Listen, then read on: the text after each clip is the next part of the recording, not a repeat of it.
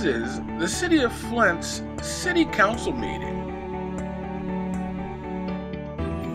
Presented by Spectacle Productions, determined to make a difference.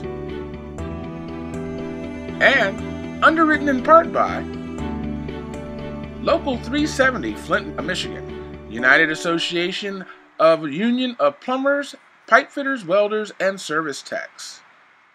Pipefitters Union has entry level careers available and are available at 810 720 5243. The City of Flint City Council meeting. Up next.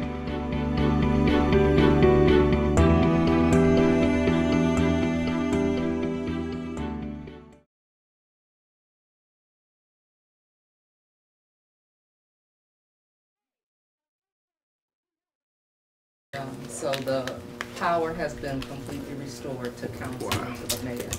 And here we go. We're gonna move our city forward. And thank all- I need to thank all of you all because they asked, they said, why, you know, people have said, why do you think this has happened? And I said, you know, this is something we have all wanted. We've all wanted this, to have our power because people elected us to run the city. And um, I need to thank you all uh, because I could not have done it without you know, us working together and moving things forward, and we've shown them that. And Hughey has done a, a good job keeping us fiscally responsible, and I know he's going to continue to do that. And, um, we're gonna make great things happen for our city together, so I thank you for that opportunity to Madam bring that news to you. Yes, uh, just, Madam. Mr. Mays, I'd like to give every council person a chance, and you can go first. Madam Chair, To make through- co- through a you to comment. mayor, Mayor Weaver, can you share also with them what they voted to repeal? All emergency manager orders. That's So correct. that leaves us with an opportunity That's to correct. not It's a new have to worry about a year waiting.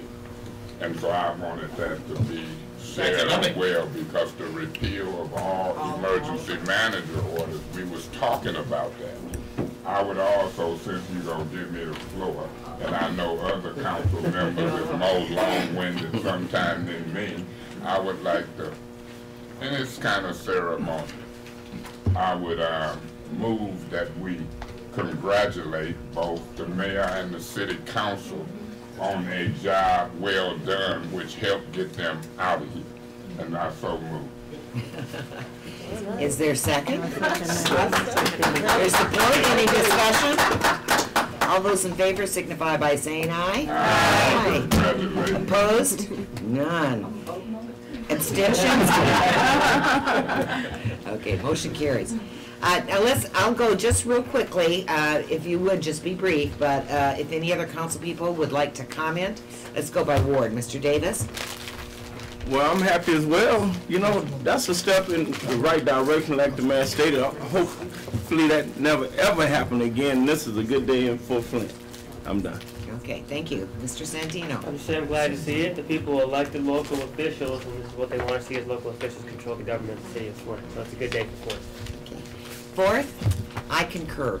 Uh, The only other thing I'd like to add is, there's a little technical step, you know, the RTAB made the recommendation, goes to the Treasury, and, but I was assured that we will be hearing officially from the government and Treasury within a couple days, but no one anticipates any problem with this.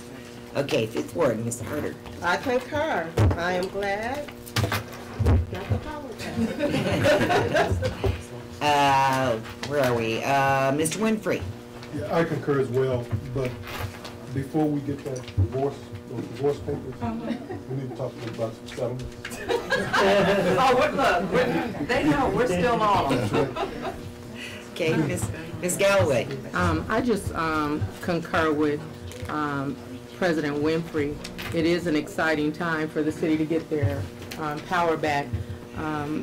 But I would hope that the state wouldn't neglect to realize that even though we get to govern ourselves, there's a lot of damage that, um, that power doesn't change.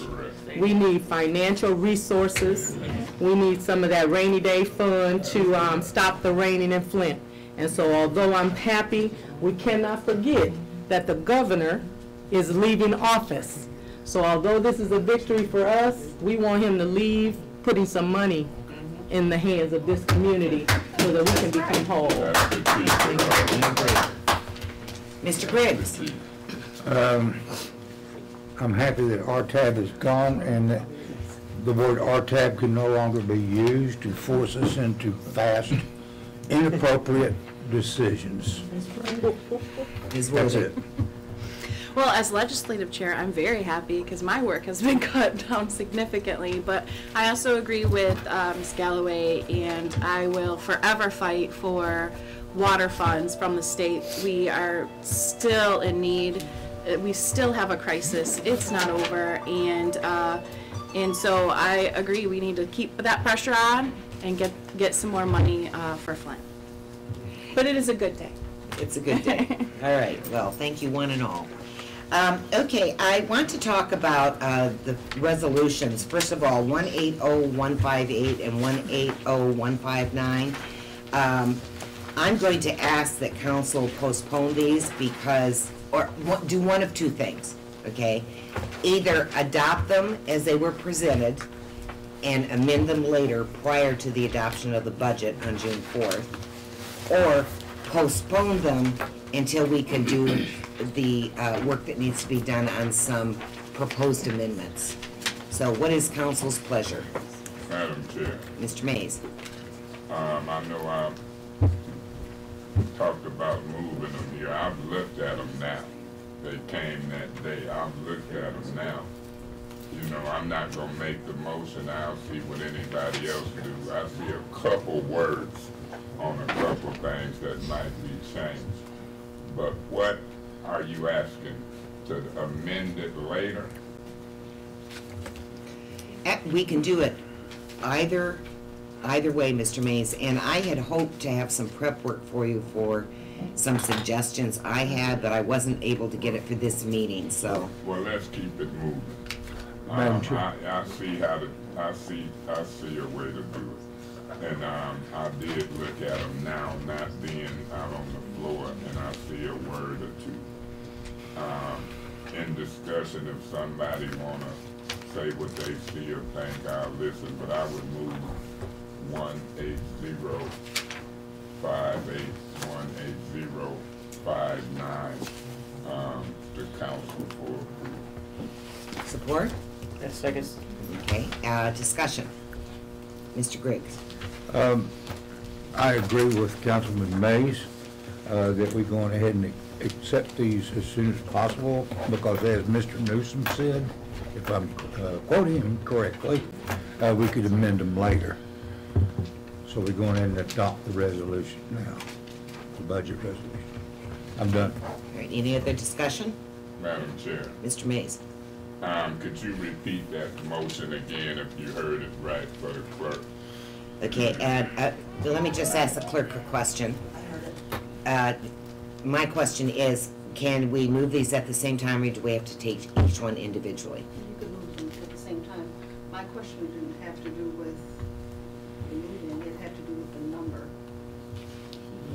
One eight zero one five eight, and so sometime I say it wrong. So for clarification, the motion is one eight zero one five eight and one eight zero one five nine. That's the, um, budget priorities for fiscal year two thousand nineteen and twenty, and the, um, adoption of that as well as the FY 2019, 2023 vision, mission, and goals of the City of Flint strategic plan. Thank you, Mr. Mays. Any other discussion? All those in favor signify by saying aye. Aye. Opposed? Unopposed? Abstentions? No abstentions, motion carries. Thank you. All right, uh, one eight zero one six four, multi-year lease, Tri-County International Trucks, Navistar, Capital Ford tandem axle dump trucks, whatever those are, uh, four of those. Do I have a motion to move these to council? I make a motion, we move uh, one eight zero one six four Okay, to uh, uh, council about the uh, tandem axle dump dump trucks. is there, um, support? Support. Madam Chair? It's been moved and supported. Discussion, Mr. Winfrey? Nope, I was gonna support it, he's out of order, but it's okay. Oh. He's all right. You know, in order to be He have to be recognized. recognized before he can support something, but that's okay. Listen, we're in this thing together, man. So, I don't have any discussion. Get on, man. Okay, is, is there any discussion? Hearing none, all those in favor signify by saying aye. Aye. Opposed? Motion carries. Uh, one eight zero one six five, Andritz Separation Inc., sludge dewatering filter belt press replacement roller and bearings. May I have motion, Mr. I'd make a- Winfrey? Whoop, Go ahead. he had his hand up first. Okay, Mr. Griggs? Oh, I make a motion that we move one eight zero one six five to council. This is about uh, the dewatering filter belt press replacement roller and bearings. Okay, is there support?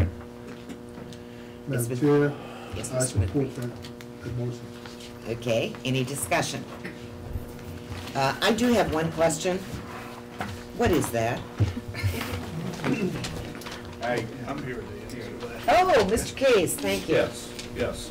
Bob Case from Water Pollution Control, for those who don't know me. Uh, Yeah, these are uh, for the wastewater treatment plant. We have uh, a couple big machines that uh, squeeze the water out of the sludge. We talked about that a little bit last time when we had the polymer that we add to the sludge. But uh, we have to, we, our belt presses are about ten years old. We rebuilt one of them. Now we're going to rebuild the other one, but uh, we need uh, new parts for it. And this is about half of the cost of of doing the press, about a quarter of the cost of buying a new one. So now we're using our own maintenance staff to actually do the work. It's a big job. So uh, these new rollers and bearings give us another 10 years of use, maybe. Sounds good, Mr. Case. Anyone else have questions for Mr. Case? Yeah. Mr. Mays? Yeah, um, Madam Chair, through you to Mr. Case, I've been looking at these upcoming budgets. And when it comes to the water and sewer fund, I'm gonna be looking and asking a lot of questions as we go into the upcoming budget year. You ready? Well, I don't know if it has to do with the water pollution control and the sewage plant. Yeah, I'm ready for that. And the people who gonna do the work, is how many people over in that department?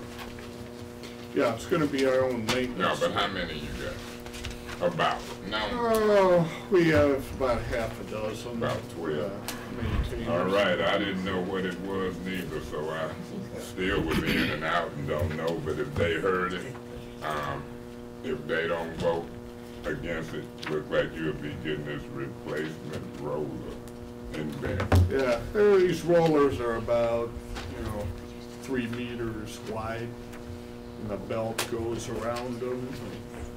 Yeah, and when this stuff comes for the water and sewer plant, sometimes we don't ask questions.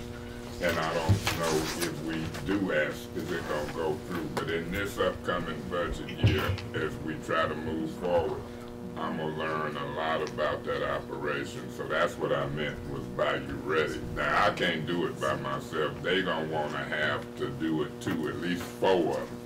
And so if they up for what I'm thinking, as we try to put a handle on these budgets, get ready to educate us a little bit. Well, I'm, uh, I'm glad to explain whatever. I welcome questions. I, I think, uh, it's great that, uh, the council, uh, take an interest, because this stuff is a lot of money, there's no question about it. And the water pollution control plant, probably the most valuable asset the city owns, but it costs a lot of money to, to run it, there's a lot of liabilities involved. So I think uh, certainly it behooves uh, council and administration to be aware of it.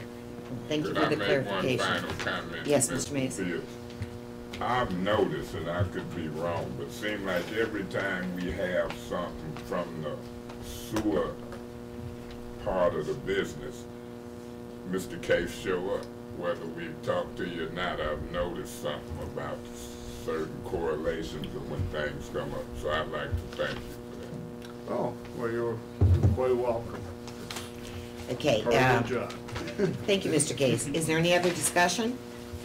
Hearing none, all those uh, in favor of moving this to council signify by saying aye. Aye. Opposed? Abstentions? Motion carries. Madam Chair, Yes, Mr. Mays. yeah, I'd like to move, um, one eight zero one, one eight zero one six six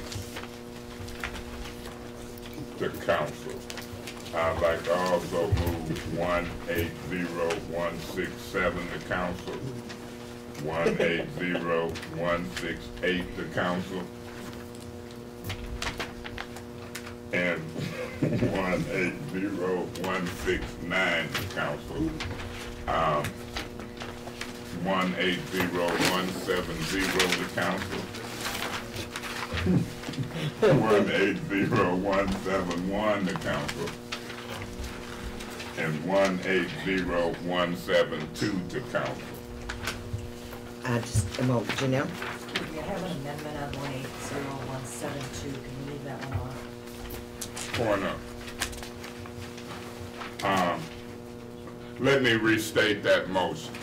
All of the ones I said, I moved the council except one eight zero one seven two, based upon a request by the, uh, council secretary. So I withdrew the original motion, moved all of them except for one eight zero, I think, one seven two, and I think she has that motion fairly recorded. So I so moved. Is there support? Mr. Winfrey? Madam Clerk, Madam Chair, I'm sorry. I support that, uh, motion. Okay, it's been moved and supported uh, in discussion, and I'd like to just say this before you start discussion. Um, I actually have asked Mr. Bincsik to address uh, 180168, so we might want to separate that.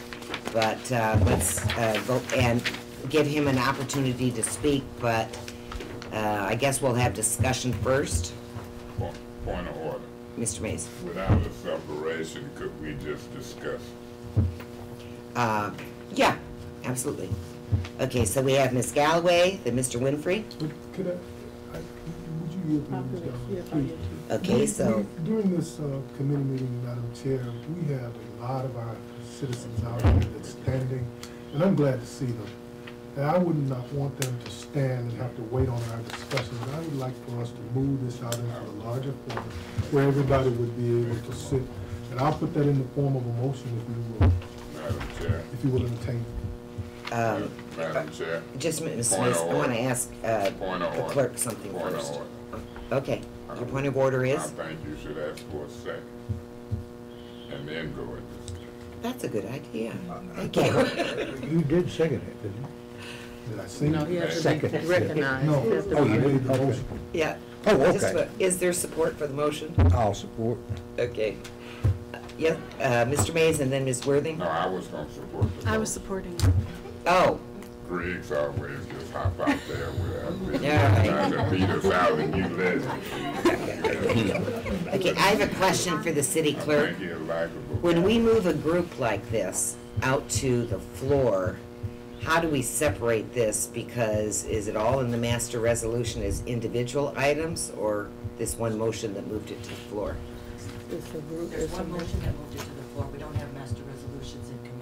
Oh, but when it gets to committee? Then we'll, we'll When it be gets on the to- same when it motion. gets to council. When we get out there, it'll be the It'll same the motion. thing. Okay, be on the same motion. Yeah. Uh, Because before we have this vote, I, I would like Mr. Bincsik to speak, to give some information to council. Point of order. Okay, what, Mr. Mays? Nope. I mean, you asking us to table this motion to move out there to allow Mr. Bincsik to speak. I would so move the table, um, this vote, But I think they're here for, it, if I'm in. but, but, but, but we might not. Okay, I'm gonna withdraw the table. No, no, no, no, Um, I I'm just gonna want to listen. It would be better. The same guy kept whispering, telling me to keep going. it would be better to deal with them momentarily in this venue. And, and I, if I may speak. Mr. Winfrey? But I'm concerned with our citizens not being able to hear it out there, because it could be some information that's valuable to them. Mm-hmm. And so we can help hold everything up until we get out there where they'll be Miss- privy to what we're Mr. discussing. Winfrey, Yes, sir. Mayor, Madam Chair, Mr. Mays? I know how to handle it. This is what I would say to you, Madam Chair. And you can ask Ms. Galloway, I ain't never experienced it. But if we move out there, you get to sit in that big chair. And so I'm telling you, this is the time to make that move right now.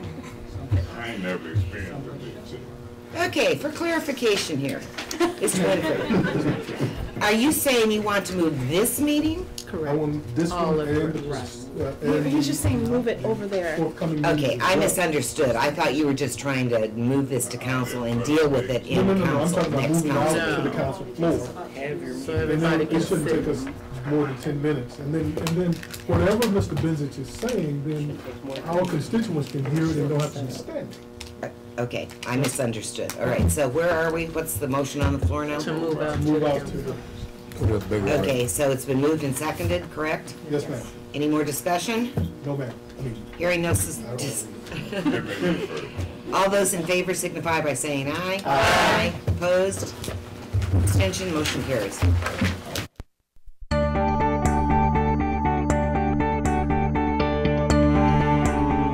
This is the City of Flint's City Council meeting. Perhaps you might withdraw your motion? Um, the motion to move from the council, Yes, and we still in discussion on that motion? correct. So the reason you want it separated is you don't want it to move to council?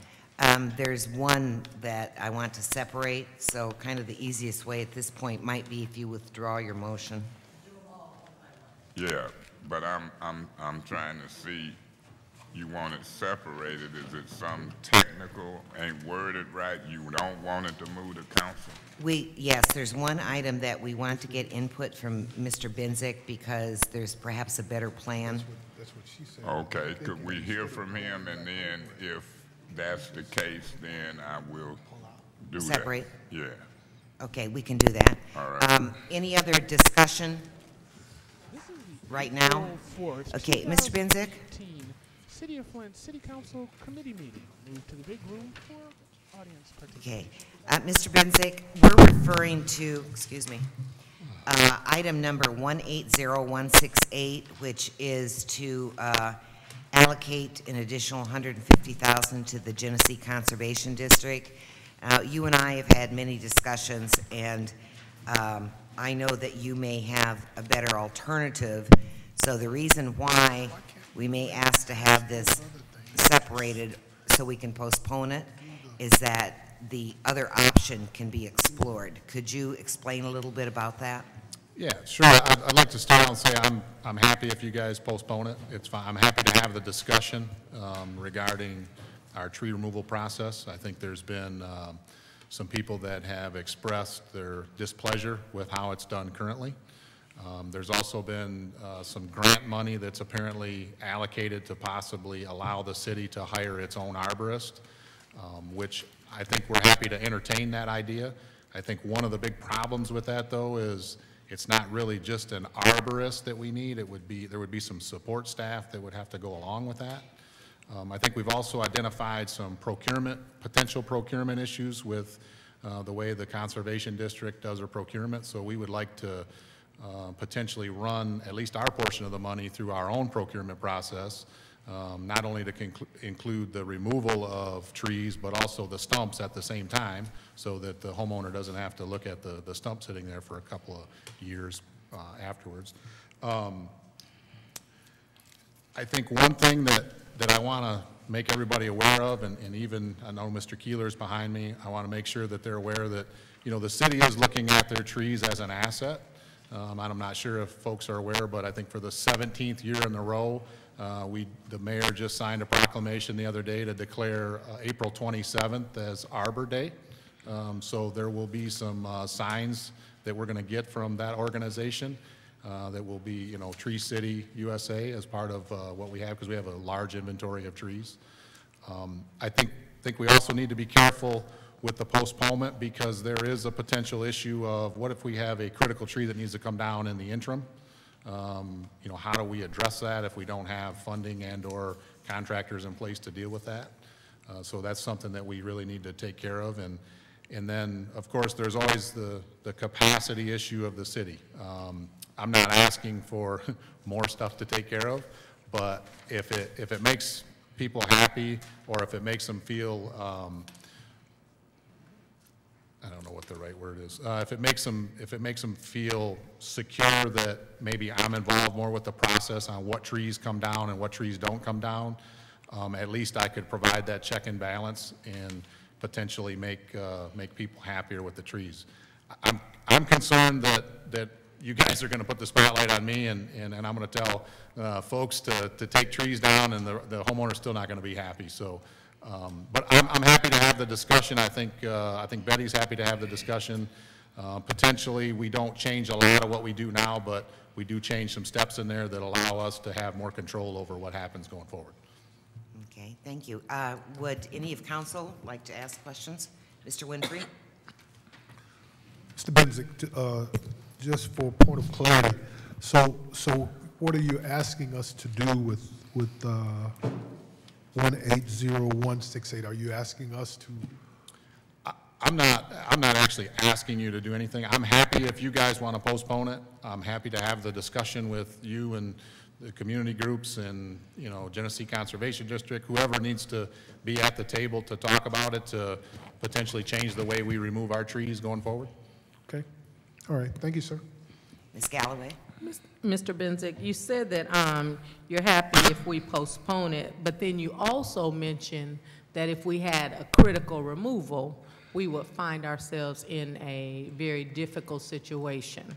So with that in mind, is the, the 150,000 that it- are a part of this resolution, is that all of the funds allotted for trees? That's all of our funds allotted. That is is all of our funds. And so, um, you offer to be a part of that process. Would it be safe to say that if we did not postpone this, to ensure that we had something in place for critical removals, that you, your more active involvement in there could be sort of a padding while we work through what we could do, or once we allocate these funds, are we locked in per se?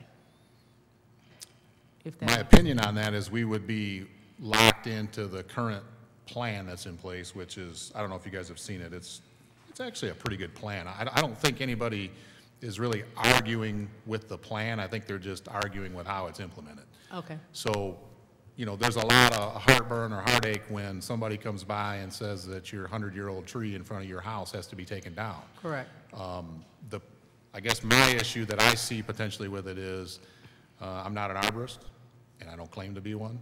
And if a tree arborist tells me that a tree needs to come down because it's unhealthy, and he can identify to me the reasons why it needs to come down, and I can actually see what he's talking about, or her's talking about, I'm gonna go ahead and sign with the arborist, because I'm not a tree expert.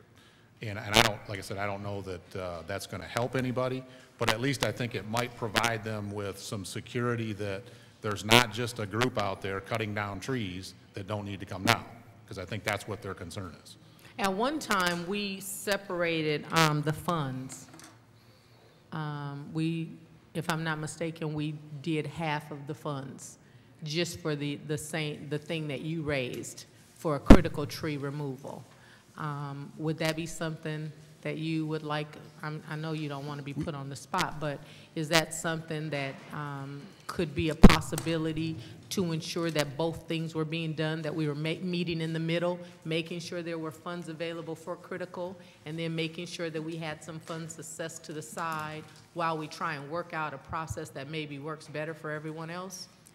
You certainly could do that. I think that, that's a reasonable solution. I think also, um, I could always use my, my city-issued credit card Um, If we had to have a vendor take a, a tree down, um, you know, we, we could utilize that uh, method as well. So typically, we would just apply that to the, to the line item that's, you know, allocated for tree removal. So we could do it either, we could really do it either way. I don't have any further questions, thank you. Uh, Before I take the next council person, I'd like to just clarify one thing. Um, A former board member of the uh, district is here, and I believe that there, uh, and I asked this question, I believe that 150,000 that we allocated earlier, that uh, there may still be unspent funds that are still for them to do activity, to carry us forward. And basically, the idea is to uh, just postpone for two weeks so we could work on and gather information for an alternative plan. So I think there is still unspent money that has already been allocated, and I'm not quite sure how we can find out from the district if that's so and how much is still unspent. Do you know, Mr. Bincsik? I do not know. I, I just, I mean, I was, I was thinking about this uh, from when we talked earlier, and I, I was in my mind going, well, if we back this up and we have a critical tree removal that needs to come down, I, I just, I- we can use, I can use my, my city-issued credit card to get that done. So it's not a, it's not a deal breaker, um, and I certainly think I can, I hope I can weather the storm for a couple weeks with that, if I have to. Okay, well, we do know that the contract with the Conservation District has a 30-day uh, termination notice. So um, if there's still money there, we might have adequate time to make other preparations and um, do a little more discovery.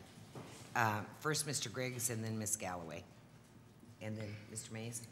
Okay, I've got a question to Mr. Bincsik. I had heard kicked around that we would be doing it this different way, uh, contracting to arborists, and that it could be a savings of possibly fifty to sixty thousand. Is that, is that? I'm not, I'm not sure on that because we, we haven't got that far down the road with it. It, it's, it's really Yeah. kind of an idea now. Um, there's a, a grantor, you know, that, that's out there, um, that seems to like trees, so they, he grants his money to, to help with the process of tree removal. Um, has said that, um, they potentially would fund a arborist for us. And we're, I don't want to speak for the mayor, she's right here, but I'm, I- we're, we're happy to talk about it. We're happy to have the conversation about it. Um, You know, we don't, we want folks to be happy, uh, even though admittedly, I don't know how, how happy I can make them if I have to take a hundred-year-old tree down in front of their house. Okay, Mr. Mays? Yeah, uh, Madam Chair, through you to the council and Mr. Bincsik. Um, I'm, I'm, I'm, I'm hearing two things. I'm hearing the postponement is okay, and then I'm also hearing some concern. Today is Wednesday, Thursday, Friday, Thursday, Friday, and then Monday. I don't know how much you can discuss in that um, sh- short period of time, but this could maybe go to special affairs. But I know the discussion ain't gonna be um, that short of a discussion. The discussion is gonna include Mr. Keeler and all of those folks, but I'm talking about the money aspect of the discussion. I don't mind postponing it back from special affairs to um, committee, but I want to know clearly what that money aspect of it is. Um, the I had a guy today, Mr. Brown, stay in the second ward in the lobby, is wanting some trees trimmed now. And I told him in front of Mr. Branch that um, as he continues to try to communicate with Mr. Davis, as he came to the mayor's um, office this morning, that by Friday, nobody helped him, we would talk again. So now he getting a bonus. I'm talking about these tree trimmings that Mr. Davis, Mr. Branch, and I can tell you about. And I don't know the cost of a use of a credit card. I don't know how high you can go. And you don't have to tell me now. But if the Mr. Browns call from that second ward and me and Mr. Branch and them see him in the lobby of City Hall, then I think I want to live up with that word for them branches that need to be cut. Now, they was arguing, was it consumers, was it Comcast, is it the city?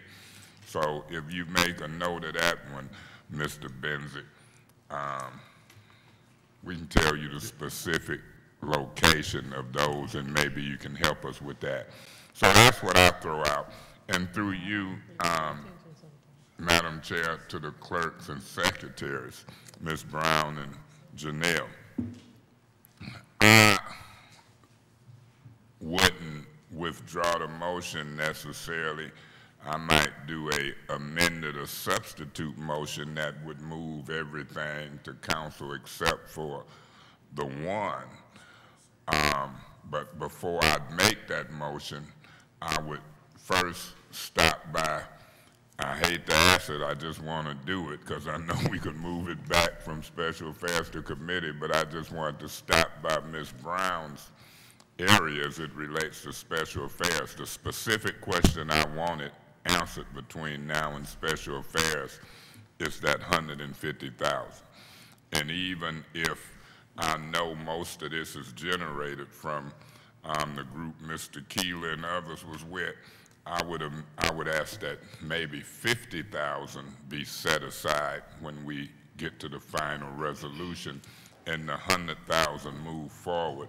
And that would probably be adequate till we see what was happening with all the talk and the dialogue between who I'm gonna say is a group of people. And so I'm in favor of all of that. So that's my thinking. I wanted to give folks time between now and Monday and if nobody objects, I would then do, if it's all right, technically, a motion to amend or a substitute motion, all except, and then when I heard what was said, it would either be postponed to special affairs with some tidbits loosened up or tightened up, or it would be moved to next committee. And so I'll yield the floor. And even if I don't get the floor back to make the motion, whoever make it, that's what I'm thinking. Any other council discussion? Ms. Galloway? Um, Mr. Bincsik, I did have one more question for you. Um, should we decide to go a different route, would we then be responsible for doing a bidding process? And if we did do a bidding process, what does that, from start to finish to actually getting something done look like? So I- my opinion is regardless of which direction we go, we're going to go through a procurement process. That is something that the people that are involved with these tree removals are, have been very adamant to me about. Um, the, they don't, they don't believe that the conservation district's procurement process is adequate. Um, I don't have a, really a comment on that. Um, I just know that if we send it through a procurement process, we would have to develop the RFP, then it would have to go, be opened up for bidding for a minimum of two weeks, and then we would go through and select the vendors. Um, My thought is, is we would try to procure maybe five or six vendors to make sure we had the capacity. So the lowest, the lowest bidder obviously would be the first one we call. The second one, you know, second lowest would be the second, et cetera, et cetera. Um, In the event that the, the first one couldn't make it out there, we would just move down the list. Um, And that's, of course, you know, that's going to have to go through our, our purchasing department as long as they're happy with it and all of you would be happy with it, we could go forward with something like that. But that, that's going to be out a little while. I mean, it would take, uh, take us some time to get the, the RFP together and then it's going to take some time to allow people to respond to it. Okay, thank you. Um, I would like to make a referral to the administration, and I'm really not sure which department, whether it would be finance or uh, procurement, whatever, to have an inquiry made to the Conservation District to see how much money is sitting there from the last 150 we gave them that has not been spent, because that would give us, give us a clue about how long and how much work they could do just to fulfill that first 150. I also want to point out to my colleagues that, first of all, the memorandum of understanding with the Conservation District was put in place by Darnell Earley, okay?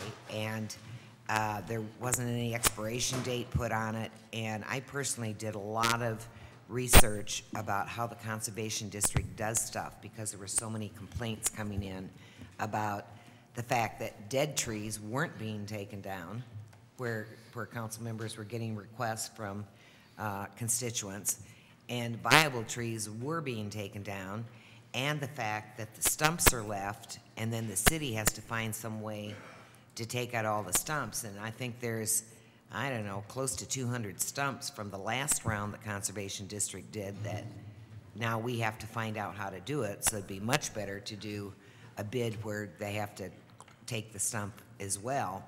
But I, I just think there are a lot of issues to be discussed and know also that the percent of the funding we give them, like the hundred and fifty, the Conservation District takes forty thousand for admin costs.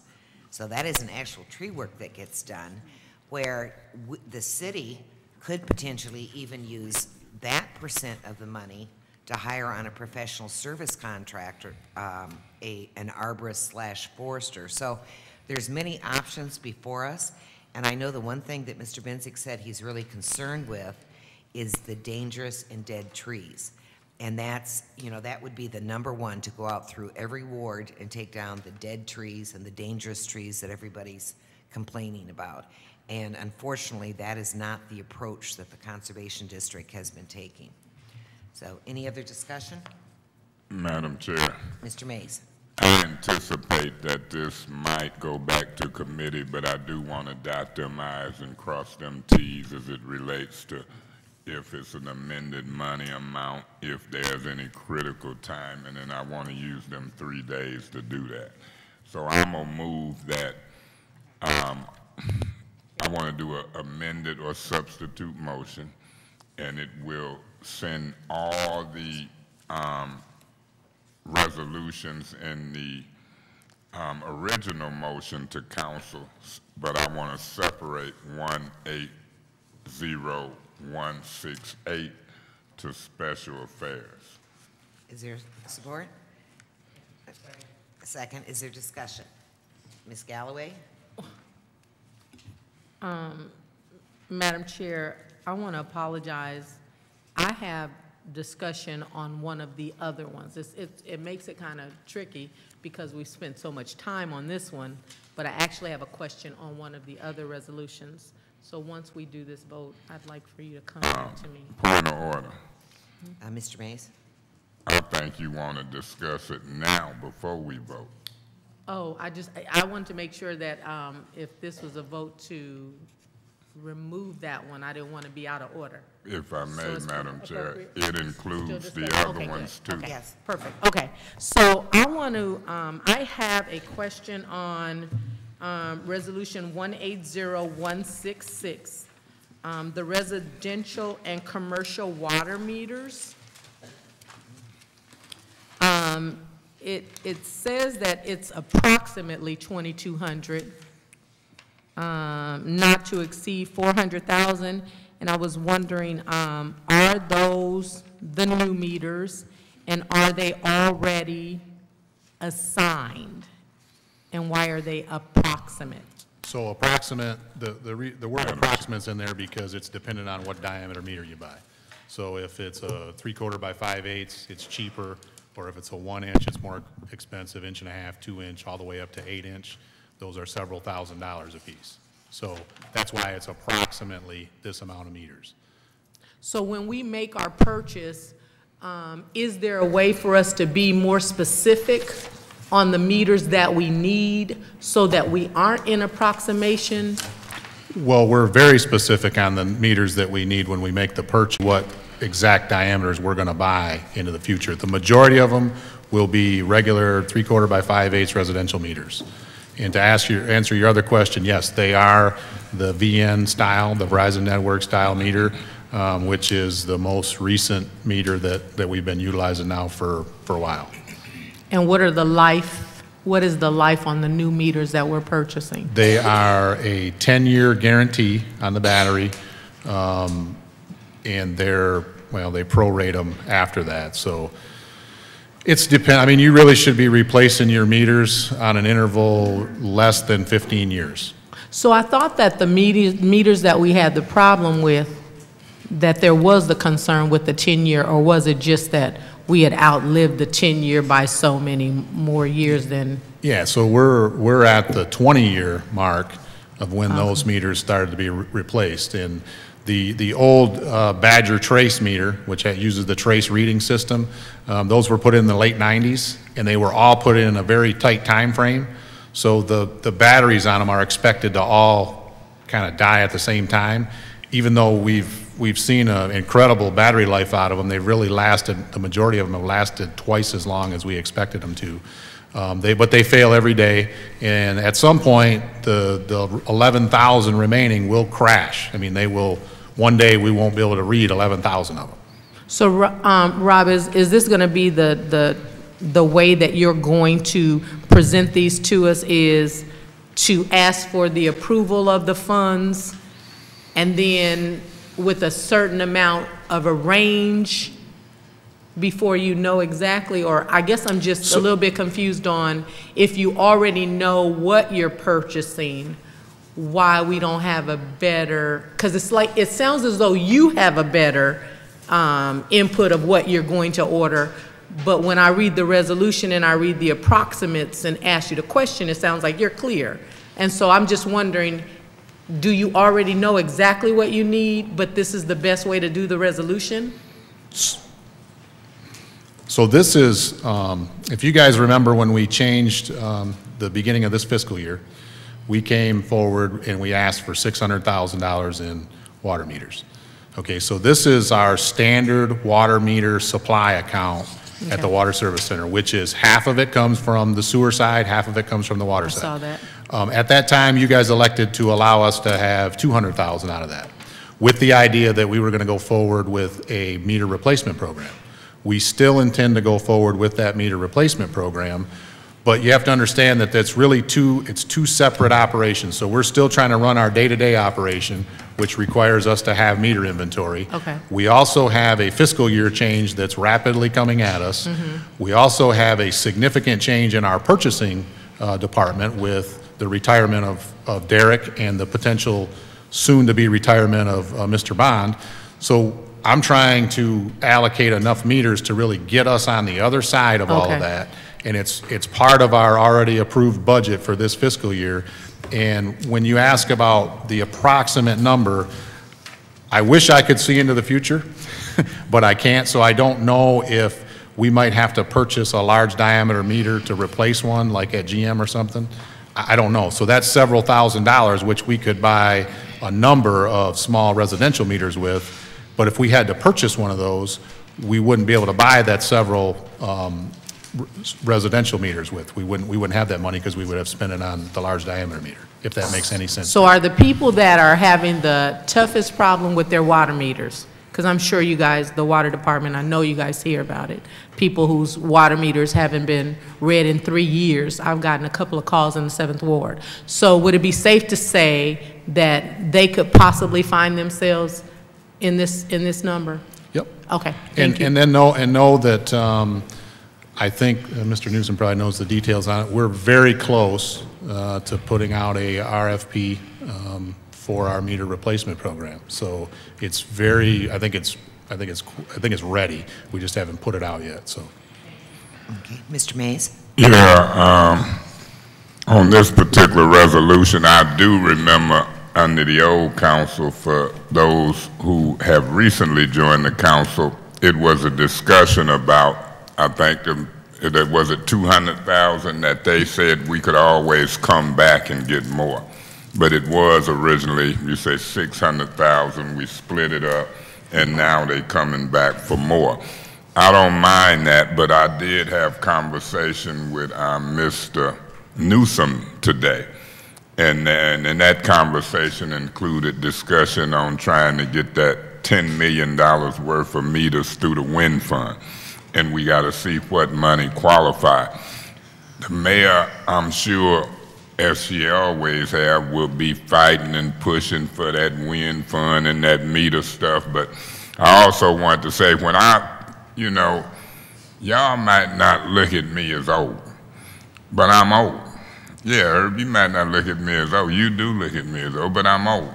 And I can remember in the old days, Rob, when department heads came up here and, it's a committee meeting, but even in a council meeting, see that table sitting there?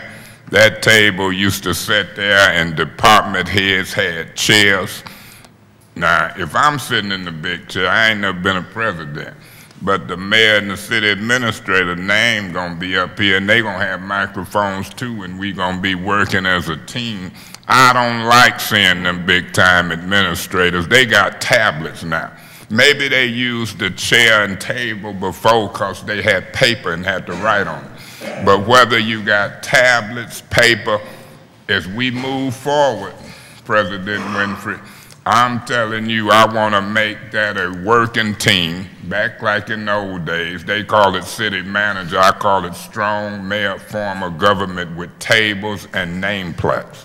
And so when they come to this council meeting and we discuss these issues, because I know as Mr. Bincsik discuss it, I know that is talk about these meters. So I'm gonna vote to move these meters forward. Sound like we gonna move them forward, but I looked at that as well. And if I may, it was another discussion item which had to do with um, the McKinley Center. And then I'll be ready to vote, probably without separation. I'll see what I do Monday. But through you, Madam Chair, to Ms. Worthing, that McKinley Center is in the Ninth Ward, correct? You, you familiar with it? Okay, well, it's a center called the McKinley Center, and somebody can correct me if it's wrong, but it's on here for about 94,000, I think I read it, I ain't looking at it now, but it's block grant money. And there was a fire over there. And this center is in your ward, I think, and um, you probably would value it just as I value Hasselbring Center in the first ward. But I got some questions about that block grant money.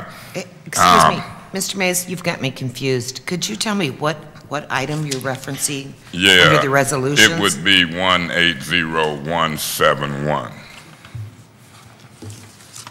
Ah, thank you. And so I see Ms. Wilcox here. And so as you, Ms. Galloway, had a question about that and others can have questions before we vote, I would agree with you that this is the proper time. So my question was this. Through you, Madam Chair, this one would be to Ms. Wilcox. Thank you, though. Um, if, see, if we had that table, you wouldn't even have to move. You just pass the mic. I'm, I'm, I'm, I'm, you see, I'm politicking to set all this up, Steve, so you have your own, you know, we talking. But, um,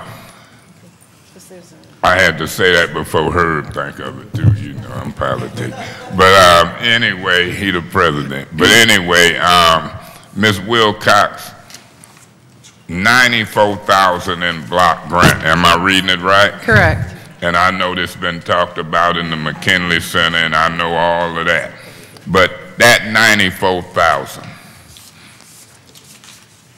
is every penny of it needed? Is this contract for ninety-four not to exceed ninety-four? And if there's any other block grant money around, you know, I got a place or two that I want to see if it can go. Mhm. One of them would help out the water fund. Mhm. And um, I know we can't move general fund money to places like the Salvation Army, but we can move certain areas of maybe block grant money. So when I get ready to vote, and I'll probably support this, but I'm using it in a way to try to see if I can help with the water crisis. I'd say this in front of Mayor Weaver and her administration.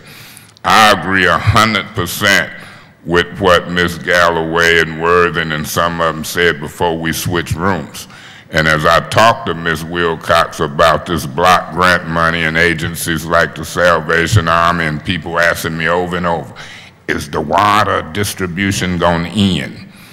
As a city, mayor, her administration, the council, the activists, the people, if you want to be beneficial to Flint while we continue to work on medical marijuana and all that, everybody in the Flint should be singing the same song. Release 25, 30, 40, 50 million of that seven hundred million dollar surplus last I looked that Mr. Snyder and them got as they try to get out of here.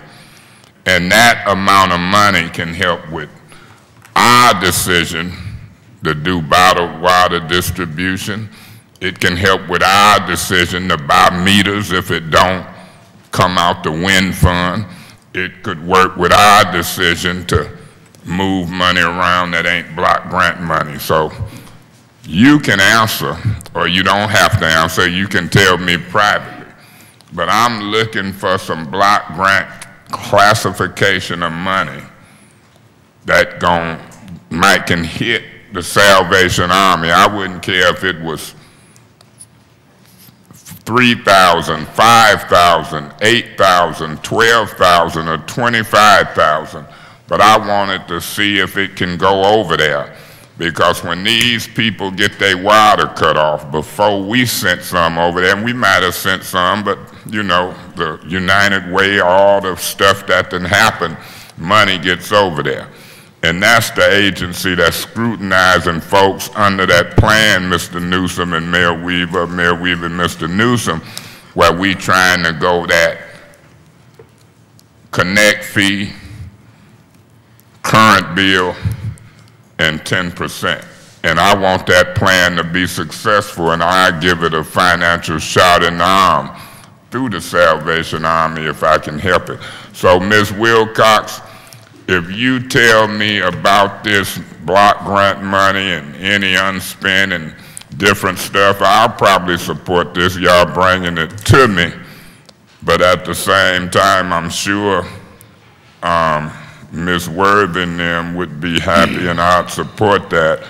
But between now and Monday, when I get ready to vote for it, whisper in my ear, tell me publicly how we looking and what is anything I said possible. Thank you.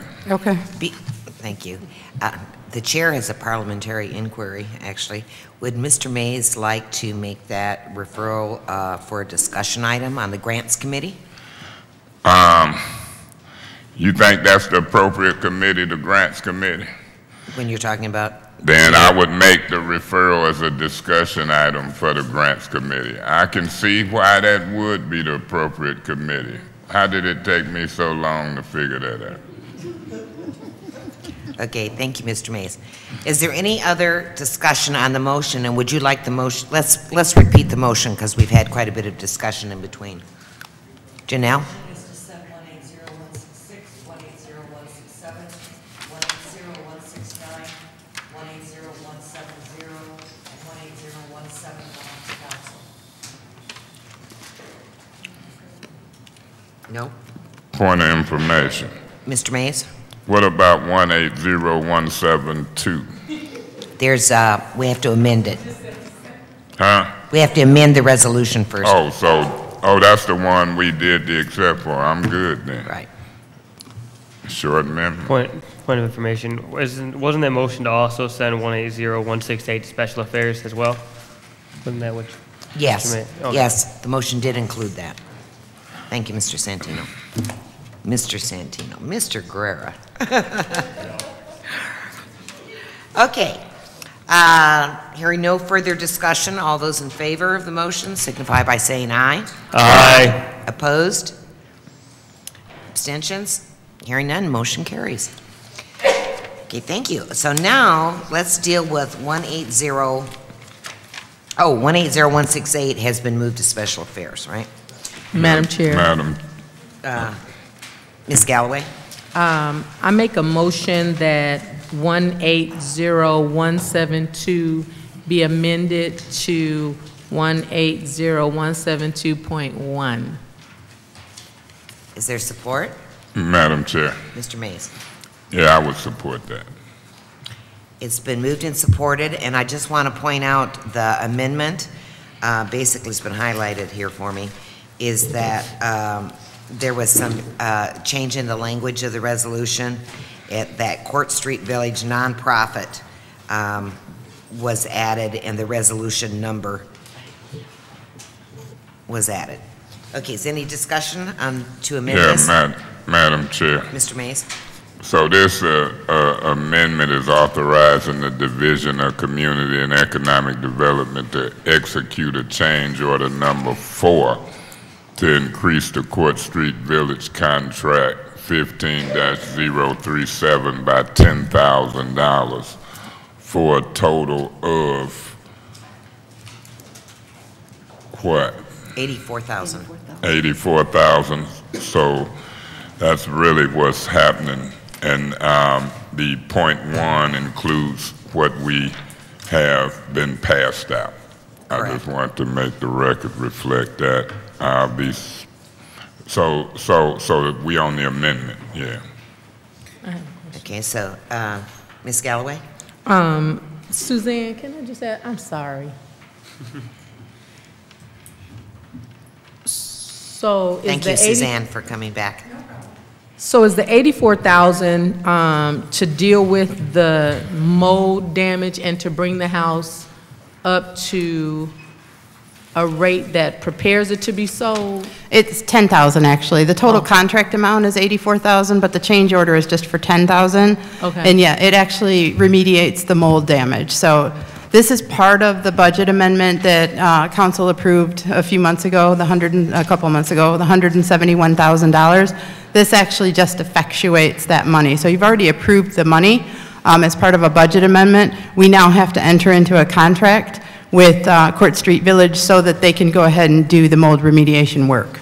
So, so can you just remind me, what was the seventy-four thousand for? Um, Home repairs total, uh, home renovations So completely. total repairs to this home is totaling eighty-four thousand? Um, I'd have to check on the total amount, But, I but mean- for this contract, it is 84,000. And then the reason why I'm asking is because it says that um, the home would then be sold Yeah. to an income qualified buyer. Yes. And so I guess my question is, how much are we going to end up selling the house for? I mean, as many of our home units and many of you are familiar with, they're subsidized. Um, There's an appraisal usually that's done or some fair market value that's established.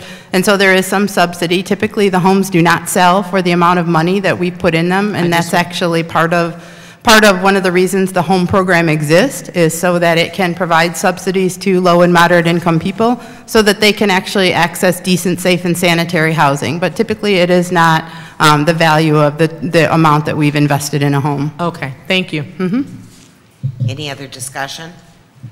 Okay, the motion is to uh, amend 180172 to 18071 180172.1. All those in favor signify by saying aye. Aye. Aye. Opposed? Abstentions? Motion carries. Yes, now we need to actually vote on uh, what to do with this resolution. Ms. Galloway? Madam Chair, I move 180172.1 to council. It's been moved. Is there support? Mr. Guerra supports. A second, yeah. Okay. Is there any discussion? Yeah, who supported that for the record? Well, for the record, Who? Mr. Griggs supported Okay. it for the record. I thought Herb said it. Is this a contest?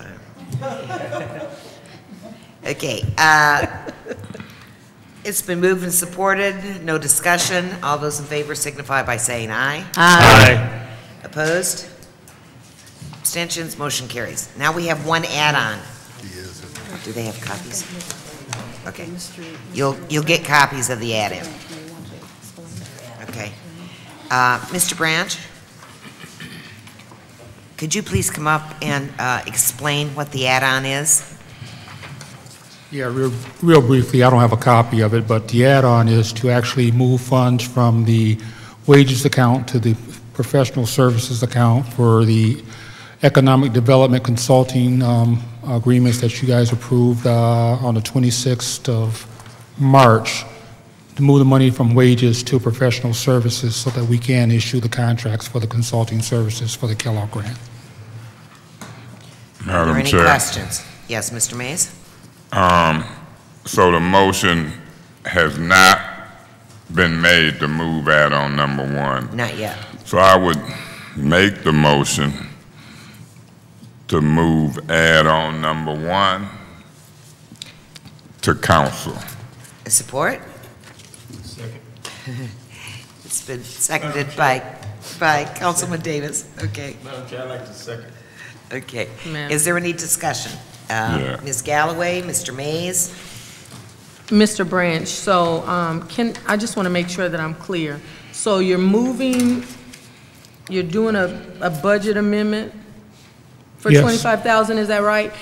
Based on the contract that we already approved for the Flint and Genesee Chamber for And, 100,000? and, and Ascendant Global. We had the funds in the Kellogg grant, it was allocated in the wages account. Since we're doing consultants, we have to move that to the professional services account to issue a purchase order. So I, I, I I think I'm, I think I, I just want to make sure that I, we already approved the contracts. We're moving the monies to the proper classification so it can be recorded in the books correctly. So, but this is only for 25,000?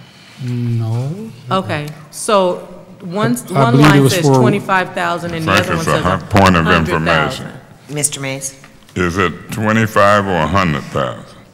Well, one line says budget amendment in excess of I'll 25,000. just, that's just citing the actual um, rules of council that we have to bring budget amendments over 25,000 to No, no, council. no, no, no. Okay, so I just wanted to make sure. So we approved it Right. before it was properly put where it needed to be? That's correct. That's all I need to know. Uh, Is there any discussion?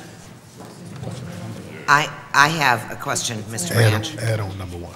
It's whether it comes under the line item of wages and salaries Hmm. or uh, professional services, has the Kellogg uh, people, do they allow this movement? Yes. This line item to want that line item? That's correct. Okay, so you've received permission in writing? We will Or- receive permission in writing from them for this. They know we are doing consulting as opposed to hiring people for those two spots.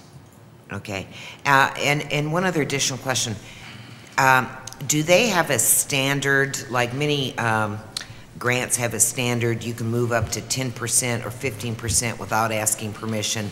Some you have to ask permission if you make any line item changes. I believe it's 40%, but this is only moved um, for this particular um, fiscal year, so we only moved the monies to cover between now and June 30th, 2018. Okay, well, if it's 40%, then it's well within those Right. guidelines. But we being will able be asking change to line remove the items. rest of it as we go forward. Okay. All right, is there any additional discussion? Yeah. Mr. Mays? Yeah, so, it's been stated, this is, um, clear me up, this is a hundred thousand being moved, correct? Not twenty-five, a hundred thousand. And this hundred thousand, we took the, so my understanding, we took the Kellogg grant in, in a certain account. Have that, the money done arrived at two point nine million? No, we took in a year's worth of How- Well, the six, that we getting a year worth, the six hundred and some thousand it done arrived? 700 and, seven hundred and it done arrived, correct. and it's in an account. It's in several accounts. Didn't we have another personal service contract that we need, that we did as well? There's two of them here. This is the cover. And so this includes both of them? Correct. And And- the two um, resolutions that were passed uh, on the 26th of March. Yeah, I are see them, they included. ran on each side of Right. the paper, I didn't notice that, so, yeah, the other one. So this money will last the whole time, or you will have to come back and move more? This money lasts through the end of this fiscal year ending June 30th, 2018. And then we'll do another move? It'll be part of the budget or grant rollover for the I look forward 2018, to it, 2019. yeah. I'll be voting on this motion to move it, so I wasn't gonna say table them for two weeks, because, you know, I'll stay here to eleven to twelve at night. I was gonna table and recess this finance and come back, but I'll see what's itching you in these discussion items. Uh, I actually was going to make a suggestion that council take two minutes and look through those discussion items and see if there are any you want to separate, if they're of vital importance that we handle them uh, tonight, and if not, I would certainly support a motion to uh, table these to the next um, committee meeting, the discussion items, postpone them. Um, Ms. Worthing? Are we, can we discuss right now? uh, about, because I would like uh, 180160 and 180. Point of, point of information, what's the first? Mr. Mays? The discussion items, not old, but new, one 180160 and 180161. I was wondering if they were ready, because it, it's pertinent for me to have them, this information uh, for some new business that I wanted to bring up in legislative, so. They did? Okay. I'm sorry, would you, re- would you repeat those numbers? 180160. And 180161. It's, first two. First, very two, first two discussion items. Madam Okay, they're Chair. the first two discussion items under new discussion items. yes, Um, You'd like to separate those out and discuss them now? yes. Uh, Mr. Mays? Yeah, Madam Chair. As you said, take two minutes to look these over to see if it was any that's important. You know, when you see, now she named one of them, 180160, that's dealing with water fund revenues and ex- expenditures. I'm a wiser man today on water fund revenues and expenditures because I met with the finance director, Mr. Newsome, and he filled in some of the questions I had asked as it related to that discussion item, but I'm, I'm, I don't mind sharing it. Um, when you look at the item 180333, 180388, water counts. You know, some politicians is shy about what they need and what their ward needs, not Councilman Mays. So that's an important discussion item, water counts, where you can help take care of folks in your ward. They used to have them. That was prior to emergency manager rule and law. Look oh. like we gonna be all right. Them state of Michigan reimbursements, that's Mr. Mays, would you give me the, uh, the the numbers on the items you're interested in perhaps discussing? It could be dropped because he passed that out tonight. Yeah, I know, I went over it with.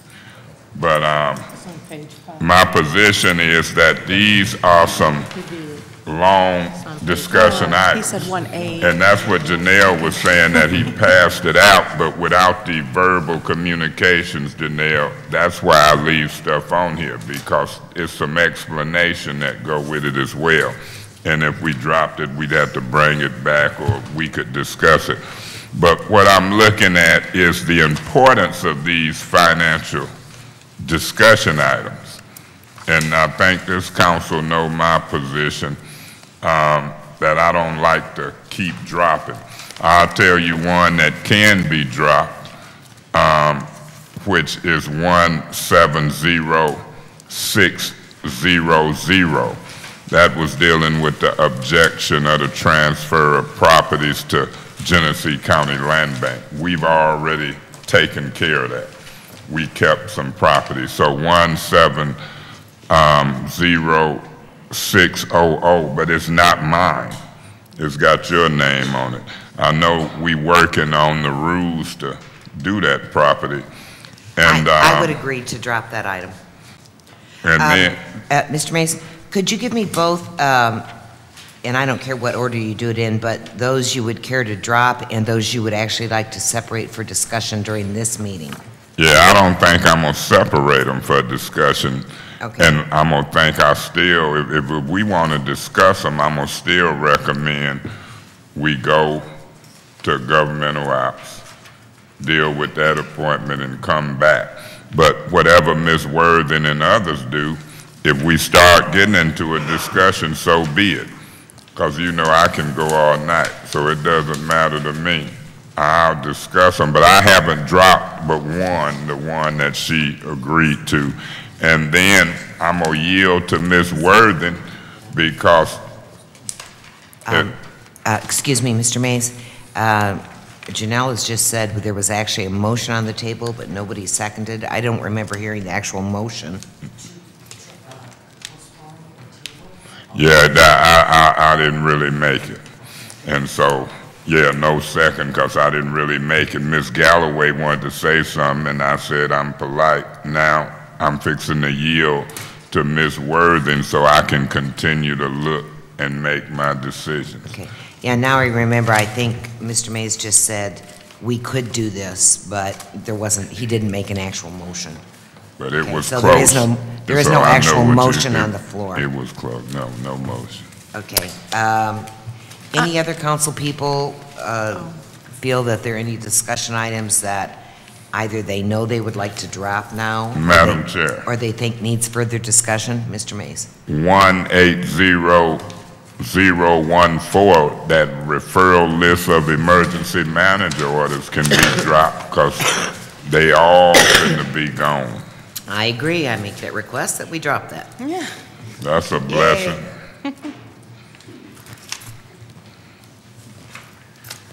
There's so many of them, so y'all looking for the drops.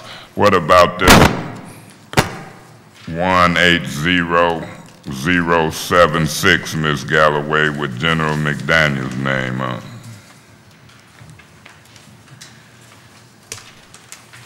You see it, one eight zero zero seven six. I would also look at one It eight, hasn't been, huh? are you, are you asking drop? Yeah, you got it. Yeah, yeah, yeah. If you And it's wanna, current, and it's current, it ain't been answered. So I, I looked at the list, there ain't nothing on there with my name that I need to yes, it is. Miss- Maybe. Ms. Galloway? You s- keep it. Still You- want this 180076? You don't want to drop that? No, because I never got an answer to it yet. Okay. So, Um, Because I, I General- need the date for my own research. okay, that's fair. Hey, what about one eight zero zero seven eight? I would request that that be dropped. That's my referral. Madam Chair? Mr. Griggs? Uh, On 18077, uh, we did see mowing, or ward mowing maps Yep, we can or drop. zones, but I don't know about the original bid documents. That referral has been answered. Yep. Madam So we're Chair, gonna drop that? Okay, so, uh, yes. we Point can- of information. Ms. Galloway, would you be willing to drop that? Just a moment. point of information first. Um, I'm, I'm, I'm just asking that my colleagues respectfully would look at the referrals that have their names next to them in an effort to not raise questions about other, co- respectfully. Now, the one that Mr. Griggs brought up, I'm just saying, respectfully. I did look over it as the chair asked, and so, um, but the mowing, I was gonna do that, but again, Mr. Griggs, he knows how to jump out there ahead of you. So, thank you. Madam Chair, Uh, Just a moment, Mr. Mays. Ms. Galloway, are you requesting that we drop 180077? Yes, ma'am. Madam. No objection. Mr. Madam? Chair, I think it is respect for Miss Galloway when we look at all of them and talk to each other. So I hear you talking, but I don't know who you were talking to, because only me and Mr. Griggs was talking, so I'm gonna think it's to me. I'm not gonna just look at mine. I'm gonna look at all of them respectfully, and that's how I do business. So I heard the respectful request, but I'm gonna respectfully look at the whole city council agenda, even this one. What about one eight zero zero seven nine, Ms. Fields, with your I, name I on would it? request that we drop that. Let that one be dropped as well. And I'm making my way down, down, down, and I'm doing it respectfully, because really, I think I'm a respectful guy. So, Mr. Mays, would you yield for a moment? yeah, I yield. Okay. I'd like to request that we drop 180081. Um, That referral has been responded to. Could you say that again? 180081. Um, All of council were given the rules and bylaws, et cetera, the purpose of Economic Development Corporation. So they fulfilled that request. I'm off when you finish, uh.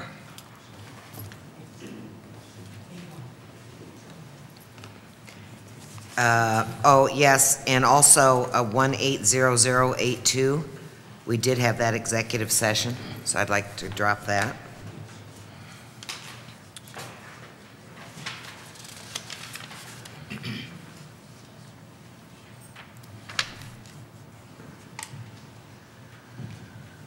Madam Chair, Yes, Mr. Mays. I got a um, legal question that I want to, it's a quick legal question, but I think it need to happen in executive session, and that's going to have to do with um, 180083. So whenever the clerk, um, the chief legal officer, until we have that on that narrow question, I'm going to leave it. Um, Madam Chair, through you to the legal, chief legal officer, is it something you,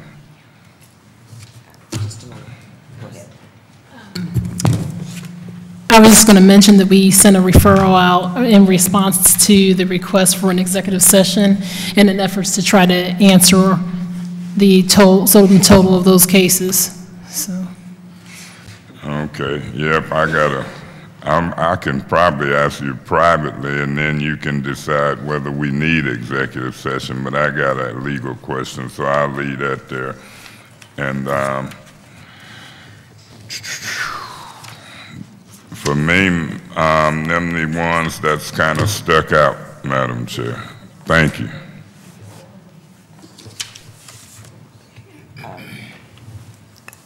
Um, The city attorney would like to explain something.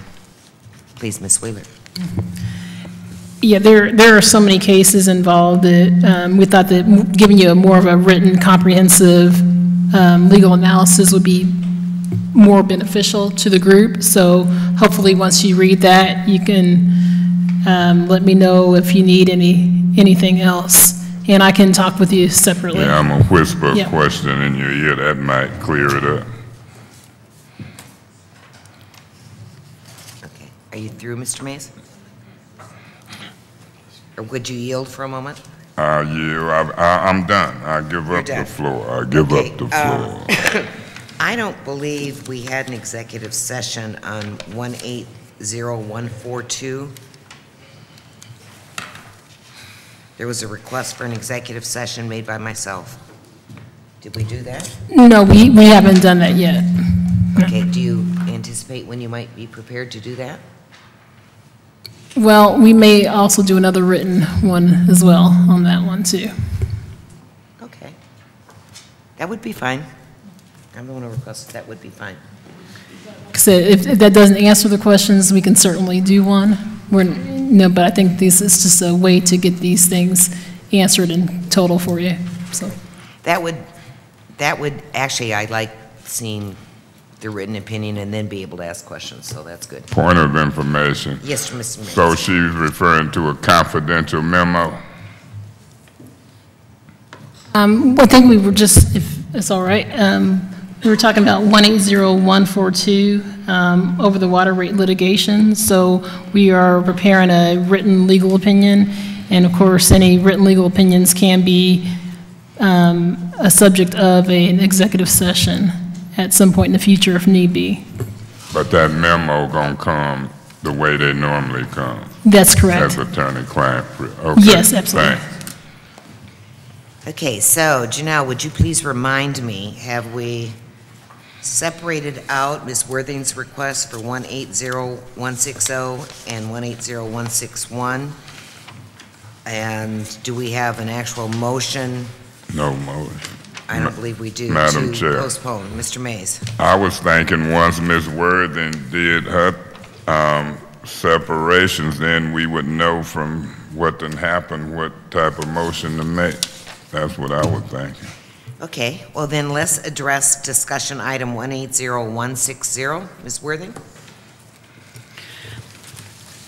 Hughey, Mr. Newsome, can you explain what you gave us for that, please? Absolutely, I'll be glad to. It's What I this hand- sheet right here. What I handed out to you all, a sheet that looks like this, at the very top, is something that says GL number, description, and then gives column headers um, for different budget years. What this shows you is a detailed breakout of past year's activity and recommended budget numbers for the sewer fund and the water fund. So just a little history, Councilman Mays did request that the uh, Finance Department provide um, you all with a very detailed breakout of the, um, of the appropriations that have taken place and are, are budgeted in our proposed budget um, going forward so that you all can start to understand how, what costs we are incurring in the water fund and the sewer fund. And so I don't want to spend too much time because there are a lot of numbers here, but I do want to explain, you know, kind of what the columns are and then you, you can understand what the rows are next. But the first column, the 2017, 2018 amended budget, that's our current budget year, the amended budget, not the, not the original budget that you all, the council passed last June, but uh, the amended budget is, uh, incorporates all the amendments since then as well, right? So that's what we mean when we say amended budget. The activity is what are the numbers that we've seen year to date, budget year to date. So July 1st of, you know, July 1st of 2017 all the way till current day. So we've gone through about 75% of the budget year, right? We've got about three months left. The next one is projected activity. So what do we, how, in terms of appropriations, what do we think the complete year's activity will be in, for each one of these line items, right? So that's 2017, 2018 projected activity. I would not spend too much time looking at the 2018, 2019 approved next year budget. Last year, as part of the budgeting process, you did two, your council did two years of budget. So what they're doing is, this shows what we would have, what would have been approved for the next year. You all are currently reviewing the proposal for the 2018, 2019 budget, right? So you're gonna overwrite this column anyway, right? So I wouldn't spend too much time understanding what was approved for the next fiscal year um, as of last year. I would focus on, I would definitely focus on the last two columns. Those two columns will align to the recommended budget that we, that we presented to you all on Monday. So the way to read this, if you will, the first one, two, three columns give you, you know, current state, the current budget, the current amended budget, activity year to date, fiscal year to date, and the activity, what we project will happen through June 30th of this year. The last two columns should perfectly, should line up and break out the appropriations that we put in the proposed budget that we presented to you all on Monday, right?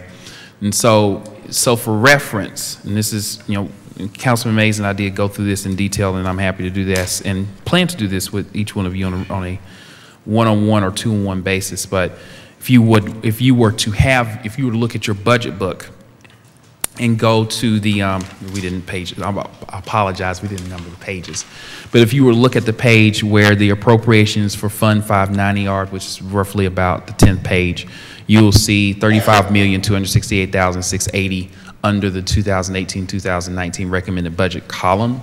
And so that particular one would also, that particular number would also appear in your budget books, right?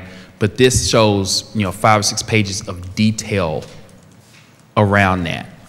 And so, uh, again, just so we're clear, what we're showing here is just far more detail at the, what we call the line item level. It breaks out those classifica classifications that we provided to you on Monday. So that's what this is. Just for the 590 fund, which is the sewer fund, and the 591 fund, which is the water fund, which is where Councilman Mays wants to spend, you know, spend time. And I think it's important for you guys also to understand those numbers. And again, as Councilman Mays did alert, did allude to, he and I spent a good hour today going through some numbers. I do intend to spend some time with each one of you over the next uh, few weeks as we get into budget so that you can understand you know these numbers and other numbers as well, as particular ones that are giving me the most, giving us um, in administration the most heartburn, the water fund, as well as anything related to MERS. So hopefully that answers that question. But this is related to 180160. Um, may, I have one question. This may help. Um, could you tell me, is there any way in reading this that we can, it's separated out, we can figure out what the labor costs are of turning off and turning on water is that in any way separated out here, or is that just included in wages and salaries, et cetera? It's going to be mixed throughout the wages and salaries. I think the easiest way to look at it, the department that's going to be focused on that is the Water Service Center, so that's 540-10100. So you look at wages and salaries, you'll, but the problem is it's going to be mixed in with the wages and salaries of everyone. And I, but I want to caution you all, and I understand the question, and I, I understand where you, where you're going. What's the marginal cost, if you will, the incremental cost to do a, a shut off or a turn, or a shut on? But just like any business, the enterprise funds are built just like any business. So what you want to look at is the, you know, all the costs associated with that. So you can't just look at one incremental activity and say one thing or the other. You have to understand the entire cost structure. So I, I do want to caution, I do want to caution you from looking at it from that perspective because if we just looked at, okay, how much does it cost for us to do a shut on or how much does it cost for us to do administration and we do things in isolation the problem is how we you know there's so many costs throughout the water fund that we have to that we have to allocate through all these activities so it's a little bit it makes me look you just have to be i have to caution you from looking at it from that perspective I, I understand that, Mr. Newsome, but when we establish fees like the master fee schedule, Yep. okay, there has to be a methodology absolutely that we've used to put a cost to a fee or a Mhm. service. So somewhere along the line, and I don't know where that record is, or it was done all verbally or whatever, there must be some way that can tell us how are we justifying a seventy-five dollar fee to turn on or a seventy-five dollar fee to turn off? If I made that referral, would you be able to come up with some approximation? Sure. Okay, Absolutely. um, that referral. Uh, I'm making that referral. I will, and of course, I will address that referral when we meet next in Finance Committee. But, um, you know, when you, when you're talking about fees, I just want to make sure it's just not the cost of the incremental activity that goes into it and that goes into setting those fees. So I just want to make sure that's clear, set your expectations. And I, I am, I do understand that it's not easy to, you know, Right. get that, but we have to have some approximation to show that we haven't just plucked that number out of thin air. Mhm. You know, there has to be a justification for it. Absolutely. Okay, uh, I have Mr. Winfrey next, and then Mr. Mays.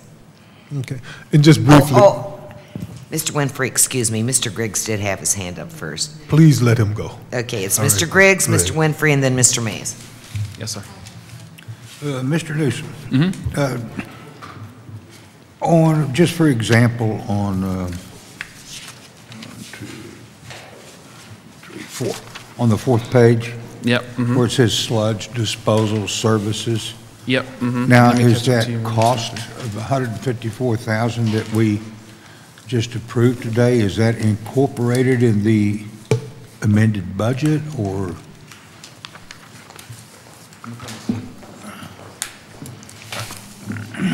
Let's talk about that belt we approved today.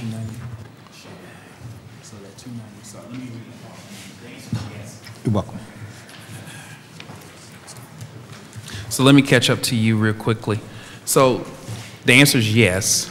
And so the way to read this is there's $290,000 in the amended budget. We did not put together a budget amendment, so we're not changing the budget, right? So we're not pulling money from somewhere else here.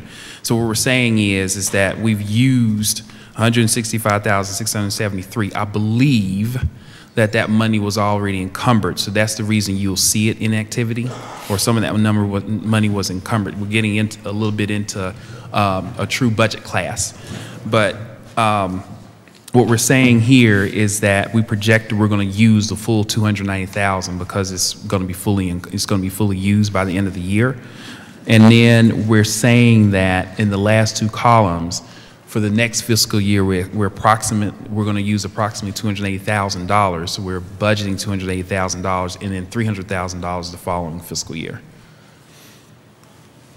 Okay. Yep. Uh, Mr. Winfrey? Yes, ma'am. Thank you, thank you, Madam Chair. Uh, Mr. Newsome, regarding the question that Councilwoman Fields asked Sure. regarding the seventy-five dollar or seventy, yeah, seventy-five dollar fee.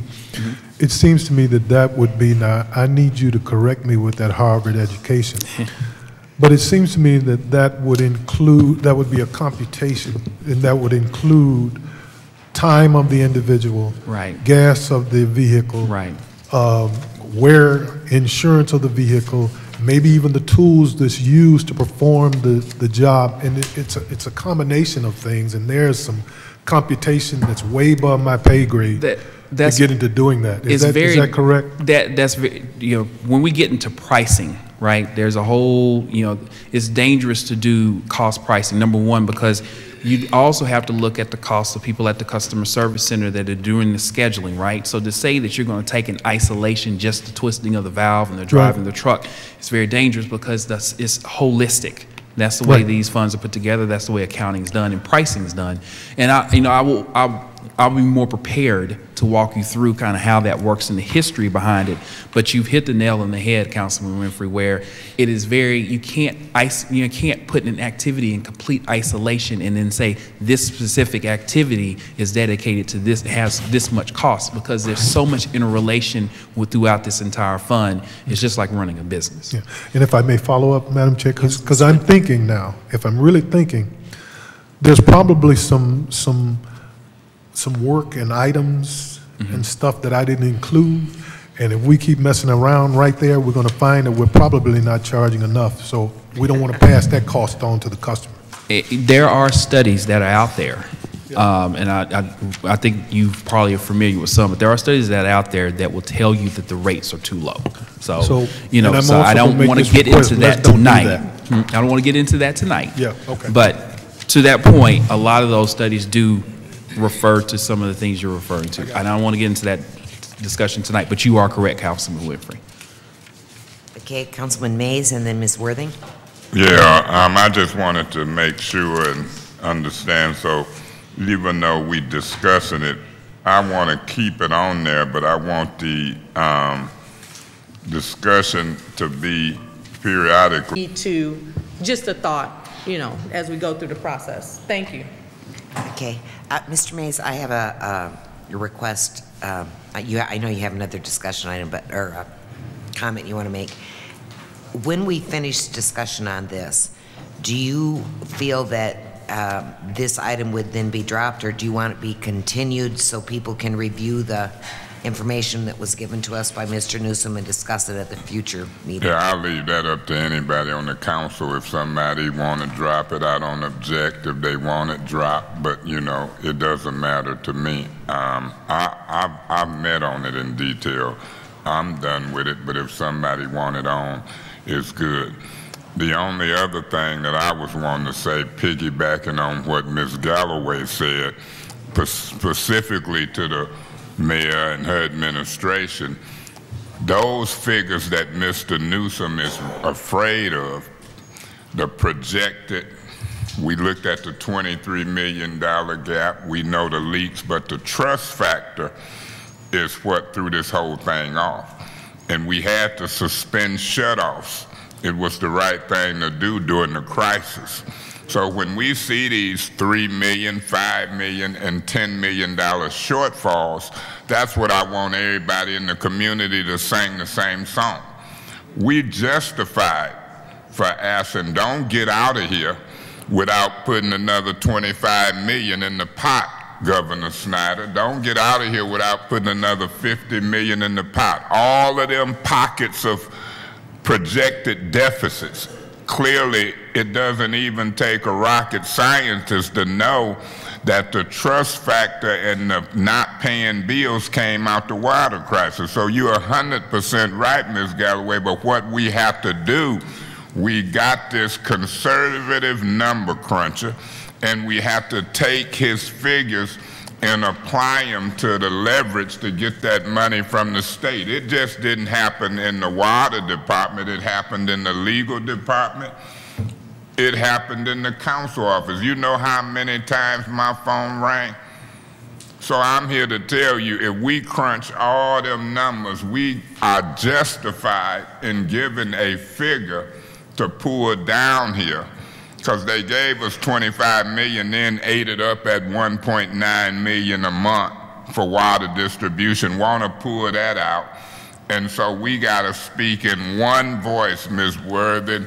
And if we do that and get the residents to do that with us, don't divide up, then we might can leverage the money to fill out these budgetary gaps. Thanks. Madam, Madam.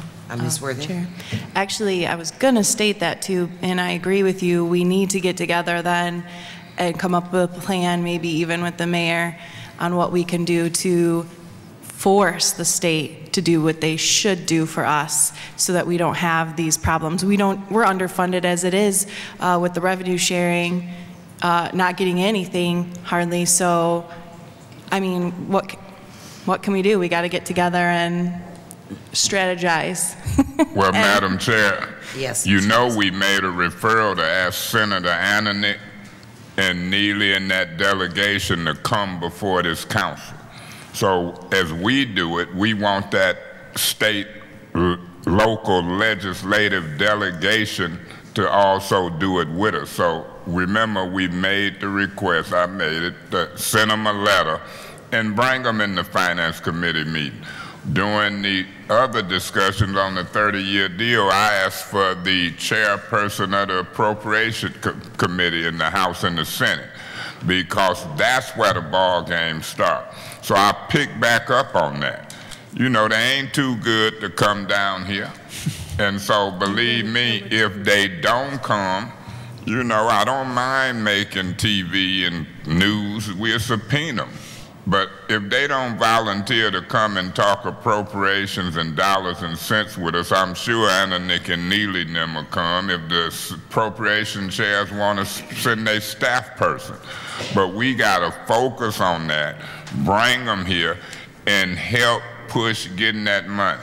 We know how to politely talk and make news and help the mayor and others break that state money loose before that window closes. Thank you. Madam Clerk, Madam Ch- I just want, Ms. Winfrey, I have an inquir- inquiry of our city clerk. Did we send that letter? We have not sent the letter yet. Mr. Mays and I are getting it on Monday. Okay, so the letter will be sent soon. Will be And sent before Friday. perhaps after a reasonable amount of time for a response, we might want to request a special order to invite them here uh, during the finance, yeah, a special meeting or something. For finance. So um, hopefully soon the letter will go out. Mr. Winfrey? Thank you, uh, Madam Chair, and I think that what my colleagues have said here about engaging our state folks is a good, is, is, is excellent. It's, that's excellent thought. Now we got to follow it up. But here's what Councilman Winfrey would not want to do. I don't want to include what we're asking them to give us in excess to be a part of the uh, revenue sharing. I don't want that, uh, because now you know how easy they could, they will do stuff like that. Point of information, can you repeat that again? Yes, whatever, whatever we, because I don't even think that's where you were going. I thought you were, Councilman Mays, I just don't want whatever monies that we're requesting to help us with these water issues. I don't want that to be a part of revenue sharing dollars. I want revenue sharing to be something else, and we decide where that goes. Well, point of information. Ms. Worthing? I just, that, I was just saying that we are already underfunded with that. Not that I oh, want, Oh, that's, that's what you said? yeah, I don't, guess I I need to don't. listen back. No, that's separate. I want even more, Okay. Mr. Winfrey. Wait. I got you, I got you. Thank you, thank you, Madam Chair. okay. And We're Mr. going, Ma- point of information is for the purpose of asking a question, not answering a question, but that's okay, because it just, you know, made this process go through a little quicker. Uh, Mr. Madam Mays? Chair, and I, and, and I'm, and that's our protocol, but, um, you know, Mr. Winfrey, you know, I'm lazy. You didn't know that? I'm lazy. I don't mind if you would Miss Brown work on that letter. Okay, so that way I ain't gotta worry about it, huh? Is that a directive? That's the record, yeah, handle that.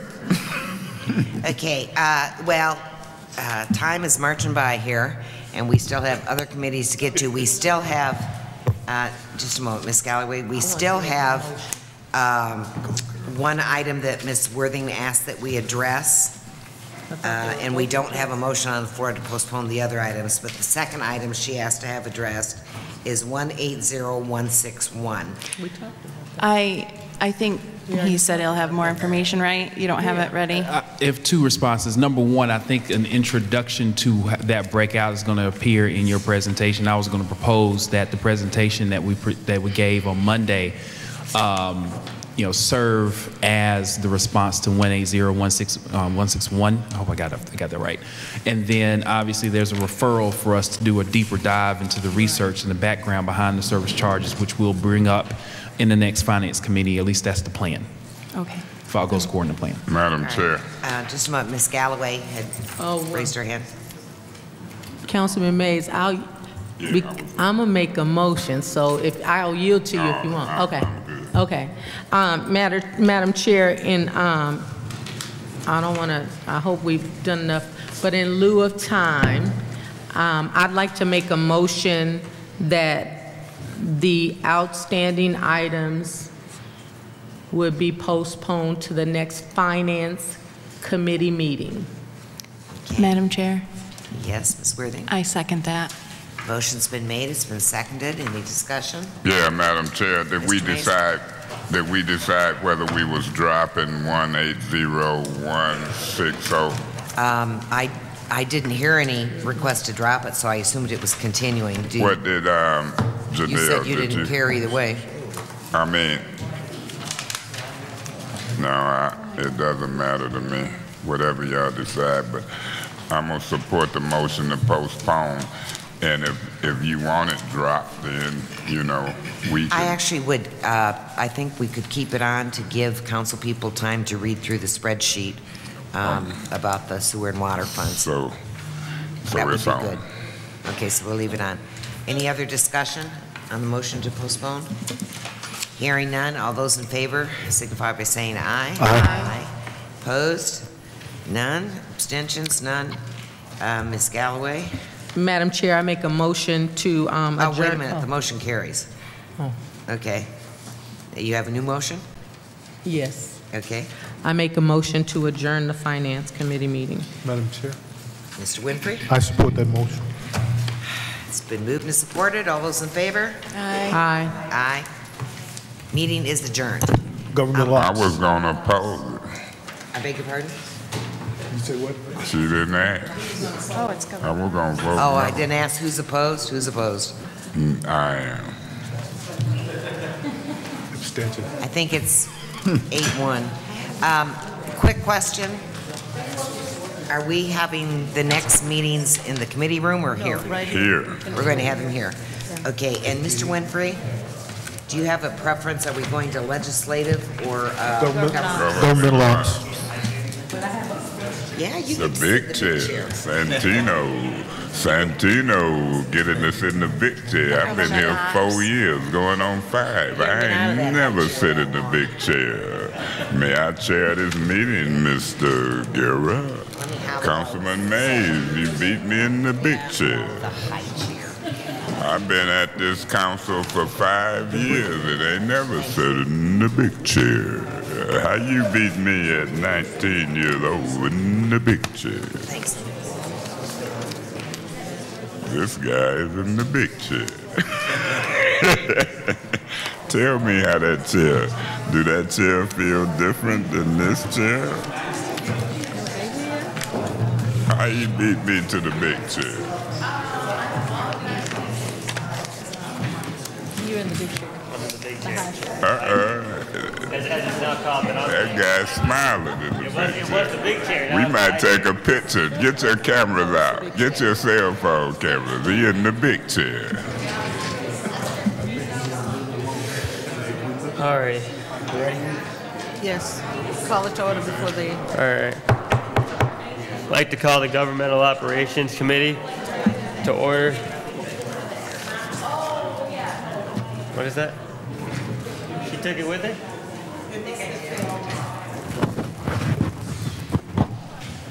Alright, so we'd start with the appointments. Uh, 180121, Mayor appoint- appointment of Human Resources and Labor, Labor Relations Director, McKinney Jackson. Mr. Mr. President. I said Mr. President. I ain't in the big chair. I'm gonna say Mr. Chairman. Mr. Mays? Mr. Chairman, even though you beat me to the big chair as it relates to 180121, that's the mayoral appointment of Human Resource and Labor Relations Director, McKinney Jackson. And um, I was able to spend some time down in that department talking and looking. I received calls.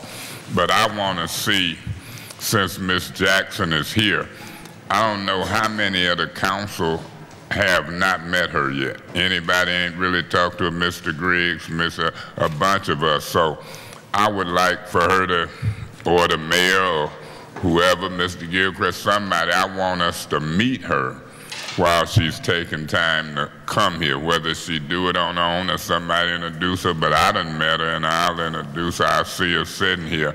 And um, you know, I've always said ain't nothing wrong with talking to appointees and asking them questions and getting to know them as we do this. And I know it's been communication, so.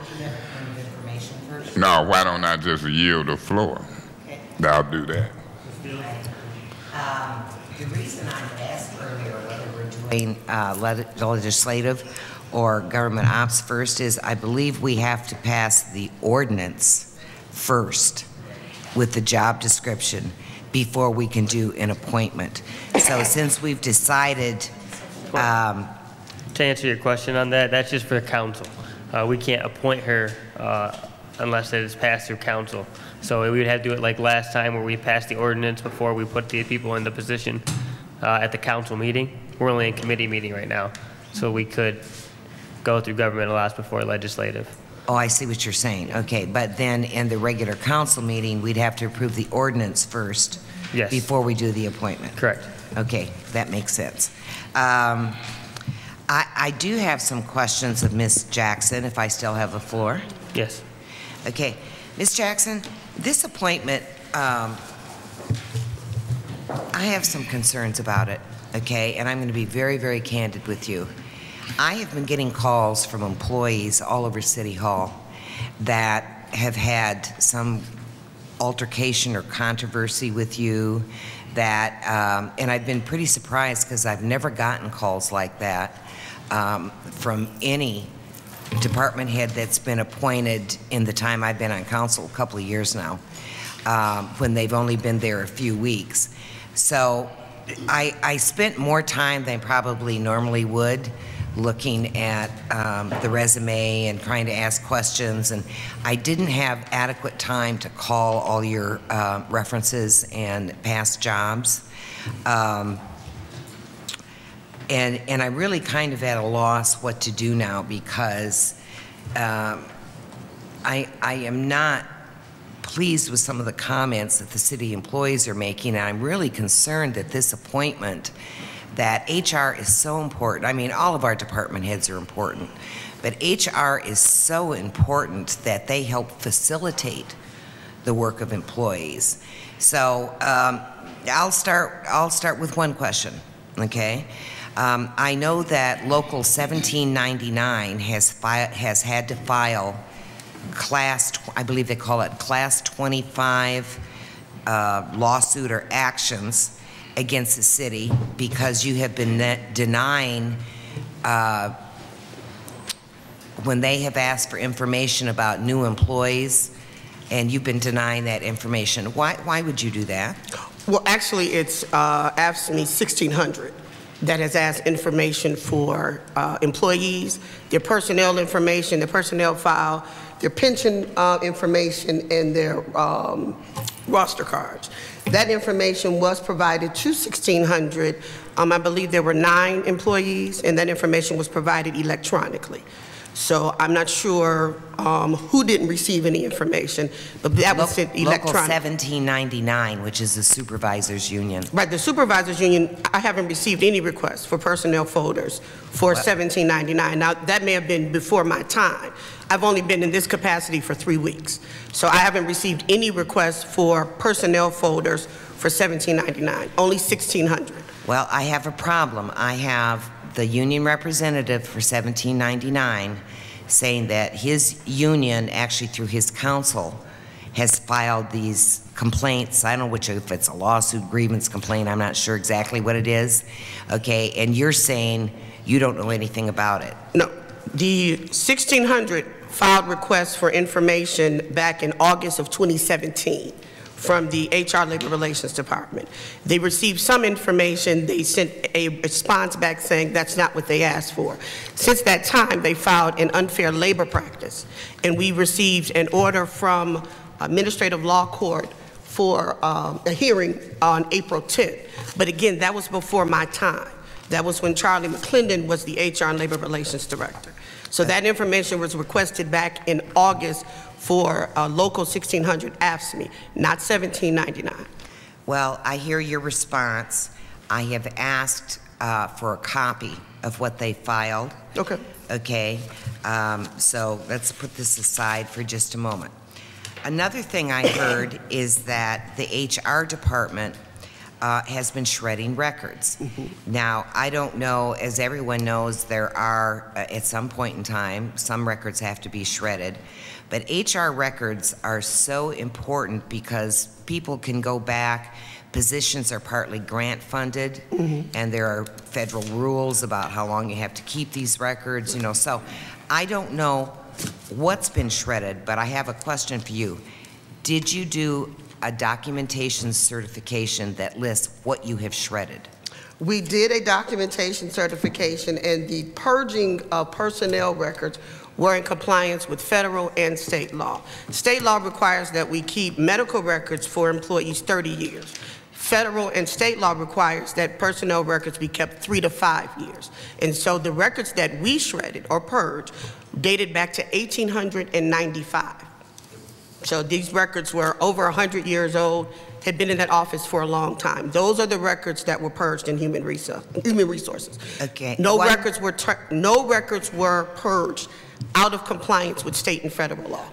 Well, I have a referral. I would like to see by tomorrow, mm-hmm. please.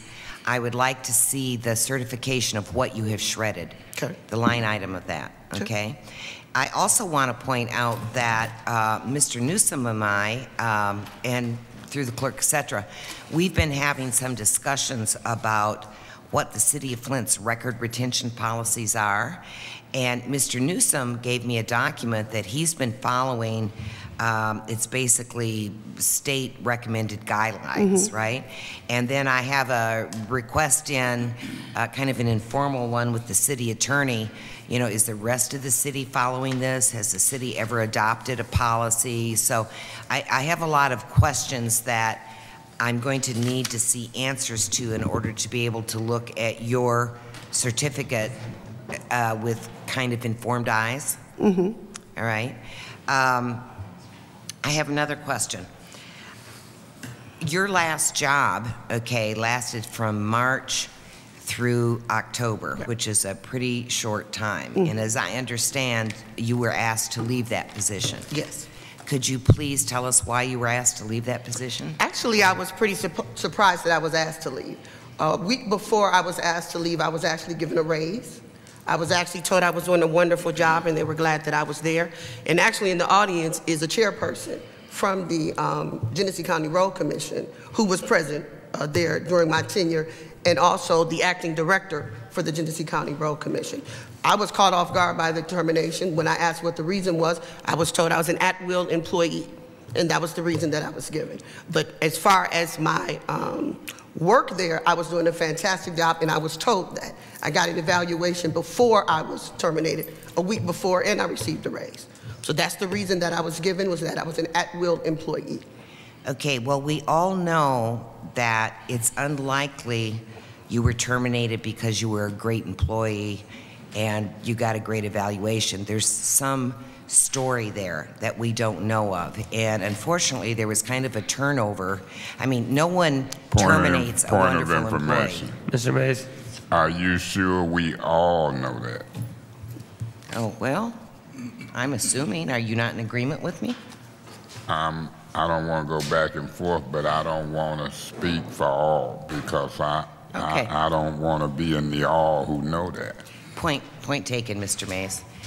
Okay, anyway, um, in the past, when I've supervised employees, I certainly would never terminate an employee that was a wonderful employee and I had, you know, there's a reason. Well, I can tell you that um, Mr. Dickinson can provide that information for you. He was the chair of the county commission, or the road commissioners at the time. He was a part of the entire process. So he can answer those questions for you. I'm aware of that, but I'm also aware that there was a little uh, political coup, and the last uh, director of the road commission was gone, and it was partly at the request of this person. There's a there's another story there, so I I don't need to ask that person at this point in time. Okay.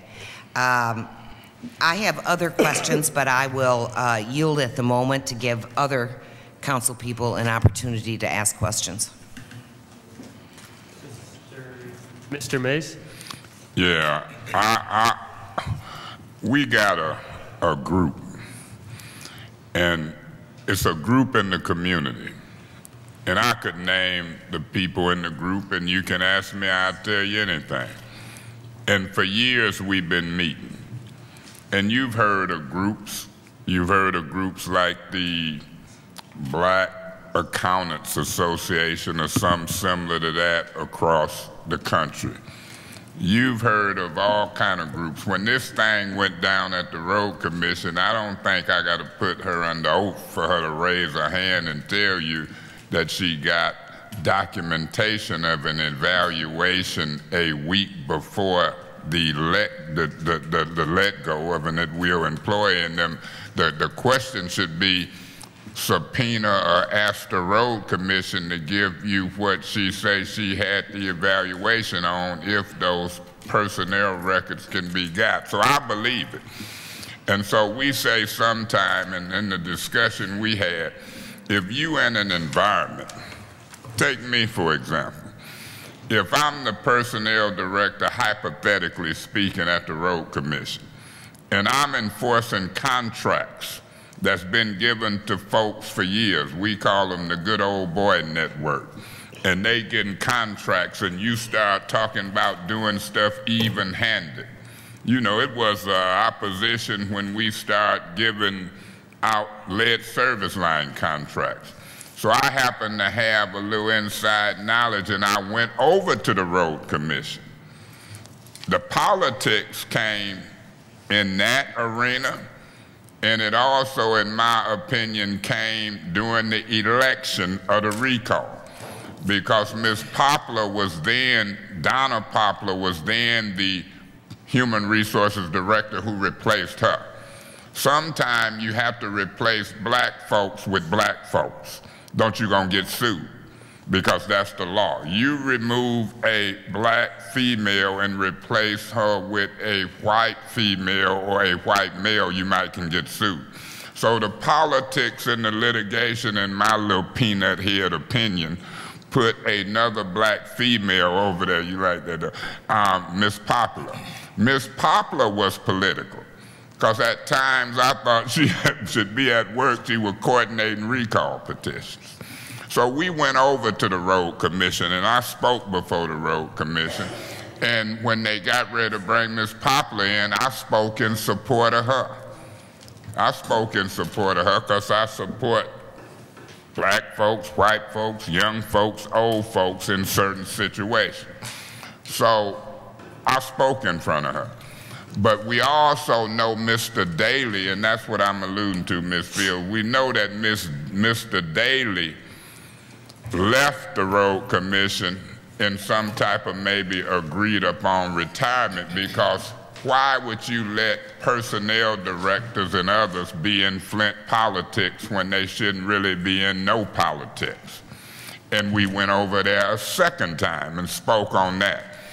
I thank God that I survived the politics because it was folks say, we want you gone and we want to stay. Look at this council. We got five new. I talked to the union, and I said to the union, if we dealing with this appointment, come up here and speak for yourself. Is the union here? The people who is talking? I'm always looking at that.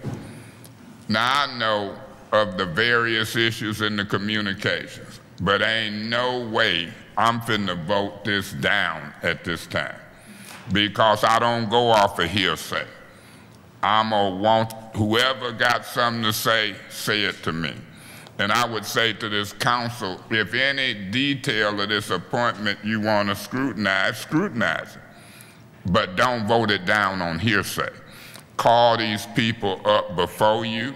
I wouldn't care if they union, munion, or sunion, because you know what? I was union for 31 years. And when I ran for office, they tried to take my head off. The AFL, CIO, UAW, I was tripping. But it was an old police union guy. I didn't even advertise it, but I was endorsed. But this election was bigger than advertising and endorsement. But I really appreciate that union endorsement that I got. And I've talked to that union. They ain't opposed to this appointment. So you got a variety of things going on here. And even though I'm gonna caution this council, be very careful when you talk about this and look at this because I've been looking at it for months and I know politics well. I'll go as far as to say this. It was a time when somebody's wife who was connected with the road commission worked here and might have got mad. So when you get politics swirling around, I'm going to tell you what I know, and I'm going to make sure that this council is informed because it ain't no motion on the floor to move this to council. Ain't no motion to postpone it another two weeks, and it ain't no motion to deny it. So based on what I know and what others finna talk about, because I've only talked to one council person about this appointment, because you know how I operate. If I'm talking to three or four, I'm a hypocrite. I'll throw that one. Since you talked to me, I ain't talking to no more because I'm not going to be a hypocrite. I say I'll wait till we get in council meeting, follow the rules of the Open Meetings Act, and I'll talk. But guess what make me talk less? Listening. Thank you, Madam Chair. Madam, I'm not Madam Chair. Mr. Chairman, how you get in that big chair before I did? Mr. Winfrey? And point, but, but if I may, Mr. Winfrey, and I might want to put on the record what the chair, former chairman, and the acting director of the road commission have to say. So I'm yielding and moving on, but before they leave, because they might not show up again, whether we postpone it, I do want to hear from them. And if it's okay, we maybe will. I'm sorry, go ahead. Thank you, President Winfrey. Thank you. Mr. Winfrey, before you Thank you. start, I don't know if you'd like to make a motion so we can get this in discussion, and then you can start off with discussion as soon as the motion is, if you'd like to.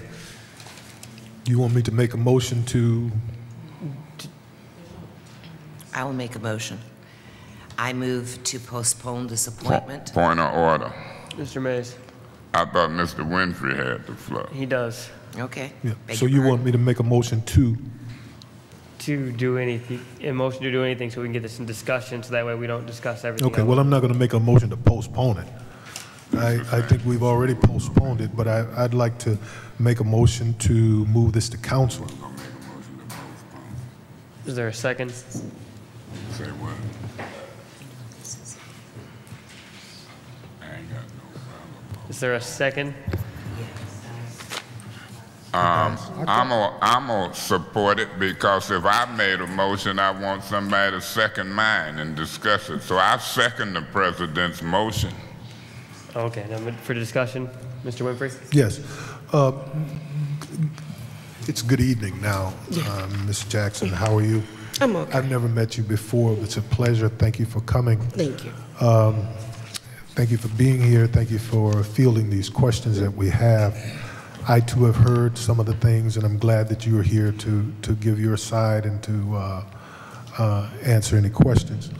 I want to uh, caution my colleagues, well, maybe not to use that word, but to uh, inform my colleagues that we do have investigative powers. Uh, Section 3-206 of the charter gives us those powers.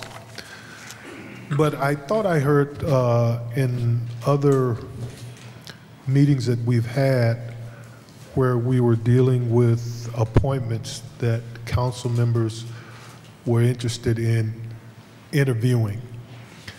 Well, I, I, I was somewhat opposed to that because I think that's the administration's job. Now, I'm not in uh, opposition of us having questions, getting our answers, uh, getting answers to questions that we have.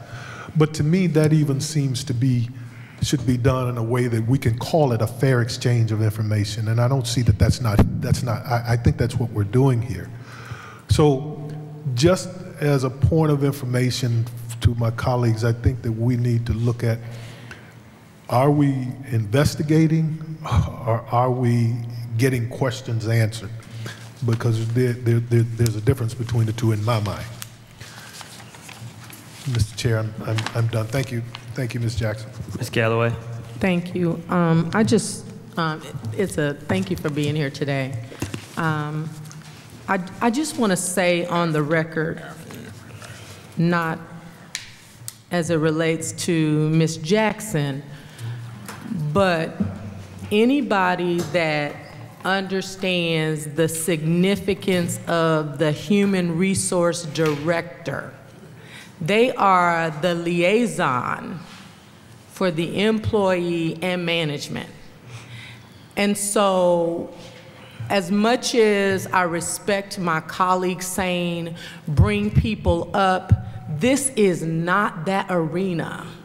There is the ability for a person that desires to share possibly an injustice by the human resource director that could have negative impact. And it's called retaliation at times. And so the, the reason why I want to say that is because union people may be more apt to come forth. Not even union people, but union stewards might be more apt to come before this council and speak on behalf of their entire union because there is the safety of not being pointed out singly. So if I represent 50 employees, you can't zoom in on one even though there may be only the option that one person has an issue. And so there's the safety in those numbers. But should you have someone that is not in that number, their ability to come before even this council and for the council to say, um, well, I need you to come before us and say it on record, there's not a safety. Michigan is an at-will state. That's why we have whistleblower laws now, because the repercussions, and Ms. Jackson, I'm not talking about you, but for the first time since I've been on council, I have gotten calls. And, and that's not normal. And I'm not saying that it's you, because sometimes people have a problem with leadership changes. Doesn't have anything to do with you.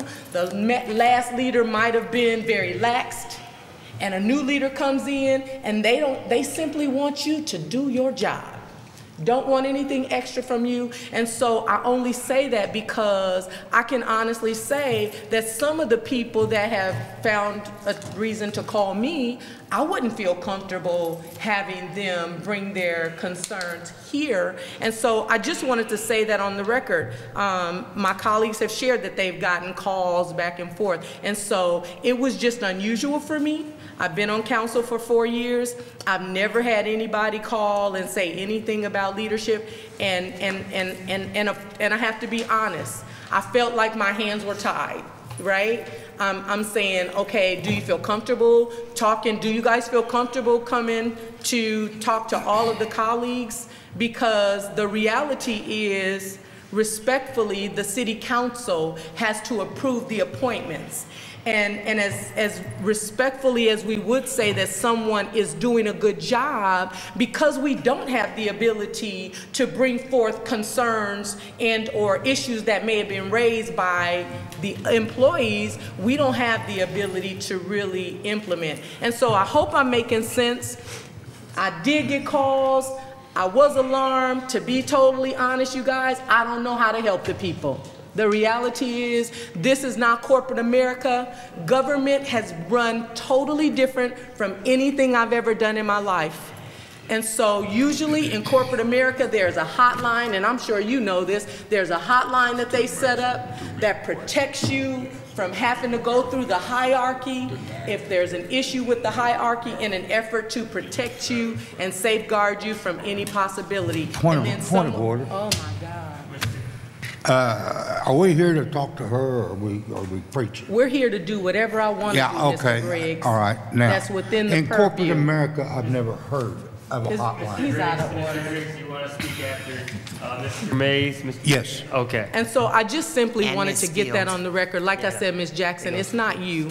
We know that different things happen. And so, but I, I wanted to say that because when Councilman May said, if you don't come here, then you shouldn't be heard, I just wanted to um, put that on the record to say, I don't know what safeguards are in human resources um, or how to deal with the union.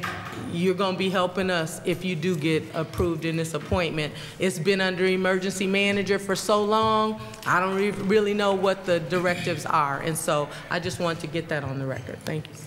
All right, and just so you know, for the order, we're going to go with Mr. Davis, and then Ms. Fields asked earlier if she could go back to her after everybody, everybody had a chance to speak, so we're going to go back to Ms. Fields, then we're going to go to Mr. Mays, and then we're going to go to Mr. Griggs, and then we're going to go to Mrs. Winfrey Carter. Uh, But for the two that had spoken, Mr. Griggs had not spoken, and Mrs. Winfrey Carter had spoken. Would you like them to go over before you or after? Um, I, I would yield to those who haven't spoken yet. Okay, and Ms. Fields? I would yield to those who have not spoken yet. Okay, all right, so Mr. Davis? Thank you, Mr. President. Nice to meet you, Miss. Mr. Chairman. What'd you say, what'd you call me? President. Oh, okay, I like that. Big chair, the big chair make you talk. Hopefully I ain't prophesying. Yeah, only the big chair, yeah, big chair. Yes, but, uh, Ms. Jackson, nice to meet you. I never met you before. I'm Councilman Davis, Second Ward. Um, wow, wow. Let me start off by saying this, Ms. Jackson. I haven't had any calls, any negative calls at all whatsoever, none. Um, you remind me of me in a lot of ways because some people tend to judge folks, and I said it at a, the mayor's radio show the past week. They tend to judge without really reading the book. But I, I'm a firm believer of how to move things forward, and I love moving my own business forward, but I can't speak to, for my colleagues. But um, if the administration see fit for someone to run their HR department, which Mr. McClendon had, which did a very good job, by the way, they would know better than me sitting here in five minutes in an introduction when it seemed like you're on trial more than anything. And it don't seem fair. It seems very hostile. It don't seem friendly. It don't seem like something that I would want to be a part of. To me, to be administration that and a council body that work in unity, unity, we should be more respectful of each other, especially of appointments. Whether we, we move the appointment forward or not is how you do what we do. Now, I say that to say this. People hate. They hit on me all the time, but that don't ever stop nothing. I want to say this to you. This administration done more than any administration I done seen, and I've been in the city all my life. And I mean, lady, what happened with the state this day? But still, we got a stigma of sitting on our hands, I call it, where we don't really understand moving things forward and let somebody else do their job. Never have I heard one person up here ask about qualifications. Only negative response. Reason why not? If they were standing where you were standing, they wouldn't want that kind of pressure put on them. It's not right. You reap what you sow. I would say this to you, Ms. uh, Jackson. I'm knowing you qualified because of the administration put you there, as well as Mr. Branch. I heard the same thing with Mr. Newsome. The, the, the uh, Economic Development uh, uh, Department. Never have anyone came from an appointment that was greeted with open arms. It's always a hostile environment. It's embarrassing to me because it's a respect factor. You don't do nobody like that in a professional environment, especially a department head. So I'm I'm gonna shut up in one second, but I will say this. You automatically qualify because of this administration, the mayor wouldn't took a chance on somebody running a department that's not qualified. She got a powerful team. We just got lifted out of a situation nobody, somebody else put us in, but she got us out of it. The administration, she know how to pick her team. And I know how to pick my team, but like I said, we got to get used to some changes. I can't run the administration in this too. Look at this power. This is today's power. How accurate am I really gonna be? Trying to run the mayor's office in up here too? I can't do that. So therefore, she got qualified people and they're showing this there. I feel with all I got, and, and I'm, like I said, I, I have never ever personally met you. But if the mayor see fit for you to run a department, you have my vote for running that department. I'm done. Mr. Griggs?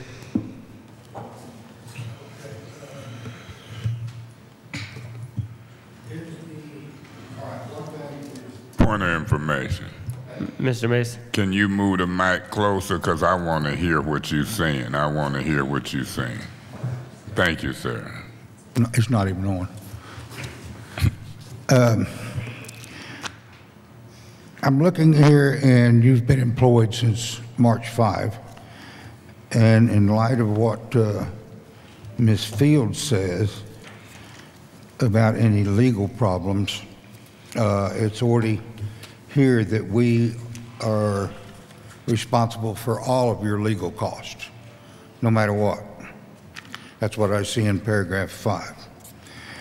Okay, the next thing is, you have two MAs. Do you have a BA? Yes, What's that in? criminal justice. What was that? Criminal justice. Okay. Uh, The next thing is, I'm assuming job description. I don't see anything says job description, uh, but I guess that's in what's called scope of services. Is that the way you understand it? For the job description, Yeah. the scope of service is listed in the job description. Well, I did look at the charter, and it's really not a job description. And it just, it talks about clerical functions. And then under, also under section 4-402, it refers you back to the clerical functions. I don't see a true job description here. Do you, have you seen a job description? For the HR Labor Relations Director? Yes. Yes, it's attached to the um, agenda, I believe. Uh, no, no, that's what I'm looking at. Point of, It's point not of co- it- information. Yes. Mr. Mays? It would be, it might, would, can that be found attached to the legislative committee agenda? Uh, Let me look. The- I don't know. I, I'm telling Yes. you, I'm just doing it as a point of information. You might can, Yes, Mr. uh, could be found attached to that. Mr. Griggs, that's on the legislative agenda, the uh, requirements. It should be attached to that. Well, it says terms of appointment. It doesn't say job description. Are you looking at the same page I am?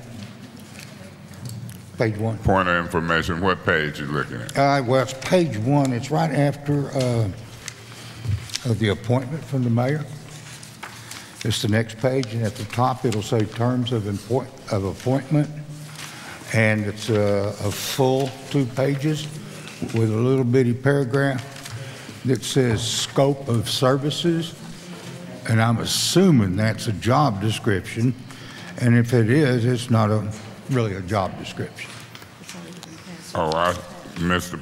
Mr. President, if I may, These things in the charter would say, if she's got a clerk working for her, that's what the clerk would do. Just uh, for clarification, though, Mr. Griggs, we passed the ordinance uh, for the job description at the last council meeting.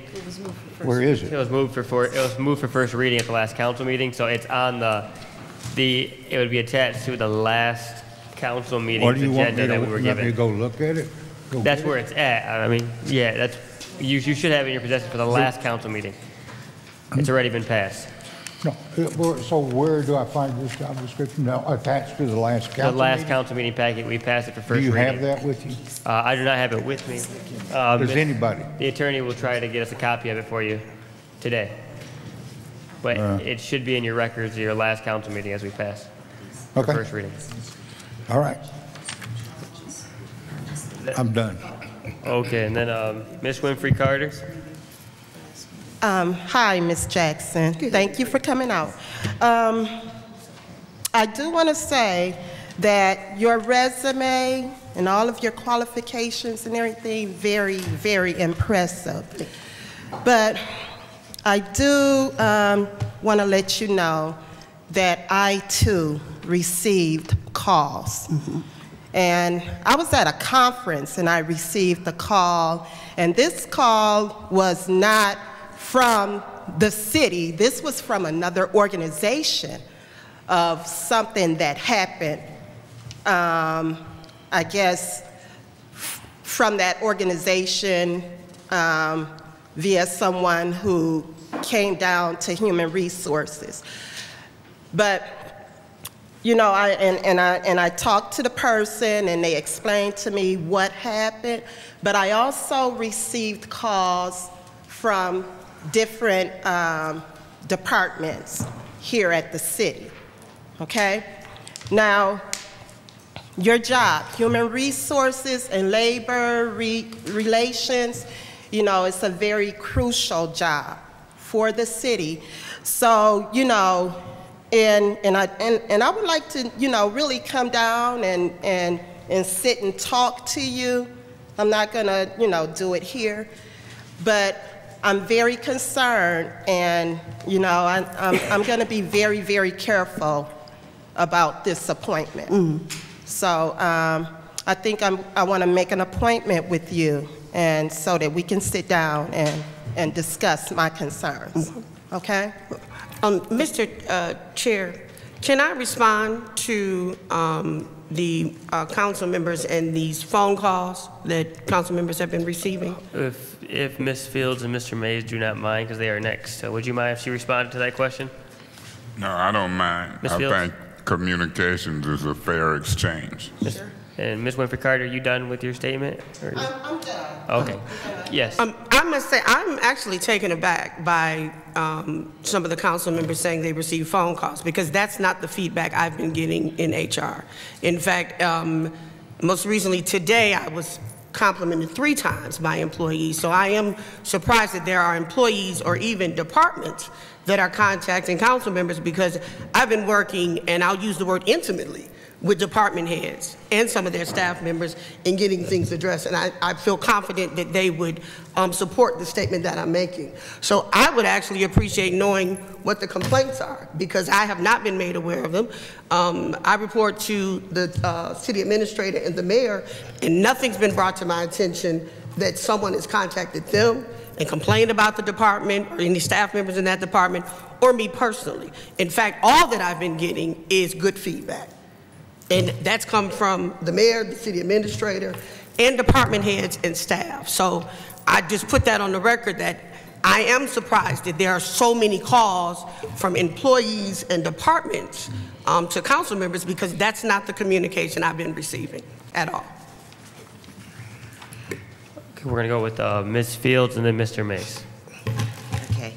Um, Ms. Jackson, I'll tell you, uh, here's a complaint I've heard from a couple different levels, uh, but it's the same basic complaint, is that recently you hired some folks and they weren't vetted correctly. They didn't have the certifications they were supposed to have in order to be hired. And this is uh, problematic, and I've heard that from about three different levels of people. People have to work with them, people have to supervise them. So uh, that's one specific complaint, that as HR director, um, it's your responsibility to make sure that, if you're not doing it personally, of course, that individuals meet the basic qualifications before they're hired. So that's, that's one complaint. Um, Can I respond to that? We'll let Ms. Okay. Okay. Um, I have some additional questions, and I had additional calls, but I don't want to focus on that right now. Um, I have a question here. You said that in 98 to 2002, you worked as a judicial law clerk. That's correct. Don't you have to have a law degree to do that? No, you don't. You don't? No. Uh, Had you attended law school? Yes, I don't did. see it on your resume. Uh, Do you also have a law degree? No. You don't have a law degree? No. So you have like credits towards, but not the I attended law school and I worked as a judicial law clerk for Wayne County Third Circuit Court for five years. Okay, but you never took the bar? No, I did not take the bar. Okay. Um, uh, I was just interested because it's an interesting kind of resume in, in terms of those things. You also stated that you had an LLC, a consulting uh, uh, management company. Do you still currently have that LLC? No, I don't. Did you officially dissolve it? Yes, I did. You did, okay. Um, And then I guess my, my last question for this round is, before the road commission, you worked for the city of Highland Park. And um, perhaps you could explain, I heard that you were also let go from that position. Could you explain that? I worked for the City of Highland Park as the HR and Labor Relations Director as an appointee under Mayor DeAndre Windom. When Mayor Windom lost the election, all of the appointees were removed from their positions, all of his administrative staff. Okay, well, I understand that scenario, certainly. Um, Understanding our charter.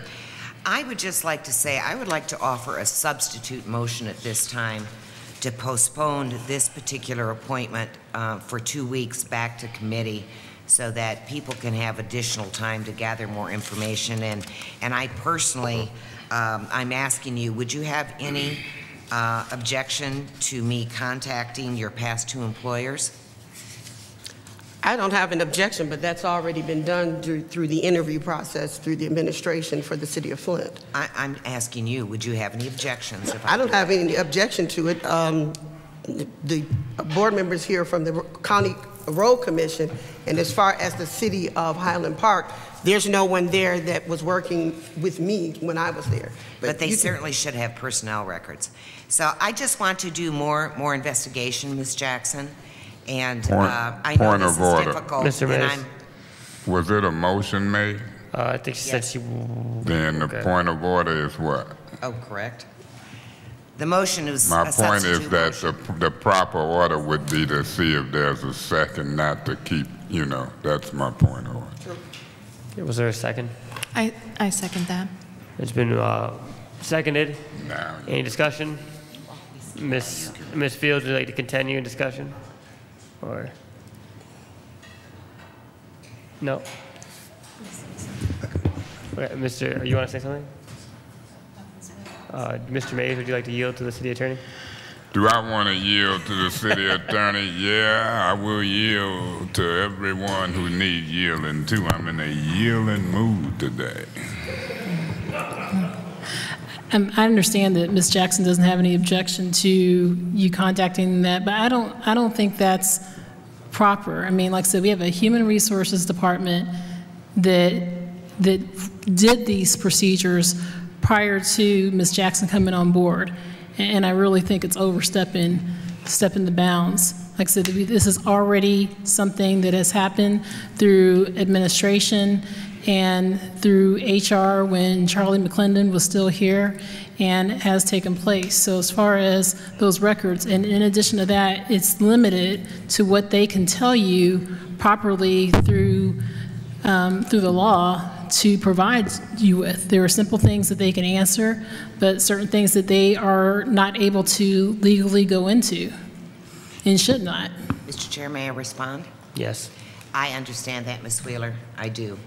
Um, But I still want the opportunity, you know, when you confirm an appointment, that is the job of city council.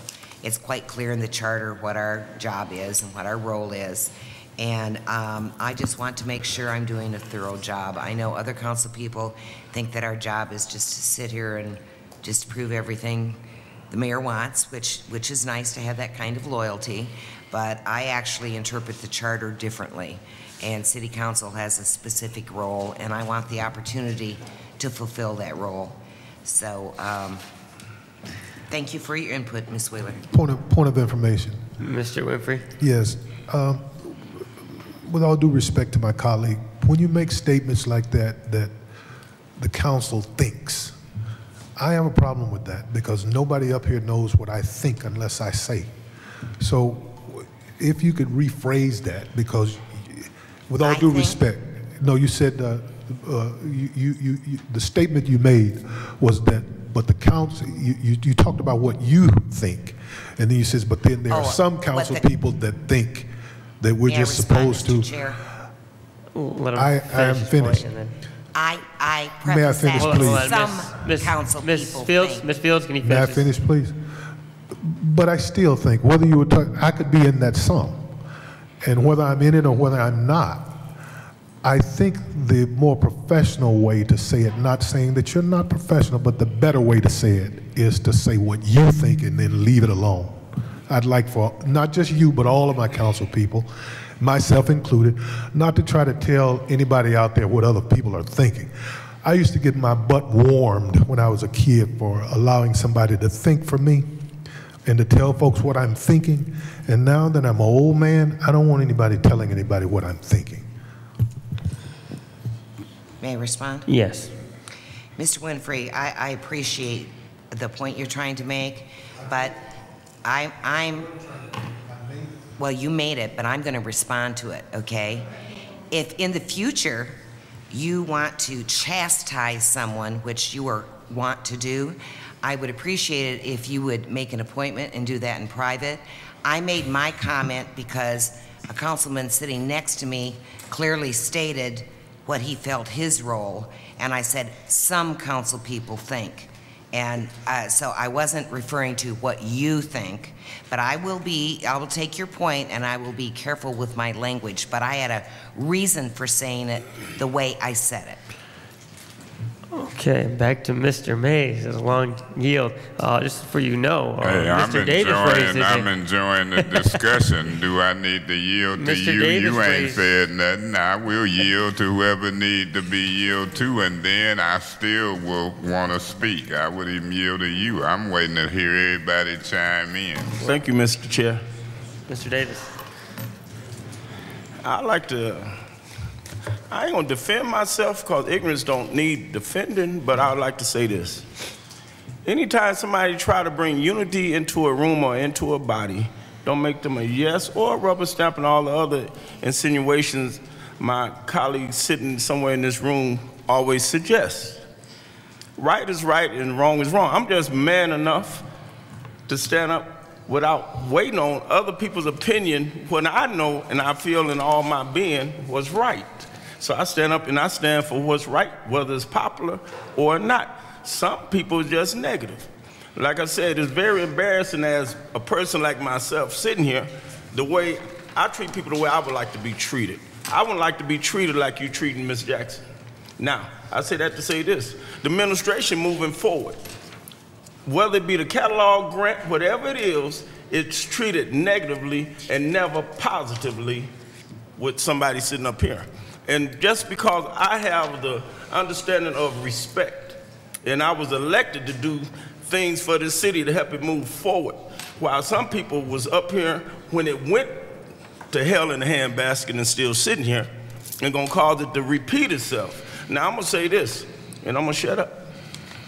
Some people just negative and, and just full of hate.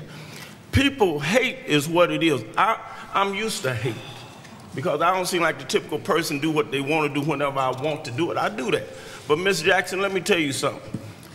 Anytime people accuse stuff without bringing it forward, that ain't nothing but a way to discredit your qualifications. They're not interested in that. It's a jealous factor. And some people just full of hate. And I'm not going to use the R word, which is racism, but I will say this. You got to be careful how you treat people. Every time this appointment comes, sometimes most of them, and, and it's a blessing to have Afro, African Americans qualified to be in different positions. But the respect factor they get when they come for appointment is appalling to anybody. But I ain't gonna be too many more of this other stuff. I'm not a yes man. You don't know me. I know me. I'm done. All right, before uh, um, we continue, I just want to say we do have uh, Ms. Jackson here, and I know I'd like to kind of render all of our comments to the specific appointment and not about one another and our opinions. So I think if we can make our opinions about ourselves, not about others, and if somebody does make one about you, I hope that you guys can talk about that afterwards and maybe resolve these situations outside of this specific part of the council meeting. Uh, Ms. Dermays, you said you would like to yield to anyone who had not talked.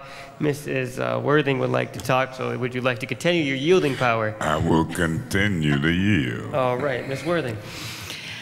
I have not received any calls, uh, so I've just kind of stayed quiet because I don't really have anything um, to say. But I, I do want to respond to some of the statement made uh, made by my colleagues. Uh, I'm listening to everyone. There are concerns from multiple people of different races, and we. I, let's remember. You said you didn't want to mention racism, but you did. Um, this has nothing to do with hate, race, or any other qualifier but the fact that we're looking at an individual, whether they're qualified or not. And uh, at this time, I have no opinion. I just like to uh, make sure that we are professional and uh, and and some of the comments here were to me unprofessional. Thank you. Mr. Mays, would Mr. you like to President, yield to I would Madam like Mayor? to yield to the Honorable Dr. Mayor Karen Weaver. That's who is bringing this appointment. Thank you. Uh, yeah, I, I do want to say something about her because one thing we know is she's very qualified. All you have to do is look at her resume and see that she's qualified. And so I don't think we should be standing here questioning her qualifications. Uh, people have said they've gotten calls about her, her work and her, I don't know, things she has not done or has done. Well, I, and I hear what you're saying, but sometimes I have to take that with a grain of salt because there were people trying to get me out of here, and I knew I was doing my job too. So I want to put that on the record. She has kept us in compliance with EPA. Uh, she's kept us in compliance as far as the job postings. If you look, last week, 16 jobs were posted. I remember when I was sitting in a meeting with Hughey and we were looking at the jobs. This was before McKinney got here. We had almost 100 jobs that had not been posted. We had almost 100 jobs that had not been posted. And we had people here before, but they weren't posting the jobs. She came in, and last week they posted 16. We're having a job fair this month where I think maybe 45 or 50 more jobs uh, we are trying to fill, and she has been doing that. The people that were brought on, I remember you made reference to some people that had been hired, they did meet the qualifications, and they've been waiting for a call from us, some of them for over a year for over a year. So for us to sit here and question her capability, um, it, I think that is very ridiculous. And the other thing is, she's still at will. And so if somebody's not doing their job, I'm not going to keep them. And so I just want to say that. But I, it, it has felt like she has been uh, already judged and found guilty, and she has been moving HR forward. She has been getting these jobs posted. We've had documents that are, are here from 1800. We looked at some that were 1922. We need to get rid of them. We need to get rid of them. They're filling up the garage downstairs. We don't know what's in there. Those are unsecured documents that have been standing here for all of this time. And some people don't like change, and some people don't want to work. Some people are lazy. And so she has come in, and we have charged her with a task to do, and she has been doing it. And so I want that to be on the record. Thank you. Mr. Mays. Mr. President, finally finally, finally I get to say some of what I think I heard um, the Honorable Dr. Mayor Karen Weaver say. Sometimes you do have to take telephone calls and communications with a grain of salt. You know, the other day we had a room full of people here two days in a row talking about the video store and that they didn't want it to be a medical marijuana store. And at one point I say we need to move on. We heard them once, they coming again, and they were noble people. They were from the 7th Ward, and then when they finally listened and everybody sorted out the communications, that video store location didn't even qualify because it was in D2 neighborhood type commercial and we only allowing it in D5 and D6. So that's what this is like. In some cases, people don't know the details. I remember in high school, it was a guy, he was the vice principal. Now, the principal did one thing and the vice principal did another. So you got a human resource director, labor relations person. That's like the vice principal. The vice principal, he'll kick you out of school. He was the disciplinarian. When labor relations come on board, folk get nervous.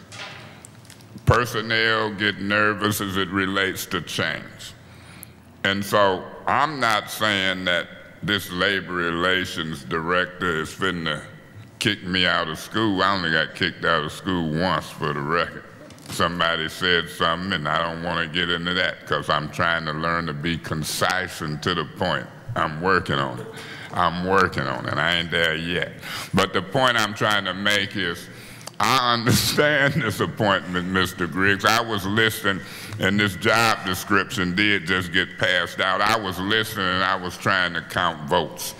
And I try to do that by looking at demeanor, and you can't count them because I thought I'd be the president and this guy sitting in the big chair. but, my, but when I count them, I see something going on here. I might could count up to five right now. But this is a motion to postpone two weeks. When I count the vote on how it passed or failed through you, Mr.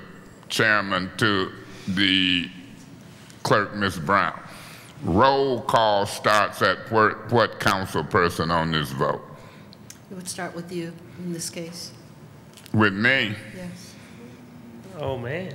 I thought it rotate. Oh, this committee. It ain't gonna be no roll call. I, I, I ain't starting with this vote on no motion to postpone. I done got myself caught up. I don't want no roll call on this vote.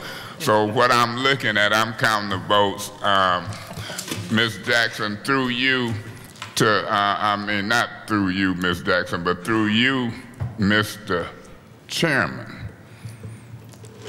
Ms. Jackson, I want you to see if you can relax for a minute, because I'm old. I couldn't even stand up there long as you could. Go on, relax. Mr. Chairman, I want to hear, yeah, and I don't care what nobody say. See, Miss Galloway, I wish she had stayed, but I might have to leave. I have stuff to do. But I request to hear from this guy who I know she worked with at the Road Commission. And he is now the acting director of the Road Commission. It said references, her resume said references available upon request. So I'm requesting. I want to hear from who I believe might be a reference, the acting director. I want to hear from who I might believe is a reference, the former chairman of the Road Commission. I've heard from one reference, which was the Honorable Dr. Mayor Karen Weaver, and so before I even turn into a reference, upon request, may I hear from two more additional references? I'm gonna get a general consensus of the council. Is that okay to let them talk? General consensus? Yeah, okay. All right, well, uh, what, who was it specifically? However they choose, there's two of them Two who of I think gonna be some If you guys could speak If on- they choose to, or if they don't choose to. If they don't choose to, I talk to them privately. If they wanna speak publicly and give a reference or communication, I'm, I'm open. I'm just reading resumes. That's up to them. Ain't no pressure. There go one hand up. Could I hear from you?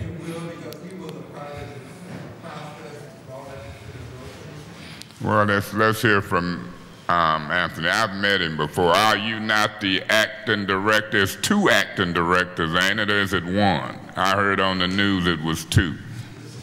It's Yes. two? Yes. And you one of them?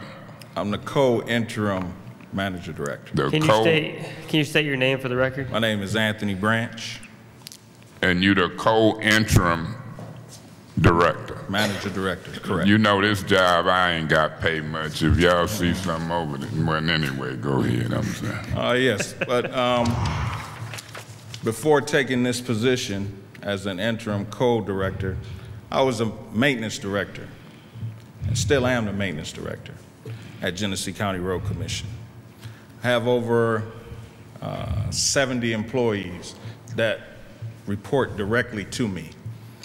Um, I probably manage over 80% of the entire operation at Genesee County Road Commission. The, I worked hand in hand with Ms. Ms. Jackson, um, having the majority of employees. I was in Ms. Jackson's office two, three times a week. Um, we conducted many uh, trainings. She brought many new trainings to the Road Commission uh, during her tenure there. Um, and if there are some direct questions, as from listening, I heard some doubt as to why she was let go from the Road Commission. Um, what she stated was correct. Point of information. There was- there was- there You- was no you mean- reason given. There But was- that was a point of information, you, is, I thought what you were saying was correct on the evaluation a week early. You Yes, don't, yes, sir, that is correct. Is that, uh, are you opening the floor for questions? You're asking if anybody has any Yes, questions? yes. All right, Miss Miss Fields? I'm sorry, I forgot your last name. Branch, B-R-A-N-C-H. Oh, like, gotcha. Correct. No relation to? No relation? No relation. Okay. No, sir. Right. Um, You are now co-director or whatever the term, right? You know, it's, it's pretty unusual that a formal, a former employer will send not one, but two people to come to somebody's uh, interview or, you know, this confirming process. I mean, that's kind of odd, okay? I've point of information. Mr. Mays? Did you say it was odd for a former employee to send, assuming that they were sent? That's just what I to thought. come, to come to. Oh, okay. to come to.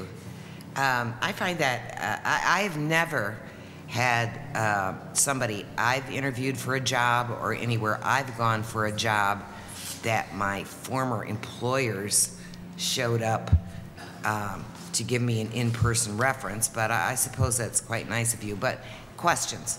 My question is, if Miss Jackson was such a great employee, got a good evaluation, yet inexplicably was let go a week or whatever you said after the evaluation. My question to you is, why, once you got in charge, you and your co-director, why didn't you offer her her job back? When I took the position over to respectfully answer your question, we already had a qualified replacement who is doing an excellent job in that position. And to um, reply to your statement earlier, I, I came here in a show of support for Ms. Jackson. I was not asked to come here from the employer. I came as a support to her, and I was asked by your colleague to come up and speak. I didn't come here with intention on coming up and speaking, but I was asked to, and I was asked for, asked to give you what I felt about Ms. Jackson, and that's what I've done. Have you ever done that before? Have you ever, someone who has left the employee of your organization, gone with them as they were now trying to get their next job? Has that ever occurred? I've been called by number of employees. To go to their interview or confirmation? I wasn't, I wasn't asked to come here by anyone from here. I think, I- I, I can't- think I've made my point. Thank Yeah, you. Yeah, you made your point, but if I can finish my statement. Sure. I came here as a support for Ms. Jackson. She not one time asked me to come here. Mr. Pre- Mr. Chairman. Mr. Mays. Yeah, this is a high-profile appointment, and I'm telling you, in the circle I'm in, I talk to folks all the time. If I wanted a hundred people here speaking for Miss Jackson, I probably could maneuver that. But I understand that that way that uh, that job went down over there, and he just said they replaced her with somebody doing an excellent job. He also said he believed she was doing a good job there, and he supports her here. He was called up by me as a reference because I knew that he had worked with her. And the resume says references available on request. I requested that. So I ain't gonna really get into the back and forth because I, I talk like that in court. When I'm in court, I be no further questions. So I heard what Ms. Fields said, no further questions. You answered it well and very professional. Um, this motion is to postpone. If this motion fails, then it goes back to moving it forward to council. Even with one member missing, I'll see what the vote. It takes five votes for us to pass a motion. I'll see what happens. But my position is this. If I see a resume say references available upon request, I'm gonna request them. I appreciate you coming up and um, tell the road commission, yeah, Councilman Mays asked me. Now, I'm gonna tell you this. I believe you telling the truth based upon how you feel. And if folks, what I said, and I wanted Miss Galloway to hear this, if union folks is speaking for union folks and it ain't them, show up.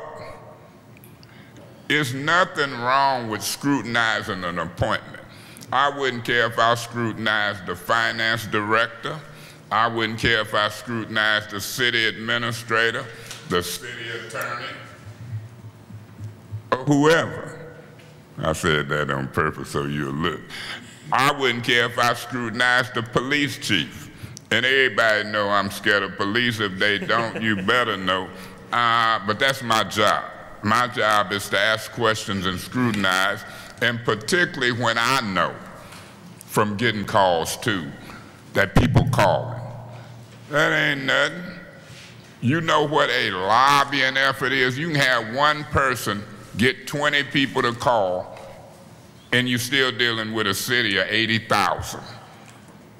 So when I'm in the middle of this appointment politic arena, on this one, I'm gonna roll probably with the person I've been rolling with. I like them numbers we got, Mayor Weaver. We overcame an election in November. I won by a good margin. She bringing me a personnel director. I'm gonna caution this council and I'm gonna tell this council, you don't have to worry about a personnel director. When Mayor Weaver says she at will, I can get rid of weekend too. If you got calls and you hear something happening down in personnel, you can, this council can call a for cause hearing any day of the week. And if you hear in that hearing what you don't want to hear, and you got cause, you can remove an appointment. You can even remove me for cause, and I'm an elected official. That's how the charter been working. Don't get no ideas, Mr. Guerra. But the point is, that's how I look at appointments. I might scrutinize them, because that's my job, I can.